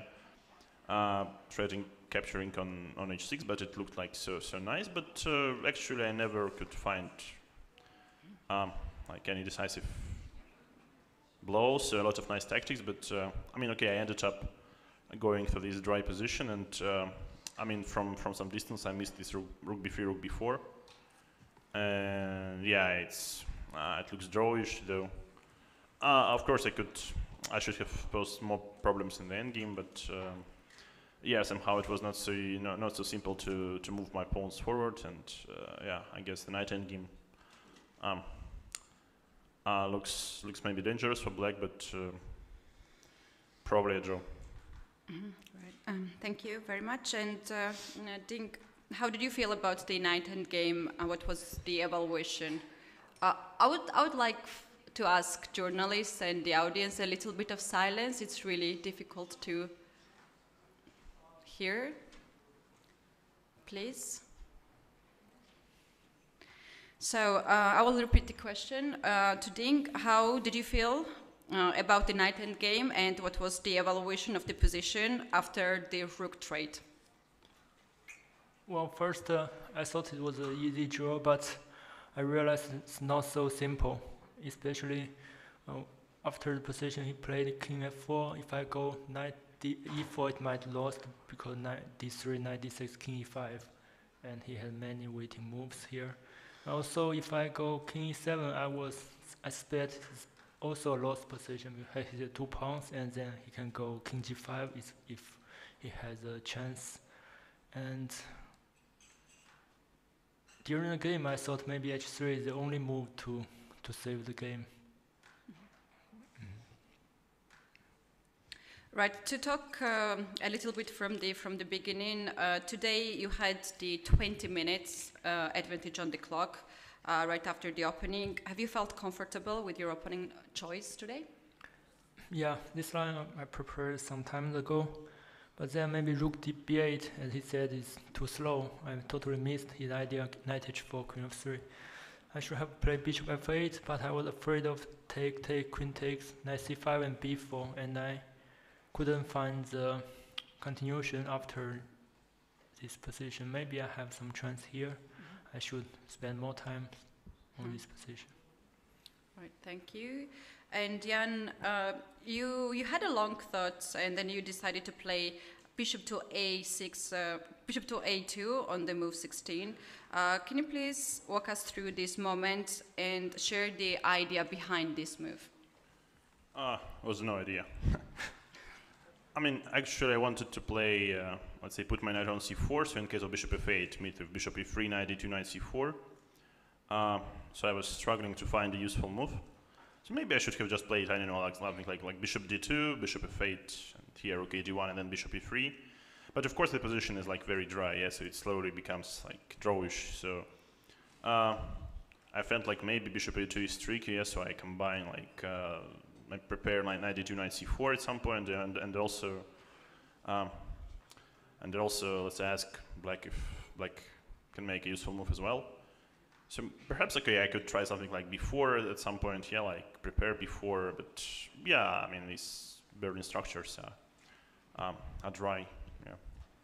Right, and uh, also at this moment when you decided not to capture the uh, exchange, the rook on b5, and instead you decided to capture the bishop, light square bishop.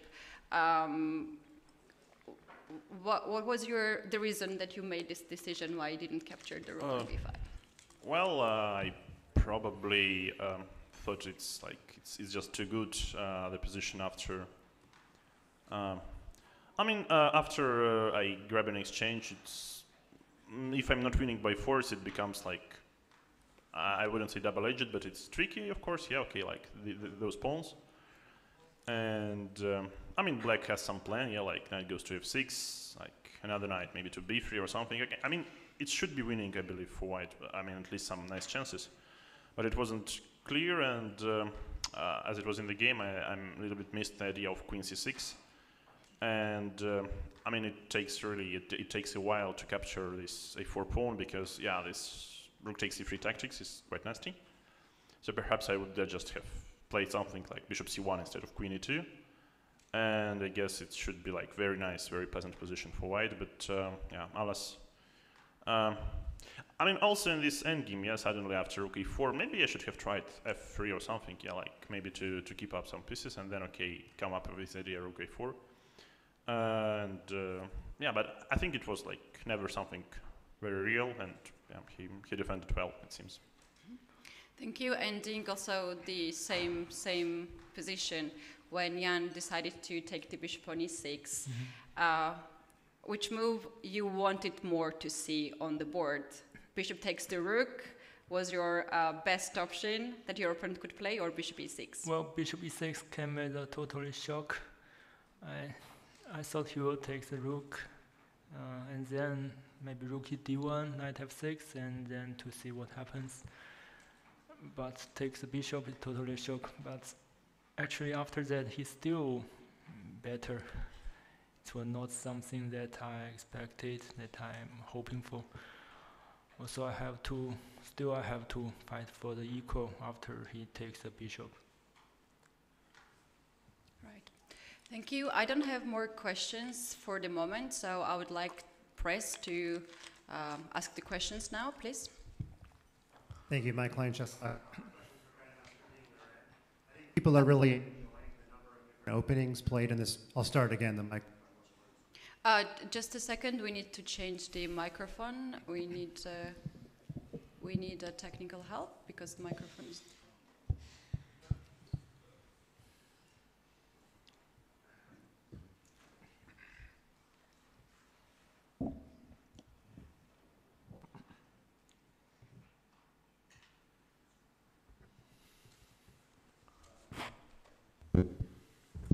Okay. I'll start again. Uh, I think people have been really enjoying the number of different openings that we've seen. But even Fabiano Caruana said that it must be really hard to remember all of your preparation when you keep changing openings. So, uh, especially because you're getting different structures. So, have you been able to memorize or uh, recall all of your preparation, or has it been difficult because you've been changing openings so much against E e4? Yeah, sometimes it's difficult, but today the idea is I remember the idea queen c7 with something with bishop f8. So the idea is very clear to me, so I just feel, I recall it during the game. I just need to uh, did not didn't miss um, the the move order. I just need to re- recall which was the best move order to reach this kind of position. Okay, thanks. Thank you. Next question, please. Эльмира Мирзоева, телеканал Матч ТВ. А, Вопрос к Яну Непомнящему. А, Ян, расскажите, пожалуйста, о сегодняшней партии и насколько для вас а, сегодня был э, неожиданен, неожиданно выбор Берлина со стороны оппонента? Uh, hello, everybody. Uh, we are from Match TV, and the question is to Jan Nepomniachtchi. Uh, Jan, uh, why did you choose uh, Berlin position? Uh, what was the reason behind? А, ну, мне кажется, после дебюта ну, белые намного не рассчитывают в этом варианте, но как-то удалось поставить проблемы.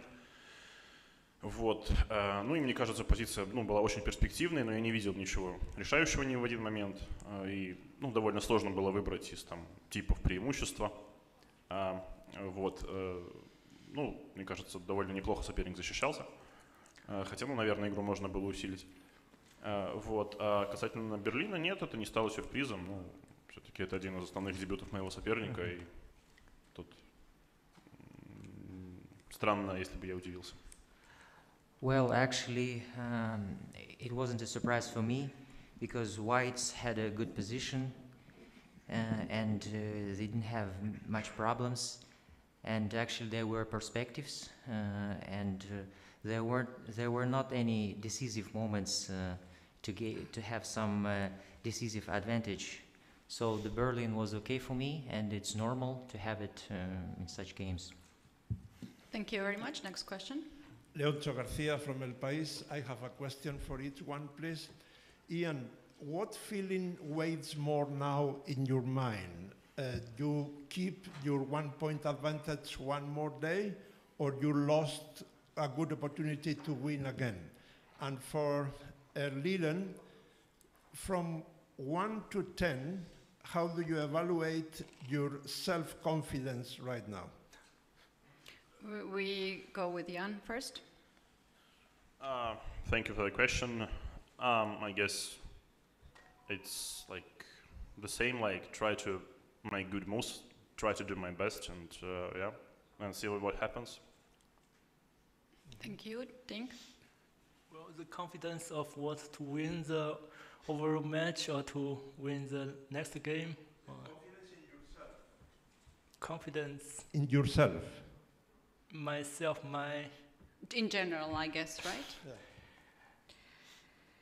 but it has to be something to win the match or to win next game. To win the match. To win the match, um, it's five. Thank you. You, you saw the face of Jan, right? I saw some, some something from this side. Do we have more questions? Yeah, this question is for both players. I've actually heard several people online say that at various points in this match, they're actually yelling at their screen while watching, which I've never heard of before, but they're so emotionally invested in the game. And I'm curious have either of you ever watched someone else play a chess game and you've gotten so emotionally invested that you yelled at the screen or anything like that? I can maybe start with Grandmaster Jan Nepomniachtchi on that question. Uh, thank you for the question. I guess like every online tournament, like doesn't matter if I play or if I follow, I'm constantly yelling something, yeah, uh, constantly cursing and uh, and so on, yeah. So, uh, yeah, but jokes aside, uh, yeah, it's it's quite nice that people are, uh, yeah, find the classical chess and the match so exciting. Thank you, Ding. I'm sorry, can you repeat the question? Have, have you ever watched a game online that was not your game and you were so excited about what was going on that you yelled at your computer like you were cheering for someone or wished they had found a particular move? Um, sorry, can you repeat the question again? I Do you get excited when you watch other people play online? watch other people playing Yes. online. Yes, people are getting very excited watching your games. Uh, I- I'm not excited to watch the other games playing online. That's fair enough, I guess. All right. Do we have more questions? Uh, I see we don't have more questions, but we have Twitter segment, and Jesse will bring some of the questions of the uh, spectators in social media. Hello, Jesse February here. Uh, my first question is from Alex for Ding. Uh, are you more confident in your time management now compared to your previous games? Well, it's uh, it's connected. The time management, the quality of the moves, the the length of the calculations. It's all connected. So I spent less time to calculate today, but the quality you see dropped a lot. All right, thank you. Next question. My question. next please. question is for Nepo. How many pink shirts did you bring with you? For real, yeah. uh, enough. Alrighty. All right, so after the game, do you ever go back and watch the commentary or read comments on social media to see what people say? This question is for both of you. Uh, Jan, let's go with you first. Uh, I try, frankly, I try to restrict myself because uh, once you start, like, uh, I mean, the problem is like so many people making commentary. Uh, like, on, on every on every like major chess channel, there is separate commentary. So uh, once you start, like, digging into yeah, the topic, uh, yeah, it basically there is there is a chance it will consume like uh, the rest of you know your, your free time. So better not to even start. Right, thank you. Ding, if you would like to answer this question. After the game, if you watch uh, commentary or some comments. Yeah, sometimes I will follow it because, uh, despite of this, it's very hard to totally uh, keep away from all the social media because the tournament is so long. If, even if you decided not to follow, but at some point you're back to some the same routine. At some point. Right, so you have not uninstalled any social media applications.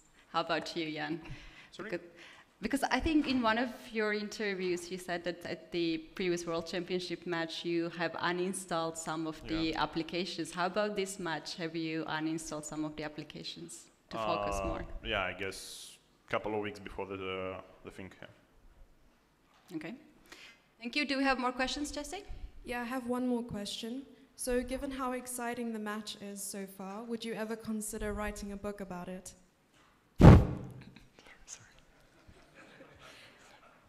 Uh, okay. I'll- mean, since I'm still a player, not uh, not not an author, I guess yeah.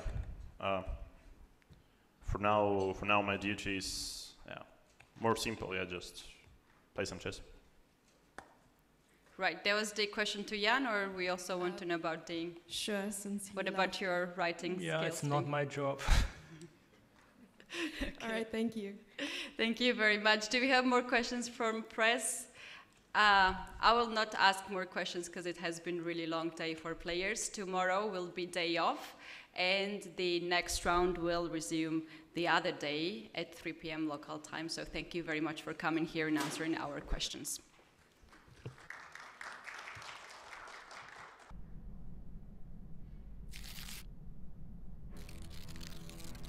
As the world holds its breath, two unstoppable minds prepare for immortality. One from the land of the dragon, the other from the land of the bear. Together, they will write history. The patient and precise Ding, carefully calculating every move to gain a strategic advantage.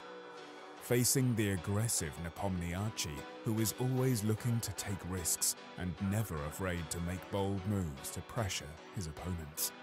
Their eyes might be fixed on the board, but their minds will be focused on victory. These two titans of the chessboard have fought their way through the ranks, demonstrating skill, strategy, and a fierce competitive spirit. Now they will go head to head and fight for the ultimate title the FIDE World Championship crown.